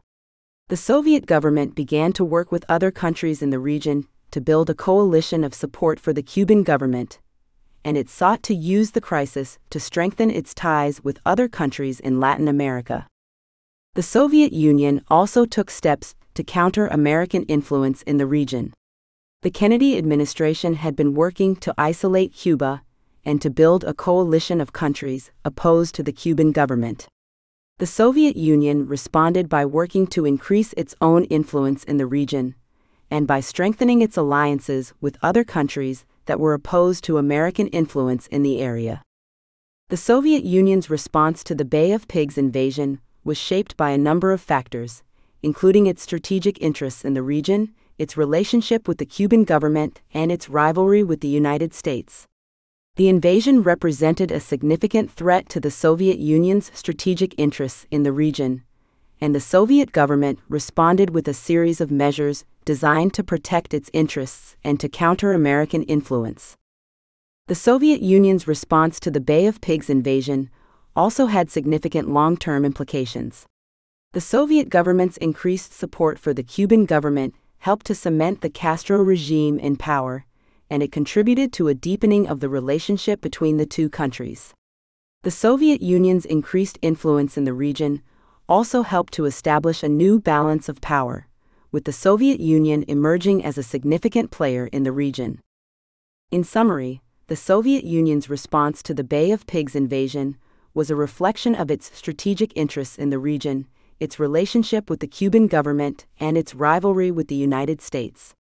The Soviet Union responded to the invasion with a range of measures designed to protect its interests and to counter American influence in the area. The impact of the Soviet Union's response was significant, and it would shape the course of the Cold War for years to come. The Cuban Missile Crisis was one of the most dangerous moments in the history of the Cold War. It brought the world to the brink of nuclear war and it represented a turning point in the relationship between the United States and the Soviet Union. In this essay, we will explore the background and causes of the Cuban Missile Crisis and the factors that led to the dangerous standoff between the two superpowers. In the years leading up to the Cuban Missile Crisis, the United States and the Soviet Union had become engaged in a global struggle for dominance. The two superpowers were engaged in a range of proxy wars and covert operations, and tensions between the two countries were high. One of the key battlegrounds in this struggle was Cuba. In 1959, Fidel Castro had led a successful revolution in Cuba, and he had established a communist government. The United States saw the new Cuban government as a threat to its interests in the region, and it worked to isolate Cuba and to undermine the Castro regime. The United States imposed a trade embargo on Cuba, and it began to work with anti Castro forces in the country. The Soviet Union saw an opportunity to gain a foothold in the Western Hemisphere by supporting the Cuban government. In 1962, the Soviet Union began to secretly transport nuclear missiles and other weapons to Cuba, with the aim of establishing a nuclear deterrent on America's doorstep. The discovery of the Soviet missile installations in Cuba set off a chain of events that would lead to the Cuban Missile Crisis. In October of 1962, American reconnaissance flights revealed the presence of Soviet missiles in Cuba. President John F. Kennedy was informed of the situation, and he convened a group of top advisors to determine how to respond. The Kennedy administration was faced with a range of options for dealing with the situation. Some advisors advocated for a military strike on the missile sites, while others argued for a diplomatic solution. Ultimately, Kennedy chose to pursue a combination of diplomacy and military pressure in an attempt to force the Soviet Union to remove the missiles. The Cuban Missile Crisis was a dangerous and tense moment in the history of the Cold War. The United States and the Soviet Union were engaged in a high stakes game of brinksmanship, with the threat of nuclear war looming over every decision. The crisis was characterized by a series of tense negotiations, as both sides sought to avoid a catastrophic outcome. The causes of the Cuban Missile Crisis were complex and multifaceted. The crisis was rooted in the broader struggle for dominance between the United States and the Soviet Union and in the specific context of the United States' relationship with Cuba. The Soviet Union saw an opportunity to gain a strategic advantage by placing nuclear missiles in Cuba, and the United States saw the move as a direct threat to its national security. In summary, the Cuban Missile Crisis was a dangerous moment in the history of the Cold War, and it was driven by a range of factors. The crisis was rooted in the broader struggle for dominance between the United States and the Soviet Union, and it was shaped by the specific context of the United States' relationship with Cuba. The crisis was a testament to the dangerous nature of the global struggle between capitalism and communism, and it represented a turning point in the history of the Cold War. The Cuban Revolution of 1959 and the Bay of Pigs invasion of 1961 are two significant events that have left a lasting impact on the relationship between the United States and Cuba. The revolution marked a turning point in Cuban history, and the Bay of Pigs invasion was a failed attempt by the United States to overthrow the revolutionary government. In this essay, I will explore the legacy of these events and their impact on U.S. Cuba relations. The Cuban Revolution was a social and political upheaval that resulted in the overthrow of Cuban dictator Fulgencio Batista and the establishment of a socialist state under the leadership of Fidel Castro. The revolution was fueled by a desire for economic and political autonomy, and it was seen as a victory for anti imperialism and socialism in Latin America. The revolution also marked the end of the United States' dominance over Cuba, which had been a virtual colony of the U.S. for decades. The Bay of Pigs invasion was an attempt by the U.S. to overthrow the revolutionary government of Fidel Castro. The plan was to train and arm a group of Cuban exiles, who would then invade Cuba and overthrow the government. The invasion was a disaster, and the exiles were quickly defeated by the Cuban military. The failure of the Bay of Pigs invasion was a significant blow to the U.S., both politically and militarily. The legacy of the Cuban Revolution and the Bay of Pigs invasion has had a profound impact on U.S. Cuba relations. The revolution marked the beginning of a new era in Cuban history and the end of U.S. domination in the country. The revolution also set the stage for a long and contentious relationship between the U.S. and Cuba, one that was marked by political and economic tensions. The Bay of Pigs invasion was a turning point in U.S. Cuba relations. It was a clear indication that the U.S. was willing to use force to achieve its goals in Cuba. The invasion also led to a hardening of the revolutionary government's stance towards the U.S., as it saw the attack as evidence of U.S. aggression towards Cuba. The failure of the Bay of Pigs invasion also had a significant impact on U.S. foreign policy, as it was a clear indication that the U.S. was not invincible and that military force was not always the solution to political problems. The legacy of the Cuban Revolution and the Bay of Pigs invasion can be seen in the continued political and economic tensions between the U.S. and Cuba. The U.S. has maintained an embargo on Cuba since 1962, which has had a significant impact on the Cuban economy. The embargo has also been a point of contention between the U.S. and Cuba, with Cuba seeing it as evidence of U.S. aggression towards the country. The legacy of the Cuban Revolution and the Bay of Pigs invasion can also be seen in the continued political tensions between the U.S. and Cuba. The U.S. has maintained a hardline stance towards the revolutionary government, refusing to recognize its legitimacy and refusing to engage in meaningful dialogue with the Cuban government. This has led to a situation where U.S. Cuba relations are marked by a lack of trust and understanding. In summary, the legacy of the Cuban Revolution and the Bay of Pigs invasion has had a profound impact on U.S. Cuba relations. The revolution marked the end of U.S. domination in Cuba and the beginning of a new era in Cuban history. The Bay of Pigs invasion was a failed attempt by the U.S. to overthrow the revolutionary government, and it marked a turning point in U.S. foreign policy. The legacy of these events can be seen in the continued political and economic tensions between the U.S. and Cuba, and in the lack of trust and understanding between the two countries. The Cuban Missile Crisis was one of the most significant moments in the history of the Cold War. It brought the world to the brink of nuclear war, and it represented a turning point in the relationship between the United States and the Soviet Union. In this essay, we will explore the U.S. response to the Cuban Missile Crisis and the factors that led to the resolution of the crisis. The discovery of Soviet missile installations in Cuba set off a series of tense negotiations between the United States and the Soviet Union. The Kennedy administration was faced with a range of options for dealing with the situation, including military strikes and diplomatic efforts.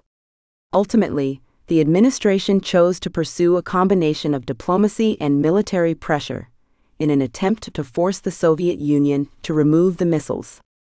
The United States responded to the crisis by implementing a naval quarantine around Cuba, designed to prevent further shipments of Soviet missiles from reaching the island. The U.S. military also increased its readiness and began to prepare for a potential military strike on the missile sites. The Kennedy administration also sought to negotiate a resolution to the crisis through diplomatic channels. The administration made a public announcement about the discovery of the missile sites and it presented evidence of the Soviet Union's actions to the United Nations. The administration also engaged in a series of secret negotiations with the Soviet government in an attempt to find a way to peacefully resolve the crisis.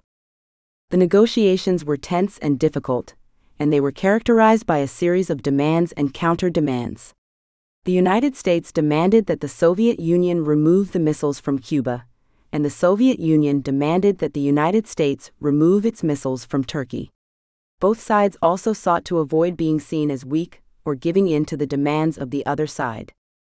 In the end, the crisis was resolved through a series of concessions and agreements. The Soviet Union agreed to remove its missiles from Cuba, and the United States agreed not to invade Cuba and to remove its missiles from Turkey. The resolution of the crisis was seen as a victory for the Kennedy administration, and it helped to restore the credibility of the United States on the world stage. The resolution of the Cuban Missile Crisis had significant implications for the broader Cold War.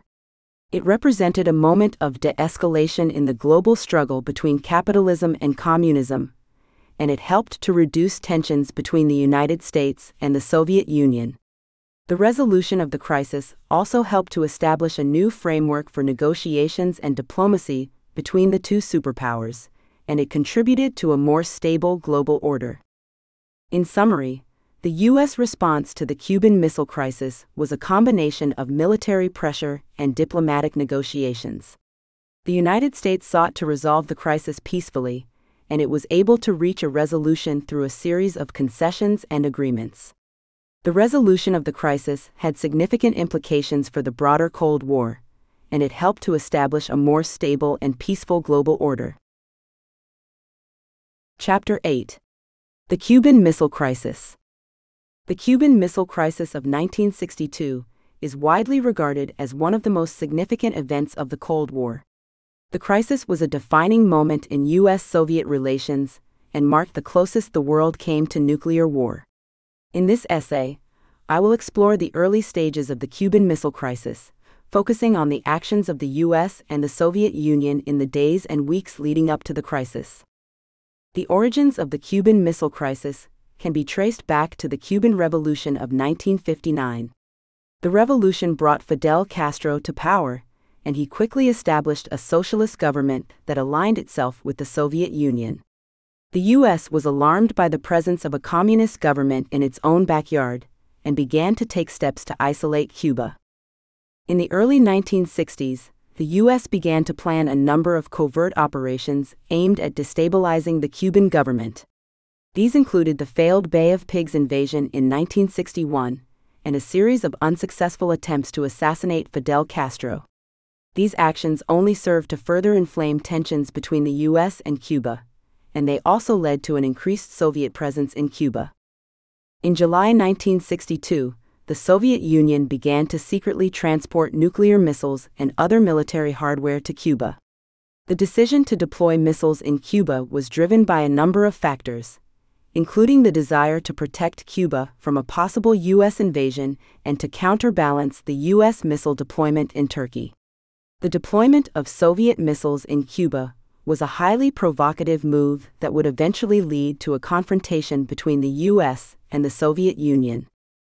The U.S. first became aware of the Soviet missile deployment in Cuba in August 1962.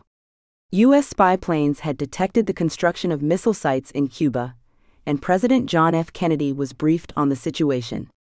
Kennedy immediately established a task force to assess the situation and began to consider his options.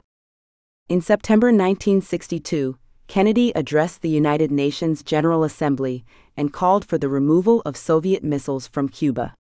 He also announced that the U.S. would set up a naval blockade around Cuba to prevent further Soviet shipments of military hardware. The announcement of the naval blockade marked a significant escalation in the crisis and set the stage for a potential military confrontation. The Soviet Union responded to the U.S. actions by denouncing the naval blockade as an act of aggression and insisting that the missile deployment in Cuba was purely defensive. The Soviet Union also began to make preparations for a possible military conflict with the U.S. In the early stages of the crisis, both the U.S. and the Soviet Union were taking actions that were seen as provocative by the other side. The U.S. naval blockade was a clear signal that the U.S. was willing to use force to achieve its goals, while the Soviet missile deployment in Cuba was seen as a direct threat to U.S. national security. The situation was made more dangerous by the fact that both the U.S. and the Soviet Union had significant nuclear arsenals, and any military conflict could quickly escalate into a full scale nuclear war. In summary, the early stages of the Cuban Missile Crisis were marked by a series of provocative actions by both the U.S. and the Soviet Union. The deployment of Soviet missiles in Cuba was a highly provocative move that threatened U.S. national security, while the U.S. naval blockade was seen as an act of aggression by the Soviet Union. The situation was made more dangerous by the fact that both sides had significant nuclear arsenals, and any military conflict could quickly escalate into a full scale nuclear war. The Cuban Missile Crisis was a defining moment in U.S. Soviet relations and it serves as a stark reminder of the dangers of nuclear weapons. It was in the year of our Lord 1962 that the world stood at the brink of destruction. The Cold War between the two great superpowers of the age had reached its boiling point, as the Soviet Union sought to place nuclear missiles on the island of Cuba, just a short distance from the shores of the United States. In response, the President of the United States, John F. Kennedy, ordered a naval blockade of Cuba, an act of war that would ultimately prevent the Soviet Union from carrying out its plans and avert a global catastrophe. The response of President Kennedy to the crisis was one that reflected both the deep seated fears and the cold determination of the American people. The blockade of Cuba was a bold and audacious move, one that demonstrated the resolve of the United States to stand firm against the Soviet threat. It was an act of defiance against the Soviet Union, a clear signal that the United States would not be bullied into submission. The blockade of Cuba was a monumental undertaking, requiring the mobilization of the entire U.S. Navy including the deployment of nuclear submarines armed with nuclear weapons. The blockade was enforced with a relentless determination, as American ships stood guard at the entrance to Cuba's ports, ready to intercept any Soviet vessels attempting to deliver the missiles. The world held its breath as the two great superpowers engaged in a high stakes game of brinksmanship, each side daring the other to make the first move. For 13 tense days, the world waited to see what would happen. The fate of millions of lives hung in the balance, as the possibility of a nuclear exchange between the United States and the Soviet Union loomed ever larger. But the resolve of the American people did not falter. President Kennedy remained steadfast, urging calm and restraint in the face of mounting tensions. He addressed the American people in a series of televised speeches, outlining the reasons for the blockade and the dangers of allowing the Soviet Union to place nuclear missiles in Cuba. The world watched as the Soviet Union finally backed down, agreeing to remove the missiles in exchange for a promise from the United States not to invade Cuba and to remove U.S. missiles from Turkey. The Cuban Missile Crisis was over, and the world breathed a collective sigh of relief. The response of President Kennedy to the crisis was one that would go down in history as a model of leadership in times of crisis. His cool and measured approach to the crisis, coupled with his unwavering determination to protect the United States from the threat of Soviet aggression, demonstrated his skill as a leader and his commitment to the safety and security of the American people. The naval blockade of Cuba was a pivotal moment in the history of the Cold War, one that demonstrated the dangers of nuclear weapons and the need for international cooperation in order to prevent a global catastrophe. It was a moment that would define the presidency of John F. Kennedy and would shape the course of world history for years to come. In the end, the response of President Kennedy to the crisis was a resounding success. By standing firm against the Soviet threat, he was able to prevent a global catastrophe and preserve the safety and security of the American people. The blockade of Cuba demonstrated the resolve of the United States to stand up to the Soviet Union and set the stage for a new era of cooperation and peace between the two great superpowers. As the world looks back on the events of 1962, we are reminded of the dangers of nuclear weapons and the need for continued vigilance in the face of global threats.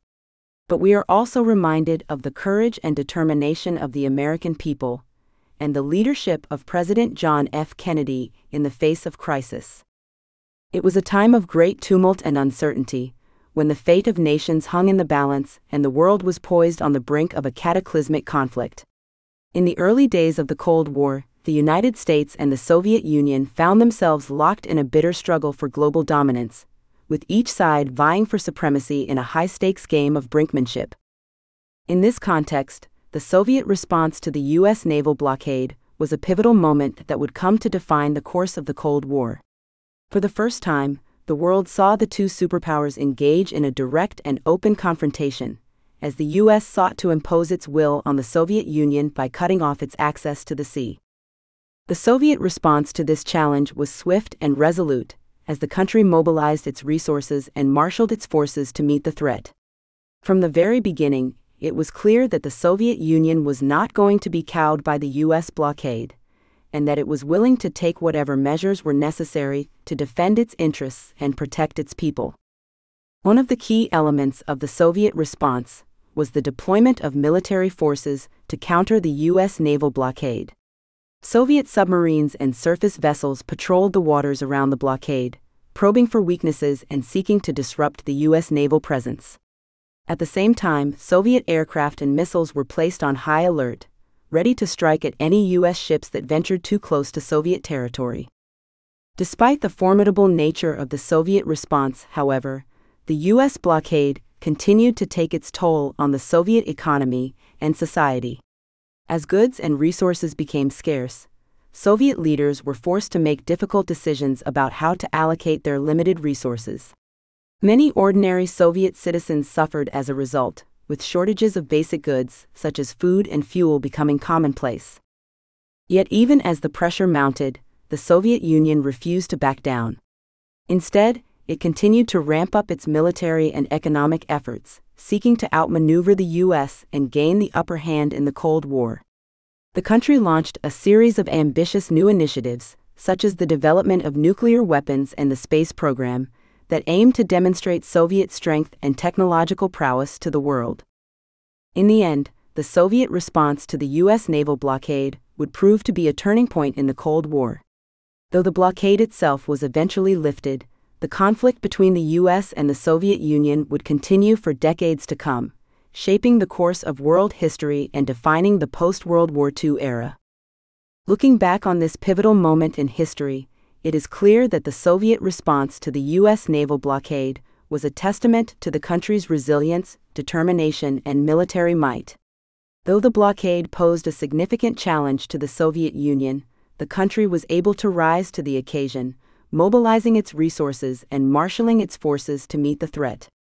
In doing so, the Soviet Union demonstrated to the world that it was not a country to be underestimated and that it was willing to take bold and decisive action in defense of its interests and values. Today, as the world continues to grapple with the legacy of the Cold War, it is important to remember the lessons of the past. The Soviet response to the U.S. naval blockade stands as a powerful reminder of the dangers of unchecked aggression and the need for strong, principled leadership in times of crisis. As we look to the future, we must remain vigilant and steadfast in our commitment to peace and security, lest we repeat the mistakes of the past and plunge the world into another era of conflict and uncertainty. In the annals of human history, there are few moments that have captured the attention and imagination of the world quite like the Cuban Missile Crisis.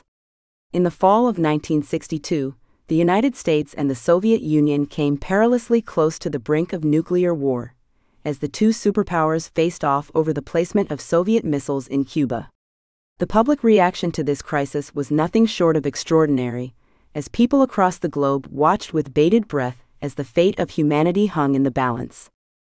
From the very outset of the crisis, the public response was one of intense concern and anxiety. In the United States, there was a palpable sense of fear and uncertainty as the country faced the prospect of a nuclear strike on its own soil. The government issued a series of stark warnings to the American people, urging them to stockpile supplies and prepare for the worst. The media coverage of the crisis was relentless, with newspapers and television stations around the world providing round the clock updates on the latest developments. In the United States, the crisis dominated the headlines, with images of the Soviet missiles and American military preparations plastered across the front pages of newspapers and magazines. As the crisis deepened, the public response grew more urgent and vocal. Protests and demonstrations erupted in cities across the United States and around the world, as people demanded an end to the hostilities and a return to peace. In Washington, D.C., Thousands of people gathered in front of the White House, waving signs and chanting slogans in support of diplomacy and de escalation.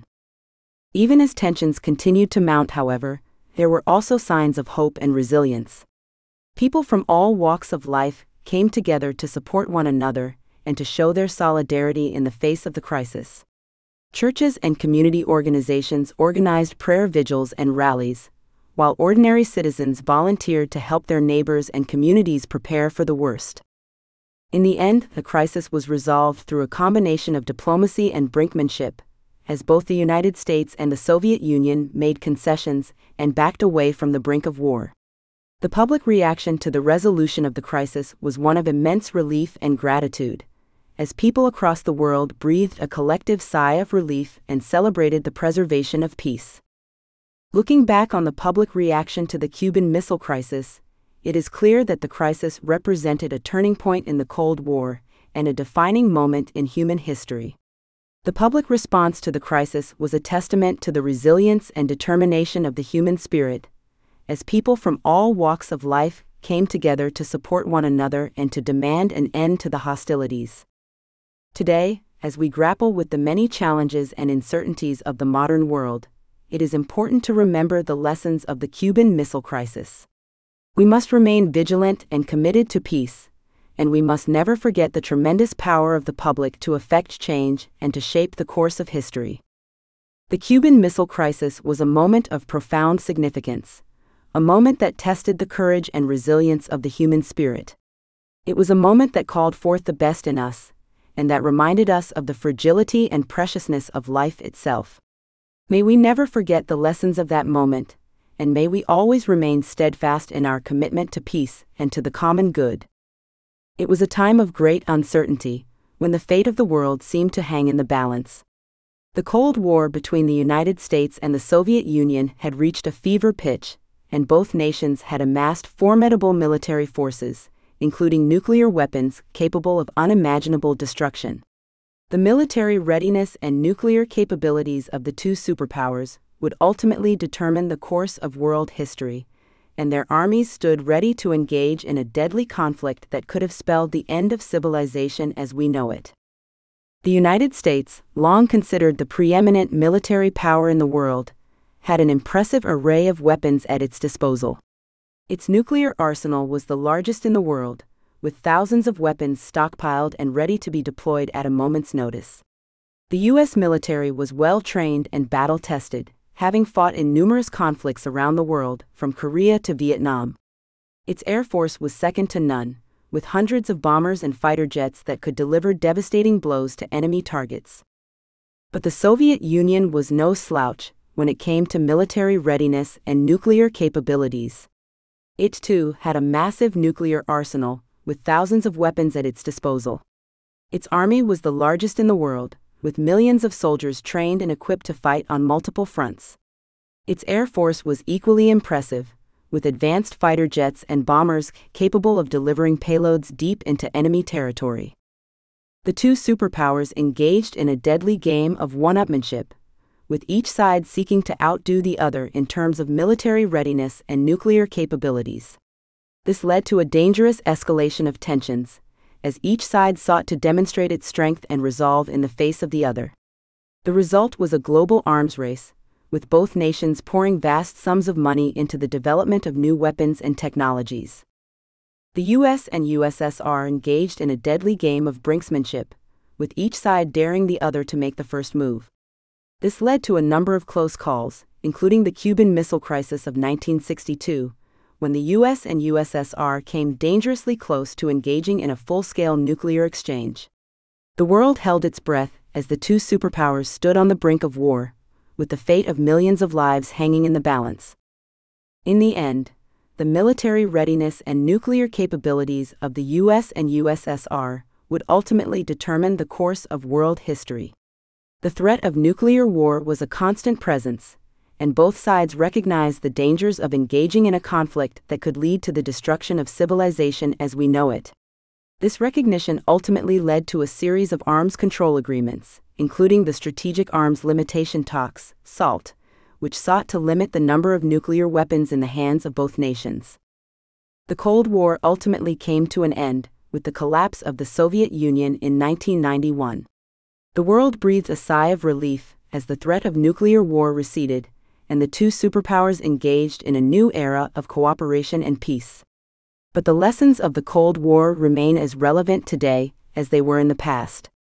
The dangers of nuclear war are still present, and the military readiness and nuclear capabilities of nations around the world continue to shape the course of global events. As we look back on the military readiness and nuclear capabilities of the US and USSR, we are reminded of the dangers of nationalism and the need for international cooperation. The Cold War was a testament to the dangers of pride and hubris, and the importance of working together to achieve a common goal. It was a time of great uncertainty, but it also brought with it lessons that we can carry forward into the future. In the annals of history, few events have captured the imagination and attention of the world quite like the negotiations between the United States and the Soviet Union during the Cold War. Though the two superpowers were locked in a bitter struggle for global dominance, there were moments of backdoor diplomacy that helped to diffuse tensions and prevent the outbreak of open conflict. The negotiations between the US and USSR were a delicate dance, fraught with danger and uncertainty. Each side was acutely aware of the other's military capabilities, and both were determined to protect their interests and assert their dominance on the world stage. Despite these challenges, however, there were moments when the two sides were able to find common ground and work together towards a common goal. One of the most significant examples of this was the negotiation of arms control agreements, which sought to limit the development and deployment of nuclear weapons. These negotiations were often conducted through backdoor channels, with secret meetings and informal discussions taking place between representatives of the two countries. The negotiations were a delicate balancing act, with both sides seeking to gain an advantage while avoiding a direct confrontation that could lead to war. One of the key figures in these negotiations was Henry Kissinger, who served as National Security Advisor and Secretary of State under Presidents Richard Nixon and Gerald Ford. Kissinger was a master of backdoor diplomacy with a keen understanding of the Soviet mindset and a willingness to engage in tough negotiations. Through his efforts, Kissinger was able to help negotiate the Strategic Arms Limitation Treaty, SALT, which was signed by the US and the Soviet Union in 1972. The treaty was a significant milestone in the history of arms control, and it helped to diffuse tensions between the two superpowers by limiting the development and deployment of nuclear weapons. The negotiations between the US and USSR also extended beyond arms control, with efforts to resolve regional conflicts and promote economic cooperation. One notable example of this was the negotiation of the Helsinki Accords in 1975, which sought to promote human rights and cooperation between the US, the Soviet Union, and other European countries. The negotiations between the US and USSR were not without their challenges and setbacks, however. There were moments of tension and brinkmanship, as both sides sought to gain an advantage and assert their dominance. The Soviet invasion of Afghanistan in 1979, for example, was a significant setback to U.S. Soviet relations, as it undermined efforts towards cooperation and arms control. Despite these challenges, however, the negotiations between the U.S. and USSR helped to diffuse tensions and prevent the outbreak of open conflict. They demonstrated the power of diplomacy and backdoor channels, and they underscored the importance of finding common ground and working towards shared goals. Looking back on the negotiations between the US and USSR, it is clear that they represented a turning point in the Cold War and a defining moment in human history. They showed that even in the midst of bitter conflict, there are opportunities for dialogue and cooperation. They demonstrated the power of diplomacy and backdoor channels, and they showed that even the most seemingly intractable conflicts can be resolved through negotiation and compromise. The negotiations between the US and USSR were a testament to the power of human ingenuity and the resilience of the human spirit. They showed that even in the darkest of times, there are opportunities for dialogue and cooperation. May we never forget the lessons of these negotiations and may we always remain committed to finding common ground and working towards shared goals. In the autumn of 1962, the world stood on the brink of nuclear war. The United States of America and the Soviet Union had been locked in a tense standoff over the deployment of Soviet missiles in Cuba. This crisis, which came to be known as the Cuban Missile Crisis, was one of the most dangerous moments in human history. The stakes were high, the risks great, and the potential consequences catastrophic. In the midst of this crisis, the Kennedy administration pursued a diplomatic strategy aimed at resolving the conflict peacefully. President John F. Kennedy and his advisers recognized that the use of military force could lead to a global catastrophe, and therefore sought to avoid it at all costs. The diplomatic efforts of the Kennedy administration were multifaceted and complex. They involved a variety of channels and initiatives, including direct communication with Soviet leaders, public statements and speeches, and behind the scenes negotiations. One of the most significant diplomatic initiatives undertaken by the Kennedy administration was the use of backchannel communications with the Soviet Union. The president's brother, Robert F. Kennedy, was dispatched to meet with Soviet Ambassador Anatoly Dobrynin in Washington, D.C., in order to negotiate a peaceful resolution to the crisis. These secret communications, which took place outside of formal diplomatic channels, allowed the two sides to explore potential avenues for compromise and to build trust between the two superpowers. Another important diplomatic effort was the use of public statements and speeches to signal the United States' commitment to avoiding war while also warning the Soviet Union of the consequences of their actions. President Kennedy gave a series of televised addresses to the American people in which he outlined the U.S. position and called for a peaceful resolution to the crisis. These speeches were carefully crafted to appeal to both the American people and the international community, and to project a sense of strength and resolve, while also emphasizing the importance of diplomacy. Behind the scenes negotiations were also critical to the success of the Kennedy administration's diplomatic efforts. The president's brother, Attorney General Robert F. Kennedy, was heavily involved in these negotiations and worked tirelessly to build relationships with key Soviet officials. Through these negotiations, the Kennedy administration was able to lay the groundwork for a peaceful resolution to the crisis. One of the most significant achievements of the Kennedy administration's diplomatic efforts was the establishment of a direct line of communication between the White House and the Kremlin. This hotline, as it came to be known, allowed for rapid communication between the two superpowers in the event of another crisis. This direct line of communication helped to prevent misunderstandings and miscalculations that could have led to war. In the end, the Kennedy administration's diplomatic efforts were successful. Through a combination of backchannel negotiations, public statements and speeches, and behind the scenes diplomacy, the crisis was peacefully resolved. The Soviet Union agreed to remove their missiles from Cuba, and the United States agreed to remove their missiles from Turkey. The resolution of the Cuban Missile Crisis was a defining moment in the history of the United States and the world. It demonstrated the importance of diplomacy and the value of finding peaceful solutions to conflicts. The Kennedy administration's diplomatic efforts were a testament to the power of communication, negotiation, and compromise in resolving even the most intractable conflicts. In summary, the Kennedy administration's diplomatic efforts to resolve the Cuban Missile Crisis were a crucial element in the peaceful resolution of one of the most dangerous moments in human history.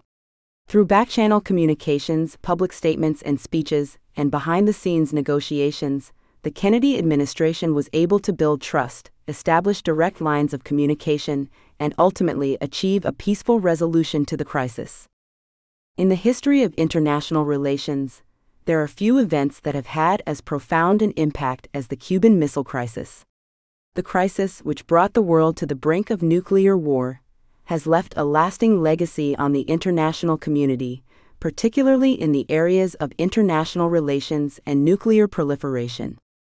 At the heart of the Cuban Missile Crisis was a power struggle between the United States and the Soviet Union, as each country sought to assert its dominance and protect its interests.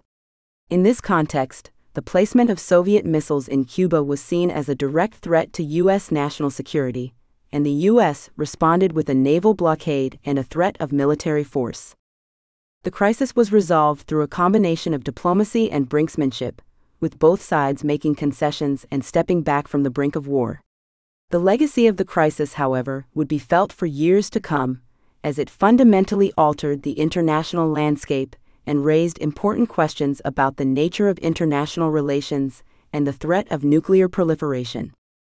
One of the most significant legacies of the Cuban Missile Crisis was the concept of nuclear deterrence. In the aftermath of the crisis, both the U.S. and the Soviet Union recognized the danger of nuclear war and sought to prevent it through the doctrine of mutually assured destruction. This doctrine held that the possession of nuclear weapons by both sides served as a deterrent to war, as the threat of nuclear retaliation was too great to risk. While the doctrine of nuclear deterrence helped to prevent the outbreak of a global nuclear war, it also had the unintended consequence of fueling the arms race and encouraging other countries to pursue nuclear weapons of their own. This has led to a proliferation of nuclear weapons around the world, with countries such as North Korea and Iran seeking to develop their own nuclear capabilities in order to protect their interests and assert their power on the international stage. Another legacy of the Cuban Missile Crisis was a renewed emphasis on diplomacy and negotiation as a means of resolving conflicts. The crisis demonstrated the danger of brinkmanship and the need for open channels of communication and negotiation in times of crisis. This has led to a greater emphasis on diplomacy in international relations, with countries seeking to resolve conflicts through negotiation rather than military force.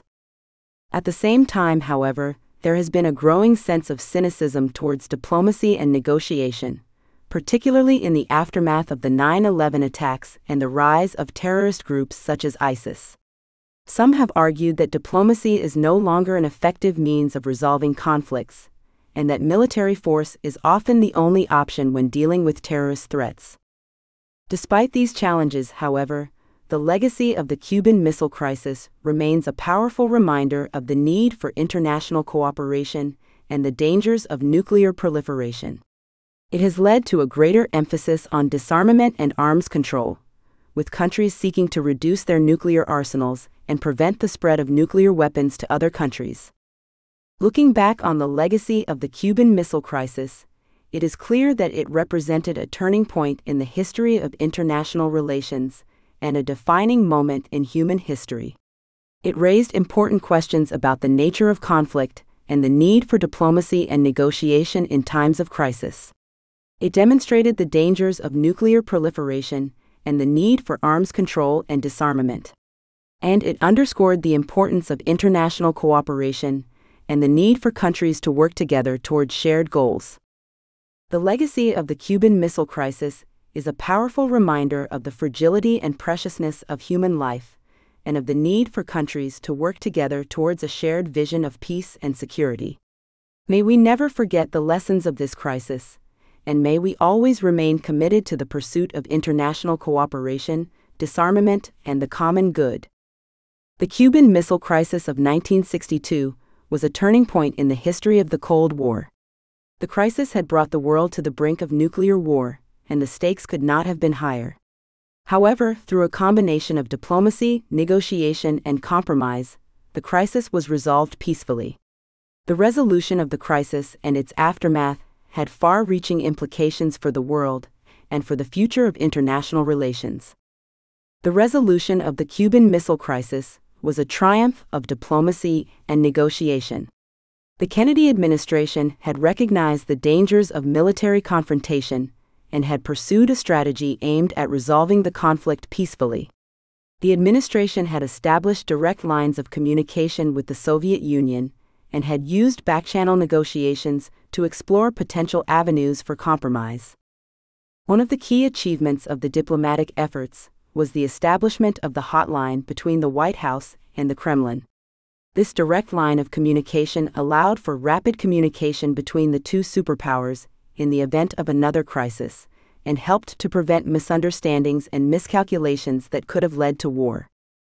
Through a combination of public statements and speeches, behind the scenes negotiations, and direct communication with Soviet leaders, the Kennedy administration was able to convince the Soviet Union to remove their missiles from Cuba. In exchange, the United States agreed to remove their missiles from Turkey. The resolution of the crisis was met with relief and celebration around the world. The danger of nuclear war had been averted, and the world had been spared a catastrophic conflict. The resolution of the crisis was a testament to the power of diplomacy and the value of finding peaceful solutions to conflicts. However, the resolution of the crisis had a number of long term consequences that would shape the course of the Cold War and international relations in the decades to come. One of the most significant consequences of the crisis was the emergence of a more assertive Soviet Union. The Soviet Union had been humiliated by the resolution of the crisis and had been forced to remove their missiles from Cuba in the face of American pressure. This had led to a shift in Soviet foreign policy, with the Soviet Union becoming more aggressive and assertive in its relations with the United States and its allies. The crisis also had significant implications for the arms race between the United States and the Soviet Union. The crisis had highlighted the dangers of nuclear weapons and had led to a renewed emphasis on arms control and disarmament. In the years that followed the crisis, both the United States and the Soviet Union would take steps to reduce their nuclear arsenals and to establish a framework for arms control. The resolution of the crisis had also had an impact on American politics. President Kennedy had emerged from the crisis as a hero, having successfully navigated one of the most dangerous moments in human history. However, the crisis had also highlighted the risks of presidential decision making in times of crisis. This had led to a greater emphasis on planning and decision making processes in the years that followed. In summary, the resolution of the Cuban Missile Crisis was a triumph of diplomacy and negotiation.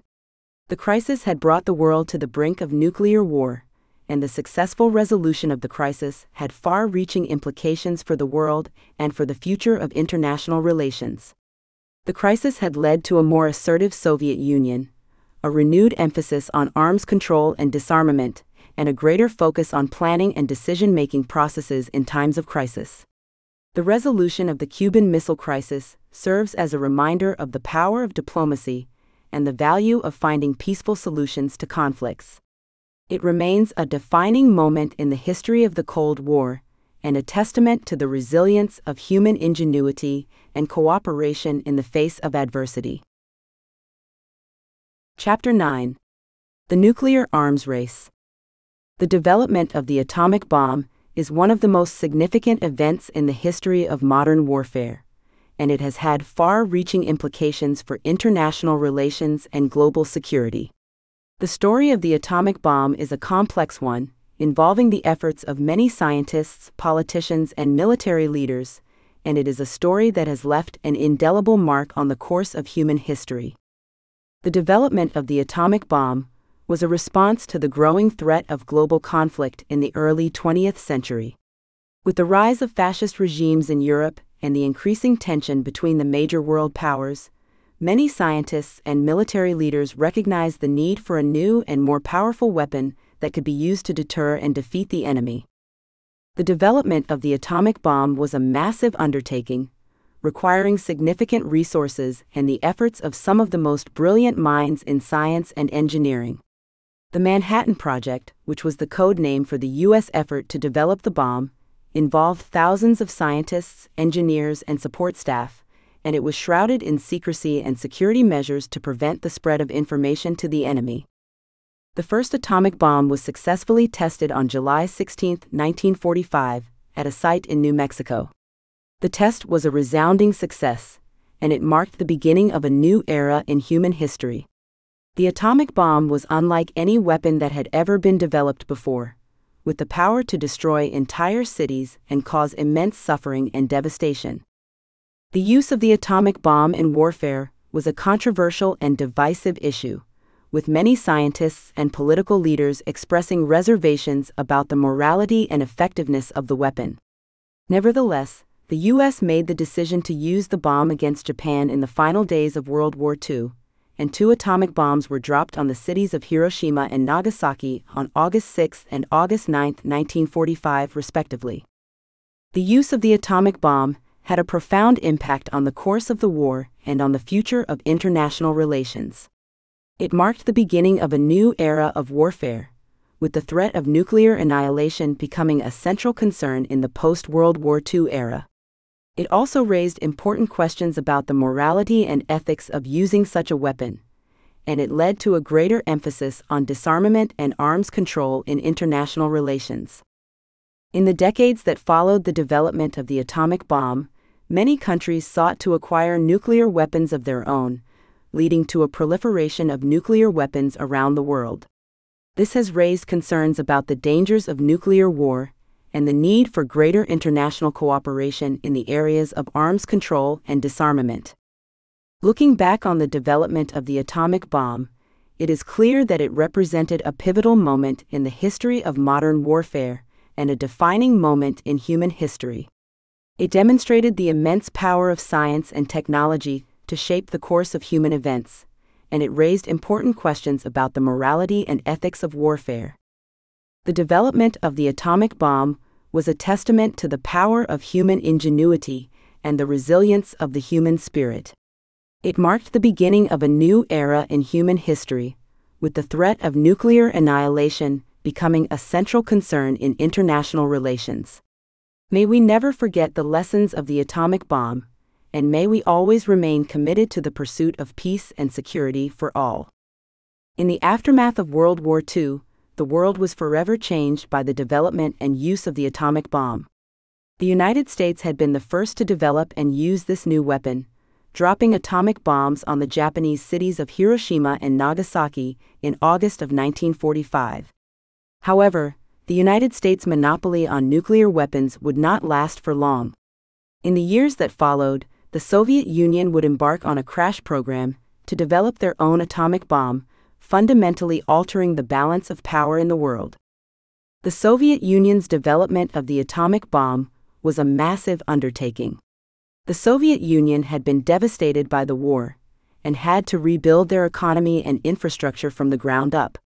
The development of the atomic bomb required immense resources and the mobilization of the entire Soviet economy. The Soviet Union's atomic bomb program was led by a group of brilliant scientists including Igor Kurchatov, Andrei Sakharov, and Lev Landau. These scientists had access to a wealth of information on the development of the atomic bomb, including the designs and techniques used by the United States. However, they faced a number of challenges in their efforts to develop their own nuclear weapons. One of the key challenges facing the Soviet Union was the acquisition of the necessary raw materials. The development of the atomic bomb required large quantities of uranium and plutonium, and the Soviet Union did not have significant reserves of these materials within their own borders. As a result, the Soviet Union had to turn to other countries to acquire the necessary materials. They established a spy network to steal information and materials from the United States, and also turned to their allies in Eastern Europe for support. Another major challenge facing the Soviet Union was the development of the necessary technology and infrastructure. The development of the atomic bomb required the construction of large scale nuclear reactors, which required immense amounts of energy and technical expertise. The Soviet Union had to develop new techniques and methods for the production of enriched uranium and plutonium, and also had to build the necessary infrastructure to produce and test nuclear weapons. Despite these challenges, the Soviet Union was able to develop and test their first atomic bomb in 1949. This development fundamentally altered the balance of power in the world, as the United States no longer held a monopoly on nuclear weapons. The development of the atomic bomb also had significant implications for the future of international relations and the Cold War. The Soviet Union's development of the atomic bomb was met with shock and fear in the United States and around the world. The United States had been the only country to possess nuclear weapons, and had used them to devastating effect in Japan. The development of the atomic bomb by the Soviet Union raised the specter of a nuclear arms race, with both sides building up their nuclear arsenals in an effort to deter the other. The Soviet Union's development of the atomic bomb also had significant implications for the Cold War. The development of the atomic bomb gave the Soviet Union a new level of strategic leverage, as they now had the ability to threaten the United States and its allies with nuclear destruction. This helped to shift the balance of power in the world and led to a new era of competition and conflict between the two superpowers. In summary, the Soviet Union's development of the atomic bomb was a massive undertaking that fundamentally altered the balance of power in the world. The development of the atomic bomb required immense resources and technical expertise, and posed a number of challenges for the Soviet Union. However, Through a combination of espionage, scientific innovation, and industrial mobilization, the Soviet Union was able to develop their own nuclear weapons, fundamentally altering the course of world history. The development of the hydrogen bomb, also known as the thermonuclear bomb, was a significant milestone in the history of modern warfare and international relations. The hydrogen bomb represented a significant advancement in nuclear technology, with the power to cause even greater devastation and destruction than the atomic bomb. The story of the U.S. development of the hydrogen bomb is a complex one, involving the efforts of many scientists, politicians, and military leaders, and it is a story that has left a lasting mark on the course of human history. The development of the hydrogen bomb was a response to the growing threat of global conflict in the early 20th century. With the rise of the Soviet Union and the increasing tensions between the major world powers, many scientists and military leaders recognized the need for a new and more powerful weapon that could be used to deter and defeat the enemy. The development of the hydrogen bomb was a massive undertaking, requiring significant resources and the efforts of some of the most brilliant minds in science and engineering. The U.S. effort to develop the bomb involved thousands of scientists, engineers, and support staff, and it was shrouded in secrecy and security measures to prevent the spread of information to the enemy. The hydrogen bomb was based on a fusion reaction, where hydrogen atoms are fused together to form helium and release an immense amount of energy. The process was far more complex than the fission reaction used in the atomic bomb, and it required new and innovative technologies to make it possible. The first successful test of the hydrogen bomb was conducted on November 1, 1952, at a site in the Pacific Ocean. The test was a resounding success, and it marked the beginning of a new era in nuclear technology. The hydrogen bomb was far more powerful than the atomic bomb, with the power to destroy entire cities and cause immense suffering and devastation. The development of the hydrogen bomb had a profound impact on the course of the Cold War and on the future of international relations. It marked the beginning of a new era of nuclear weapons and deterrence, with the threat of nuclear annihilation becoming a central concern in the post World War II era. It also raised important questions about the morality and ethics of using such a weapon, and it led to a greater emphasis on disarmament and arms control in international relations.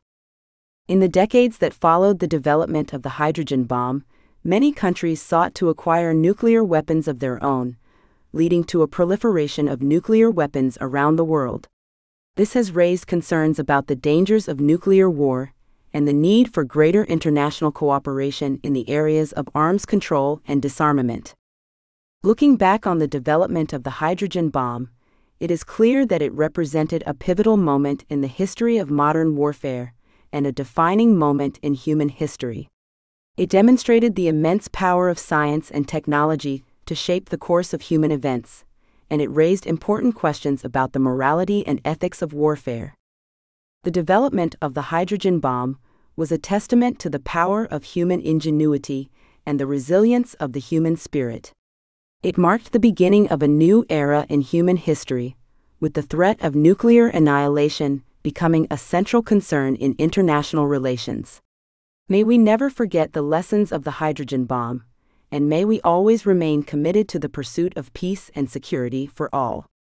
The development of the atomic bomb by the United States and the Soviet Union had fundamentally altered the balance of power in the world. However, the development of the atomic bomb was only the beginning of the nuclear arms race between the two superpowers.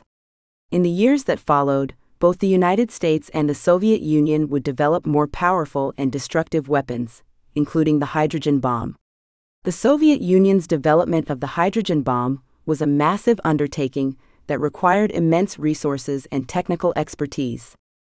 The hydrogen bomb, also known as the thermonuclear bomb, was a far more powerful weapon than the atomic bomb. The hydrogen bomb was based on the principles of nuclear fusion, in which lighter elements are fused together to create heavier elements, releasing vast amounts of energy in the process. The hydrogen bomb was far more destructive than the atomic bomb and had the potential to cause catastrophic damage on an unprecedented scale.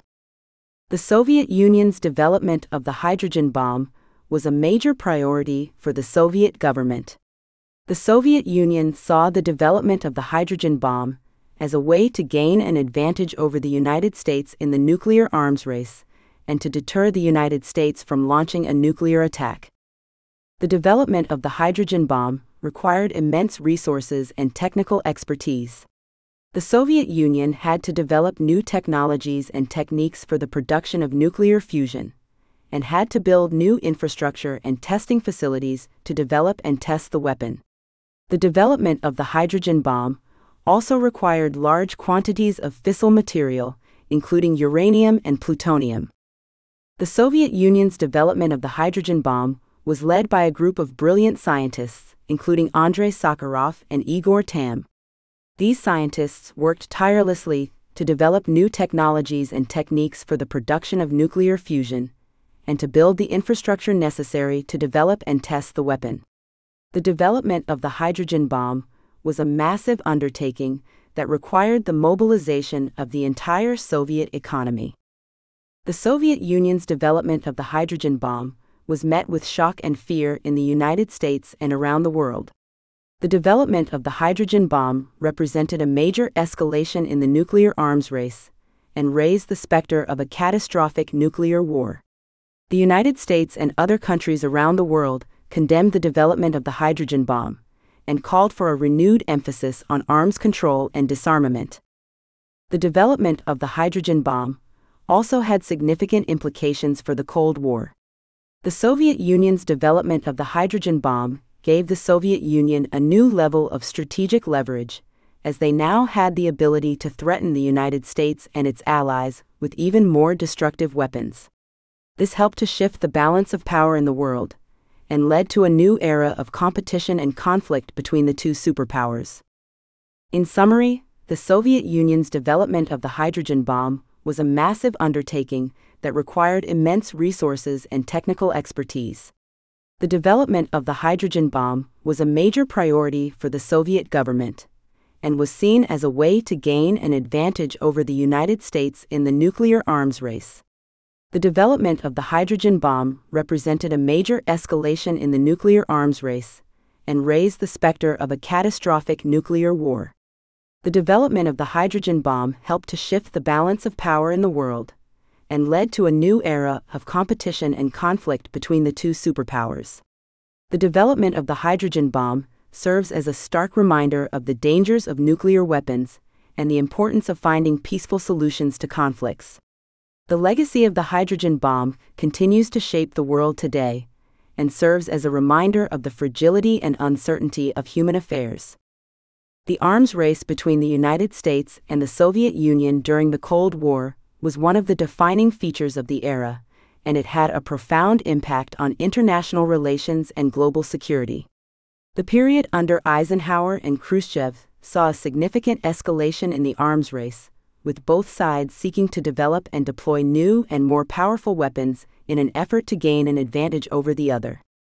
The arms race was driven by a variety of factors, including political ideology, military strategy, and technological innovation.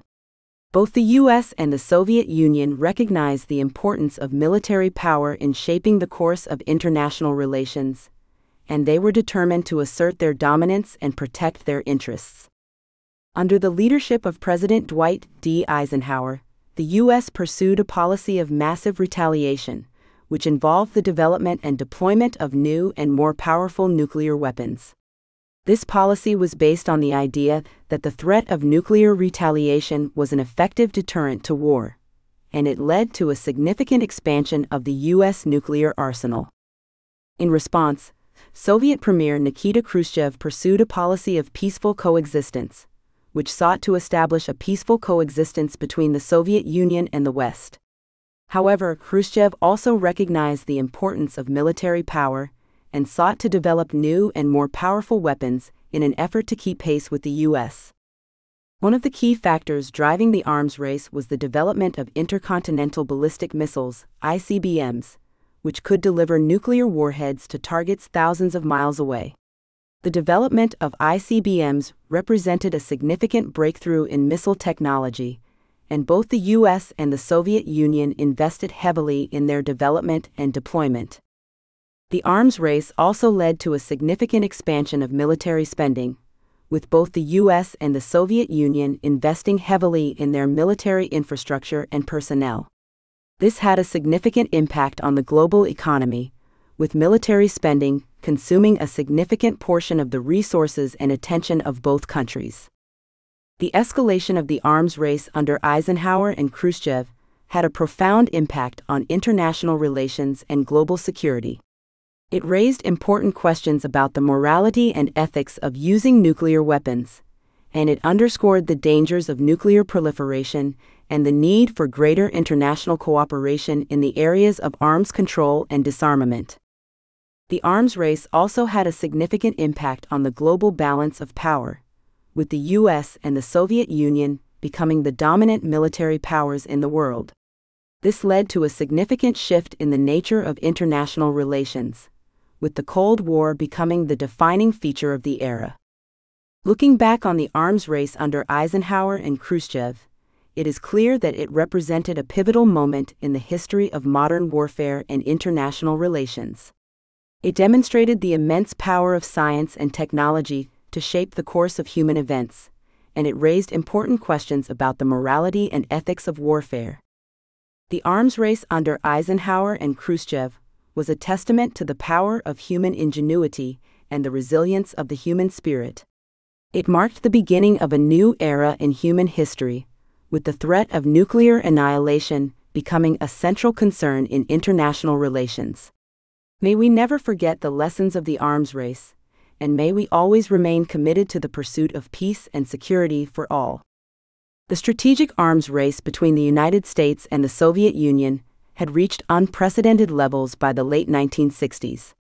Both countries had developed a vast arsenal of nuclear weapons, and the potential for catastrophic destruction was greater than ever before. In response to this escalating arms race, the United States and the Soviet Union embarked on a series of negotiations aimed at limiting the growth of their nuclear arsenals. These negotiations, known as the Strategic Arms Limitation Talks, SALT I and II, were a critical element in the effort to prevent nuclear war and to promote international stability. The SALT I negotiations were held in the early 1970s and resulted in a number of agreements between the United States and the Soviet Union aimed at limiting the growth of their nuclear arsenals. The SALT I agreements included a treaty limiting the development and deployment of anti ballistic missile ABM systems, as well as an agreement limiting the number of intercontinental ballistic missiles ICBMs and submarine launched ballistic missiles SLBMs that each country could possess. The SALT I agreements also established a framework for future arms control negotiations, including the development of the Comprehensive Test Ban Treaty, CTBT. The SALT I negotiations were a significant achievement in the effort to limit the growth of nuclear arsenals and to promote international stability. The agreements reached during the negotiations were a testament to the power of diplomacy and the value of finding peaceful solutions to conflicts. However, the SALT I agreements were not without their limitations and did not completely resolve the nuclear arms race between the United States and the Soviet Union. The SALT II negotiations were held in the late 1970s and were aimed at further limiting the growth of the United States and Soviet nuclear arsenals. The SALT II agreements included a treaty limiting the number of strategic offensive arms that each country could possess, including ICBMs, SLBMs, and heavy bombers. The SALT II agreements also established a framework for future arms control negotiations, including the development of the Intermediate Range Nuclear Forces Treaty, INF. The SALT II negotiations were a significant achievement in the effort to limit the growth of nuclear arsenals and to promote international stability. The agreements reached during the negotiations were a testament to the power of diplomacy and the value of finding peaceful solutions to conflicts. However, the SALT II agreements were not without their limitations and were not fully implemented due to political tensions and Cold War competition between the United States and the Soviet Union. The strategic arms limitation talks were a critical element in the effort to prevent nuclear war and to promote international stability. The negotiations were a testament to the power of diplomacy and the value of finding peaceful solutions to conflicts. The SALT I and II agreements were significant achievements and helped to limit the growth of the United States and Soviet nuclear arsenals. However, the SALT agreements were not without their limitations and did not completely resolve the nuclear arms race between the two superpowers. The legacy of the SALT negotiations continues to shape the world today and serves as a reminder of the importance of arms control and disarmament in the effort to promote international peace and stability. The Nuclear Test Ban Treaty, signed in 1963, was a landmark agreement between the United States, the Soviet Union, and the United Kingdom that represented a significant step forward in the pursuit of international peace and security. The treaty banned the testing of nuclear weapons in the atmosphere, in space, and underwater and it marked a significant milestone in the efforts to curb the spread of nuclear weapons and reduce the risk of nuclear war. The Nuclear Test Ban Treaty was the result of years of negotiations and diplomatic efforts, and it represented a significant achievement for both the U.S. and the Soviet Union. The treaty was a major victory for those who had been advocating for nuclear disarmament and arms control, and it served as a model for future efforts to reduce the threat of nuclear war. The treaty was signed at a time when the Cold War was at its peak, and the threat of nuclear war was a constant source of anxiety for people around the world. The signing of the treaty represented a turning point in the history of international relations, and it marked a significant shift in the way that countries thought about the use of nuclear weapons. The Nuclear Test Ban Treaty had a significant impact on the course of international relations and global security. It demonstrated the importance of diplomacy and negotiation in resolving conflicts, and it underscored the dangers of nuclear proliferation and the need for greater international cooperation in the areas of arms control and disarmament. The treaty also had a significant impact on the scientific and technological communities, with the ban on nuclear testing forcing scientists to find new and innovative ways to monitor the safety and reliability of nuclear weapons. This led to significant advancements in the fields of seismology, geophysics, and other related disciplines. Looking back on the Nuclear Test Ban Treaty, it is clear that it represented a pivotal moment in the history of modern warfare and international relations. It demonstrated the power of diplomacy and negotiation in resolving conflicts, and it underscored the importance of international cooperation in the pursuit of peace and security. The Nuclear Test Ban Treaty was a triumph of reason over fear, and it marked a significant step forward in the pursuit of international peace and security. May we never forget the lessons of this treaty, and may we always remain committed to the pursuit of disarmament, arms control, and the common good. In the late 1960s, the United States and the Soviet Union were engaged in an escalating arms race. The two superpowers had developed vast arsenals of nuclear weapons, and the potential for catastrophic destruction was greater than ever before. In an effort to limit the growth of their nuclear arsenals, the United States and the Soviet Union embarked on a series of negotiations aimed at promoting arms control and disarmament. One of the key agreements to come out of these negotiations was the Anti Ballistic Missile ABM Treaty, which was signed in 1972. The ABM Treaty was a landmark agreement that limited the development and deployment of anti ballistic missile systems. The treaty was designed to prevent either the United States or the Soviet Union from developing a system that could completely protect them from a nuclear attack, as such a system would upset the delicate balance of power between the two superpowers and could lead to a new arms race. The ABM Treaty was a significant achievement in the effort to promote arms control and disarmament. The treaty was a testament to the power of diplomacy and the value of finding peaceful solutions to conflicts. The ABM Treaty helped to limit the growth of nuclear arsenals and to promote international stability. The ABM Treaty was a complex agreement that set out a number of limitations on the development and deployment of anti ballistic missile systems. The treaty limited each country to a single ABM site, which was designed to protect their capital city. The treaty also limited the number of interceptor missiles that each country could possess, and prohibited the development of new types of ABM systems. The ABM Treaty was met with a mixed reaction in the United States and the Soviet Union. In the United States, some military officials argued that the treaty limited their ability to defend against a potential nuclear attack. However, supporters of the treaty argued that it was necessary to prevent a new arms race and to promote international stability. The ABM Treaty remained in effect for over 30 years and was seen as a key element in the effort to prevent nuclear war and to promote international peace and stability. However, in the early 2000s, the United States announced its intention to withdraw from the treaty, citing the need to develop a missile defense system to protect against potential threats from rogue states. The decision to withdraw from the ABM treaty was met with criticism from some quarters, who argued that it could lead to a new arms race and undermine the international system of arms control and disarmament. In summary, the Anti Ballistic Missile Treaty was a landmark agreement that limited the development and deployment of anti ballistic missile systems. The treaty was a significant achievement in the effort to promote arms control and disarmament, and helped to limit the growth of nuclear arsenals and to promote international stability. The ABM Treaty was a complex agreement that set out a number of limitations on the development and deployment of ABM systems, and was met with a mixed reaction in the United States and the Soviet Union. The legacy of the ABM Treaty continues to shape the world today, and serves as a reminder of the importance of arms control and disarmament in the effort to promote international peace and stability. The Strategic Defense Initiative, SDI, also known as Star Wars, was a proposed missile defense system that was put forward by President Ronald Reagan in 1983.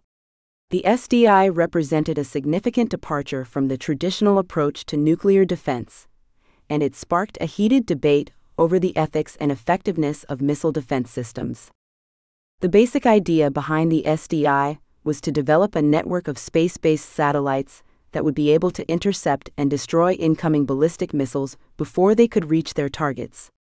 This represented a significant departure from the traditional approach to nuclear defense, which focused on deterrence and retaliation rather than active defense.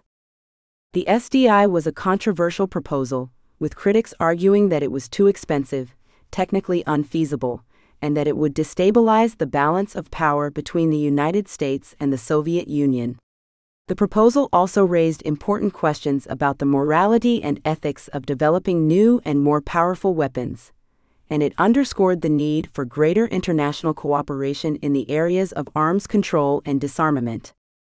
The SDI was developed at a time when the Cold War was still a major source of tension and anxiety around the world. The threat of nuclear war was a constant source of concern, and the proposed missile defense system was seen by some as a way to mitigate that threat. However, the SDI was also seen by many as a dangerous and potentially destabilizing development. Critics argued that it would encourage an arms race between the US and the Soviet Union, and that it would lead to an escalation in military spending that could have devastating consequences for the global economy. The SDI represented a significant departure from the traditional approach to nuclear defense and it marked a turning point in the history of international relations. It underscored the importance of new and innovative approaches to disarmament and arms control, and it raised important questions about the ethics and morality of using new and more powerful weapons. Ultimately, the SDI was not fully implemented, and it remains a controversial and divisive issue to this day. The debate over the proposal underscored the importance of international cooperation and diplomacy in resolving conflicts and reducing the risk of nuclear war. Looking back on the SDI, it is clear that it represented a pivotal moment in the history of modern warfare and international relations. It demonstrated the power of new and innovative approaches to defense and security, and it raised important questions about the role of technology and ethics in shaping the course of human events. The Strategic Defense Initiative was a symbol of the tensions and anxieties of the Cold War era. It represented a significant departure from the traditional approach to nuclear defense, and it raised important questions about the ethics and morality of using new and more powerful weapons. May we never forget the lessons of the SDI, and may we always remain committed to the pursuit of disarmament, arms control, and the common good. The nuclear arms race between the United States and the Soviet Union was one of the defining features of the Cold War. The two superpowers had developed vast arsenals of nuclear weapons, and the potential for catastrophic destruction was greater than ever before. However, by the 1980s, the arms race had begun to wind down, as both the United States and the Soviet Union began to recognize the dangers of nuclear war and the need for arms control and disarmament. The end of the arms race was a complex process that involved a number of negotiations and agreements between the United States and the Soviet Union. The Strategic Arms Reduction Treaty, START, was a key agreement that was signed in 1991 and was designed to limit the number of nuclear weapons possessed by each country. The START agreement was a significant achievement in the effort to promote arms control and disarmament, and helped to reduce tensions between the two superpowers. The end of the arms race had a number of significant implications for the world. One of the key implications was the reduction in the risk of nuclear war. With the arms race winding down, the potential for a catastrophic nuclear conflict between the United States and the Soviet Union was greatly reduced. This helped to promote international peace and stability, and paved the way for a new era of cooperation between the two superpowers. The end of the arms race also had significant implications for the United States and the Soviet Union. With the arms race winding down, both countries were able to shift their focus away from military spending and towards other areas, such as economic development and social programs. This helped to improve the standard of living for people in both countries and helped to promote greater stability and security. However, the end of the arms race was not without its challenges. In the aftermath of the Cold War, the world faced new threats and challenges, including terrorism and the proliferation of weapons of mass destruction. The end of the arms race did not eliminate the threat of nuclear war entirely, and the risk of a catastrophic conflict between nuclear armed states remains a concern today. The end of the arms race also had significant implications for the international system of arms control and disarmament. With the end of the Cold War, the United States and the Soviet Union were no longer the only nuclear armed states in the world. This led to new challenges in the effort to promote arms control and disarmament, as new nuclear armed states emerged, such as India, Pakistan, and North Korea. In summary, the end of the arms race between the United States and the Soviet Union was a significant achievement in the effort to promote arms control and disarmament. The end of the arms race helped to reduce the risk of nuclear war and promote international peace and stability. However, the end of the arms race was not without its challenges, and the world still faces new threats and challenges in the effort to promote arms control and disarmament. The legacy of the arms race continues to shape the world today and serves as a reminder of the dangers of nuclear weapons and the importance of finding peaceful solutions to conflicts. The end of the arms race also serves as a testament to the power of diplomacy and the value of finding peaceful solutions to conflicts.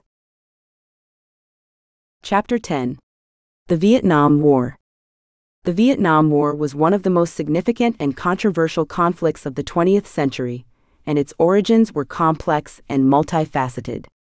The war was fought between the Communist government of North Vietnam and the government of South Vietnam, which was supported by the United States and other Western powers. The origins of the Vietnam War can be traced back to the end of World War II, when the Vietnamese people began their struggle for independence from French colonial rule. The struggle was led by Ho Chi Minh, a communist leader who had spent many years in exile in Europe and Asia. Ho Chi Minh was a charismatic leader who inspired a generation of Vietnamese to fight for their freedom.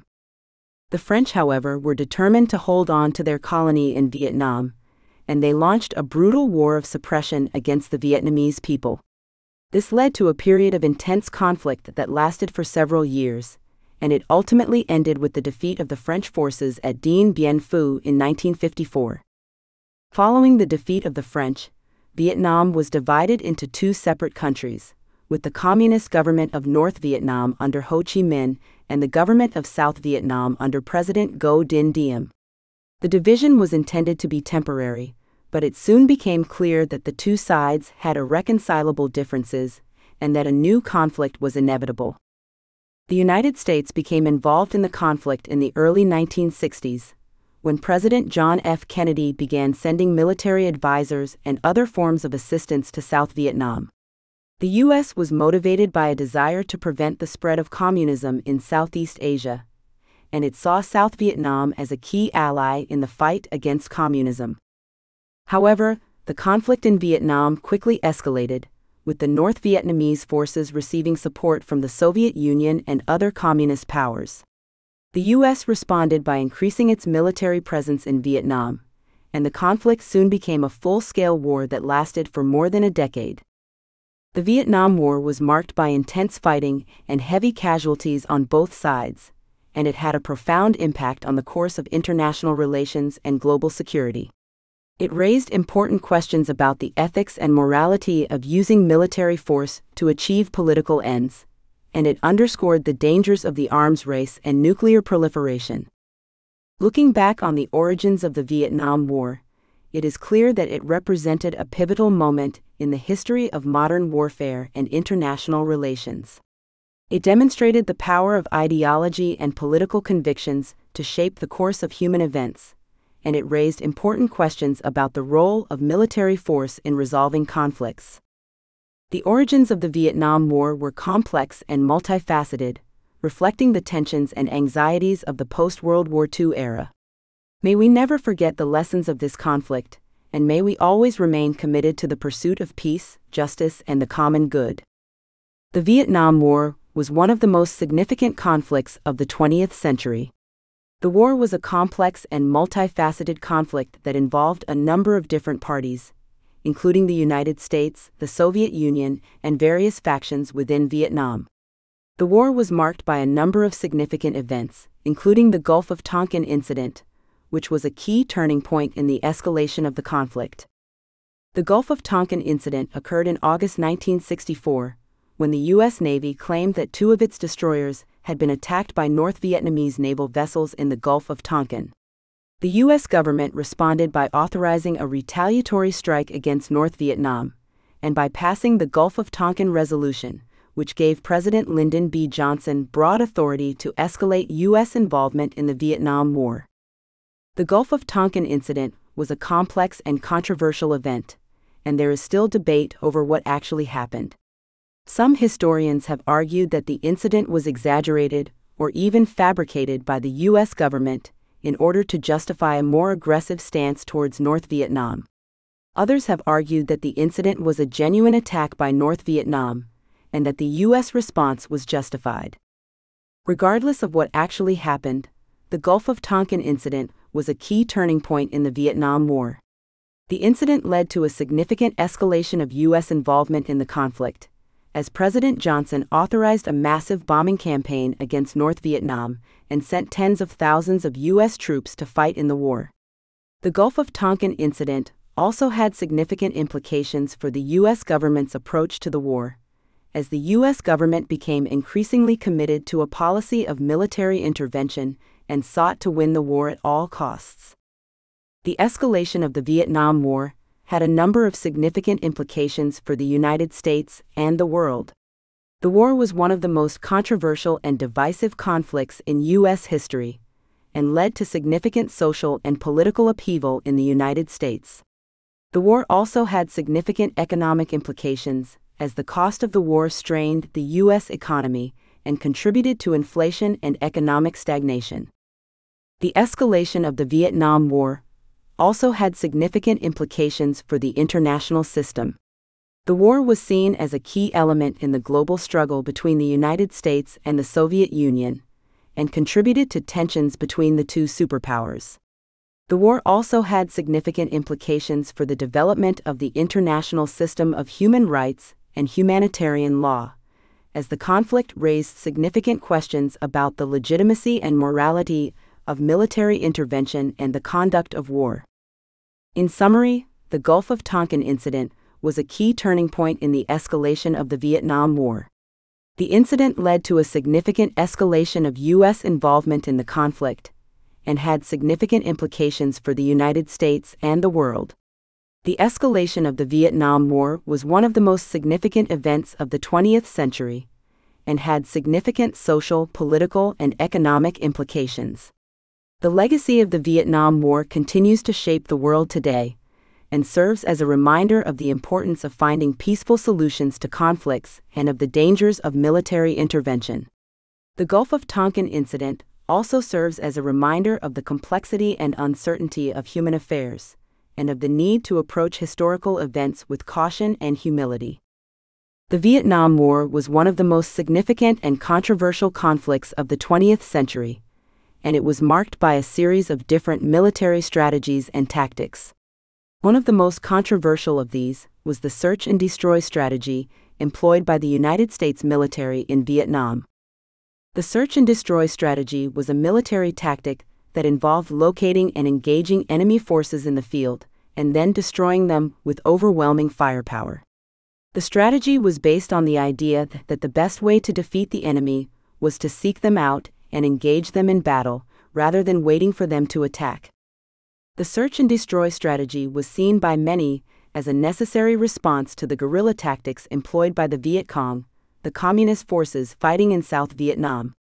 The Viet Cong were known for their hit and run attacks and their ability to blend in with the local population, making it difficult for U.S. forces to identify and engage them.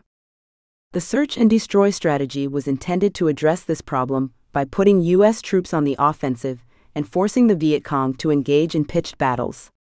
The strategy involved large scale operations that often involved significant civilian casualties, and it was criticized by many for its brutality and its failure to achieve its strategic objectives. The search and destroy strategy was also criticized for its impact on the morale of U.S. troops, many of whom found themselves caught up in a brutal and seemingly endless conflict. The strategy was seen by many as an example of the over reliance on military force in Vietnam, and it raised important questions about the ethics and morality of using military force to achieve political ends.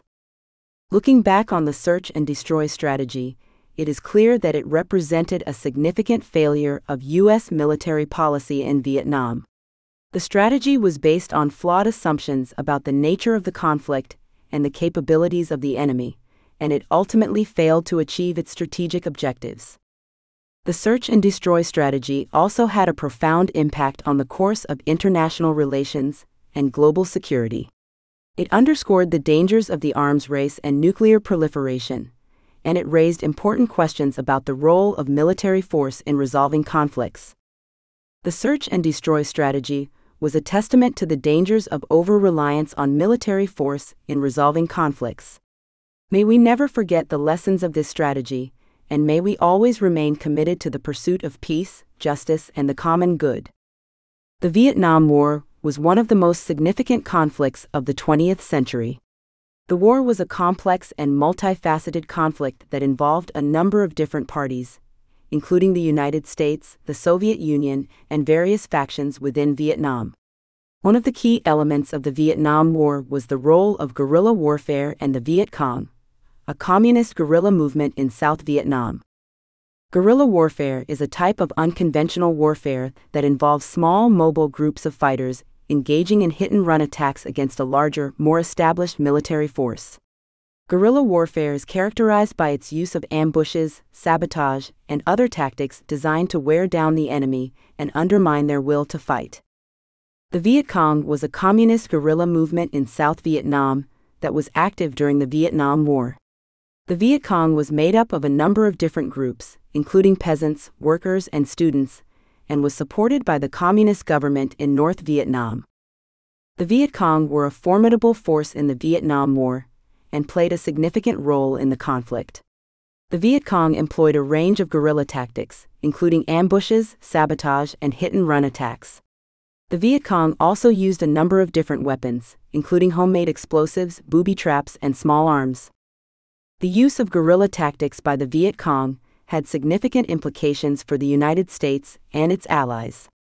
The U.S. military was not equipped to deal with guerrilla warfare, and the tactics used by the Viet Cong were effective at disrupting U.S. operations and undermining the U.S. military's morale.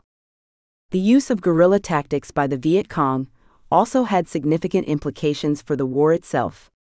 The Viet Cong's use of guerrilla tactics helped to prolong the conflict, as the U.S. military was unable to defeat the Viet Cong on the battlefield. The Viet Cong's tactics also had significant psychological effects, as they helped to erode support for the war in the United States and around the world. Despite the effectiveness of the Viet Cong's tactics, the movement was not without its weaknesses. The Viet Cong relied heavily on support from the civilian population, and their actions sometimes alienated the very people they were trying to win over. The Viet Cong also suffered from a lack of resources and were often outgunned by the U.S. military. In summary, the role of guerrilla warfare and the Viet Cong was a key element of the Vietnam War. The Viet Cong's use of guerrilla tactics had significant implications for the war and for the United States and its allies. The Viet Cong's tactics helped to prolong the conflict and erode support for the war, and underscored the difficulties of waging a conventional war against a guerrilla movement. The legacy of the Viet Cong's guerrilla tactics continues to shape the world today and serves as a reminder of the importance of understanding the complexities of modern warfare. The Viet Cong's tactics also serve as a testament to the power of unconventional warfare and the ability of small, mobile groups of fighters to challenge established military forces. The Tet Offensive was a major military campaign launched by the North Vietnamese and the Viet Cong in 1968 during the Vietnam War.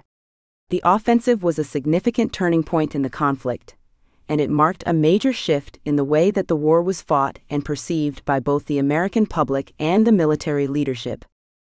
The Tet Offensive was launched on January 30, 1968, and it involved a coordinated attack on multiple targets across South Vietnam, including cities and military bases. The offensive was a surprise to the U.S. military and the South Vietnamese government, who had believed that the Viet Cong were too weak to launch such a large scale attack. The Tet Offensive was a major military success for the North Vietnamese and the Viet Cong, who were able to seize control of a number of key targets and hold them for a significant period of time. The offensive demonstrated the resilience and determination of the Communist forces, and it raised important questions about the effectiveness of U.S. military strategy and tactics. The Tet Offensive also had a significant impact on the course of the war and the way that it was perceived by both the American public and the military leadership. The offensive was a major blow to the morale of U.S. troops, many of whom were disillusioned by the scale of the attack and the inability of the U.S. military to prevent it. The Tet Offensive also marked a significant turning point in the way that the war was fought, with both sides recognizing the importance of political and psychological factors in shaping the course of the conflict. The offensive demonstrated the power of propaganda and the ability of the Viet Cong to mobilize popular support, and it underscored the importance of winning the hearts and minds of the Vietnamese people. Looking back on the Tet Offensive, it is clear that it represented a significant turning point in the history of the Vietnam War. It demonstrated the resilience and determination of the Communist forces, and it raised important questions about the effectiveness of U.S. military strategy and tactics. The Tet Offensive also had a significant impact on the course of international relations and global security. It underscored the dangers of the arms race and nuclear proliferation, and it raised important questions about the morality and ethics of using military force to achieve political ends. The Tet Offensive was a turning point in the Vietnam War, marking the beginning of a new era in the conflict and raising important questions about the ethics and morality of using military force to achieve political ends. May we never forget the lessons of the Tet Offensive, and may we always remain committed to the pursuit of peace, justice, and the common good. The Vietnam War was one of the most controversial and divisive conflicts in U.S. history. The war was marked by significant social and political upheaval, as many Americans opposed the conflict and the U.S. government's approach to the war.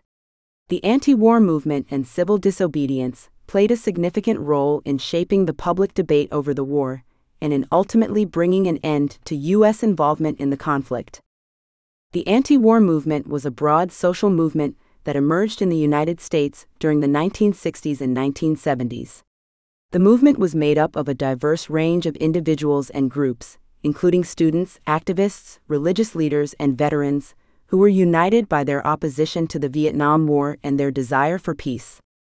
The anti war movement was a significant force in shaping public opinion about the war.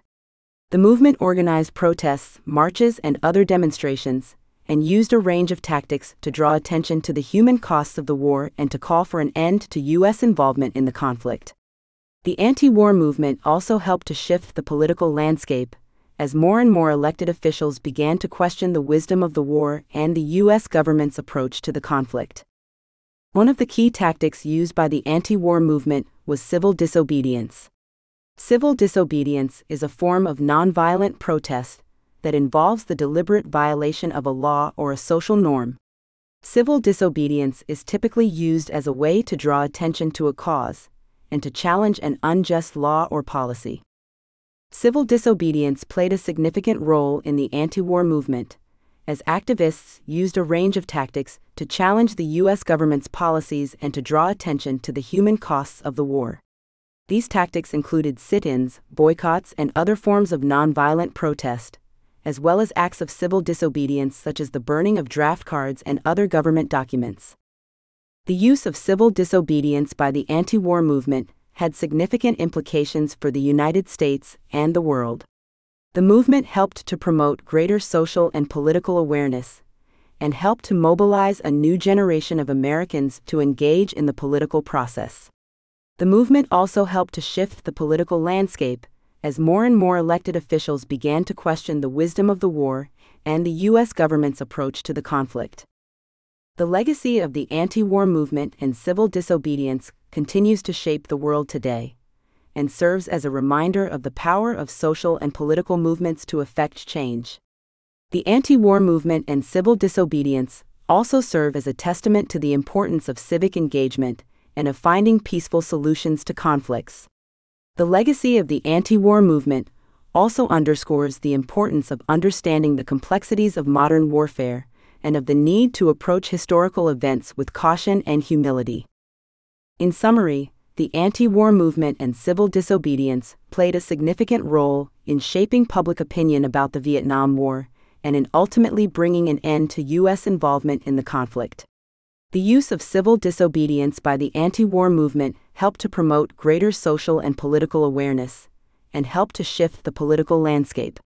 The legacy of the anti war movement and civil disobedience continues to shape the world today and serves as a reminder of the importance of social and political movements in effecting change and of the need to approach historical events with caution and humility. The secret bombing of Cambodia and Laos was a covert military operation conducted by the United States during the Vietnam War. The operation was aimed at disrupting the movement of communist forces and supplies along the Ho Chi Minh Trail, a network of roads and trails that ran through Cambodia and Laos and into South Vietnam. The bombing campaign began in 1965 and continued until 1973, and it involved a series of airstrikes that targeted both military and civilian targets in Cambodia and Laos. The campaign was conducted in secret, and it was not widely known to the American public or the international community. The secret bombing of Cambodia and Laos was a controversial operation that raised important questions about the ethics and morality of using military force to achieve political ends. The campaign was criticized by many for its indiscriminate nature and its impact on civilian populations. The bombing campaign also had a significant impact on the course of the Vietnam War, with many arguing that it had the unintended consequence of strengthening the communist forces and prolonging the conflict. The bombing campaign also had a profound impact on the people of Cambodia and Laos, who suffered significant loss of life and damage to their infrastructure as a result of the airstrikes. The secret bombing of Cambodia and Laos underscored the dangers of covert military operations and the need for greater transparency and accountability in the conduct of military policy. It raised important questions about the role of the United States in international affairs and the ethical implications of using military force to achieve political ends. Looking back on the secret bombing of Cambodia and Laos, it is clear that it represented a significant failure of U.S. military policy in the Vietnam War. The campaign demonstrated the dangers of over reliance on military force in resolving conflicts, and it underscored the importance of diplomacy and negotiation in resolving disputes. The secret bombing of Cambodia and Laos was a dark chapter in the history of the Vietnam War, underscoring the dangers of using military force to achieve political ends. May we never forget the lessons of this campaign, and may we always remain committed to the pursuit of peace, justice, and the common good. The Vietnam War was marked by significant atrocities, including the My Lai massacre, which was one of the most notorious incidents of the conflict. The My Lai massacre was a horrific incident in which U.S. soldiers killed more than 500 Vietnamese civilians, including women, children, and elderly people, in the village of My Lai in March 1968. The incident had significant implications for the war and for the United States, and underscored the dangers of military intervention and the need to hold soldiers accountable for their actions.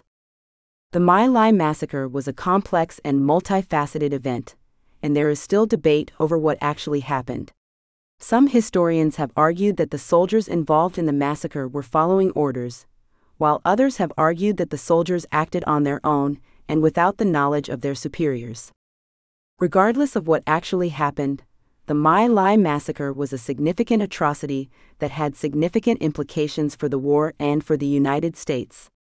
The massacre led to widespread condemnation of the U.S. military and the U.S. government's approach to the war, and undermined support for the war among the American public. The My Lai massacre also had significant implications for the international system of human rights and humanitarian law. The massacre was a clear violation of the principles of the Geneva Conventions and other international agreements, and underscored the need for greater accountability and transparency in the conduct of military operations. The My Lai massacre also helped to shape the discourse around war crimes and the need to hold soldiers accountable for their actions. The massacre led to a number of investigations and trials, and helped to establish a framework for holding soldiers accountable for war crimes and other violations of international law.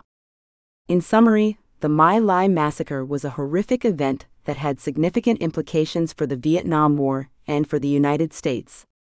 The massacre underscored the dangers of military intervention and the need to hold soldiers accountable for their actions. The My Lai massacre also had significant implications for the international system of human rights and humanitarian law, and helped to shape the discourse around war crimes and the need to establish a framework for holding soldiers accountable for their actions. The legacy of the My Lai massacre continues to shape the world today and serves as a reminder of the importance of finding peaceful solutions to conflicts and of the need to approach historical events with caution and humility. The Paris Peace Accords were a series of agreements signed in 1973 that marked the end of the Vietnam War. The agreements were negotiated between the United States, the government of South Vietnam, and the Communist forces of North Vietnam, and they were aimed at bringing an end to the conflict and establishing a framework for peace in the region. The Paris Peace Accords represented a significant turning point in the history of the Vietnam War, and they marked the beginning of a new era in the conflict. The agreements were the result of intense negotiations and diplomacy, and they represented a significant victory for those who had long advocated for a peaceful resolution to the conflict. The Paris Peace Accords were based on a number of key principles, including a ceasefire agreement, the withdrawal of U.S. troops from Vietnam, and the establishment of a provisional government in South Vietnam. The agreements also called for the release of prisoners of war and the implementation of a political solution to the conflict.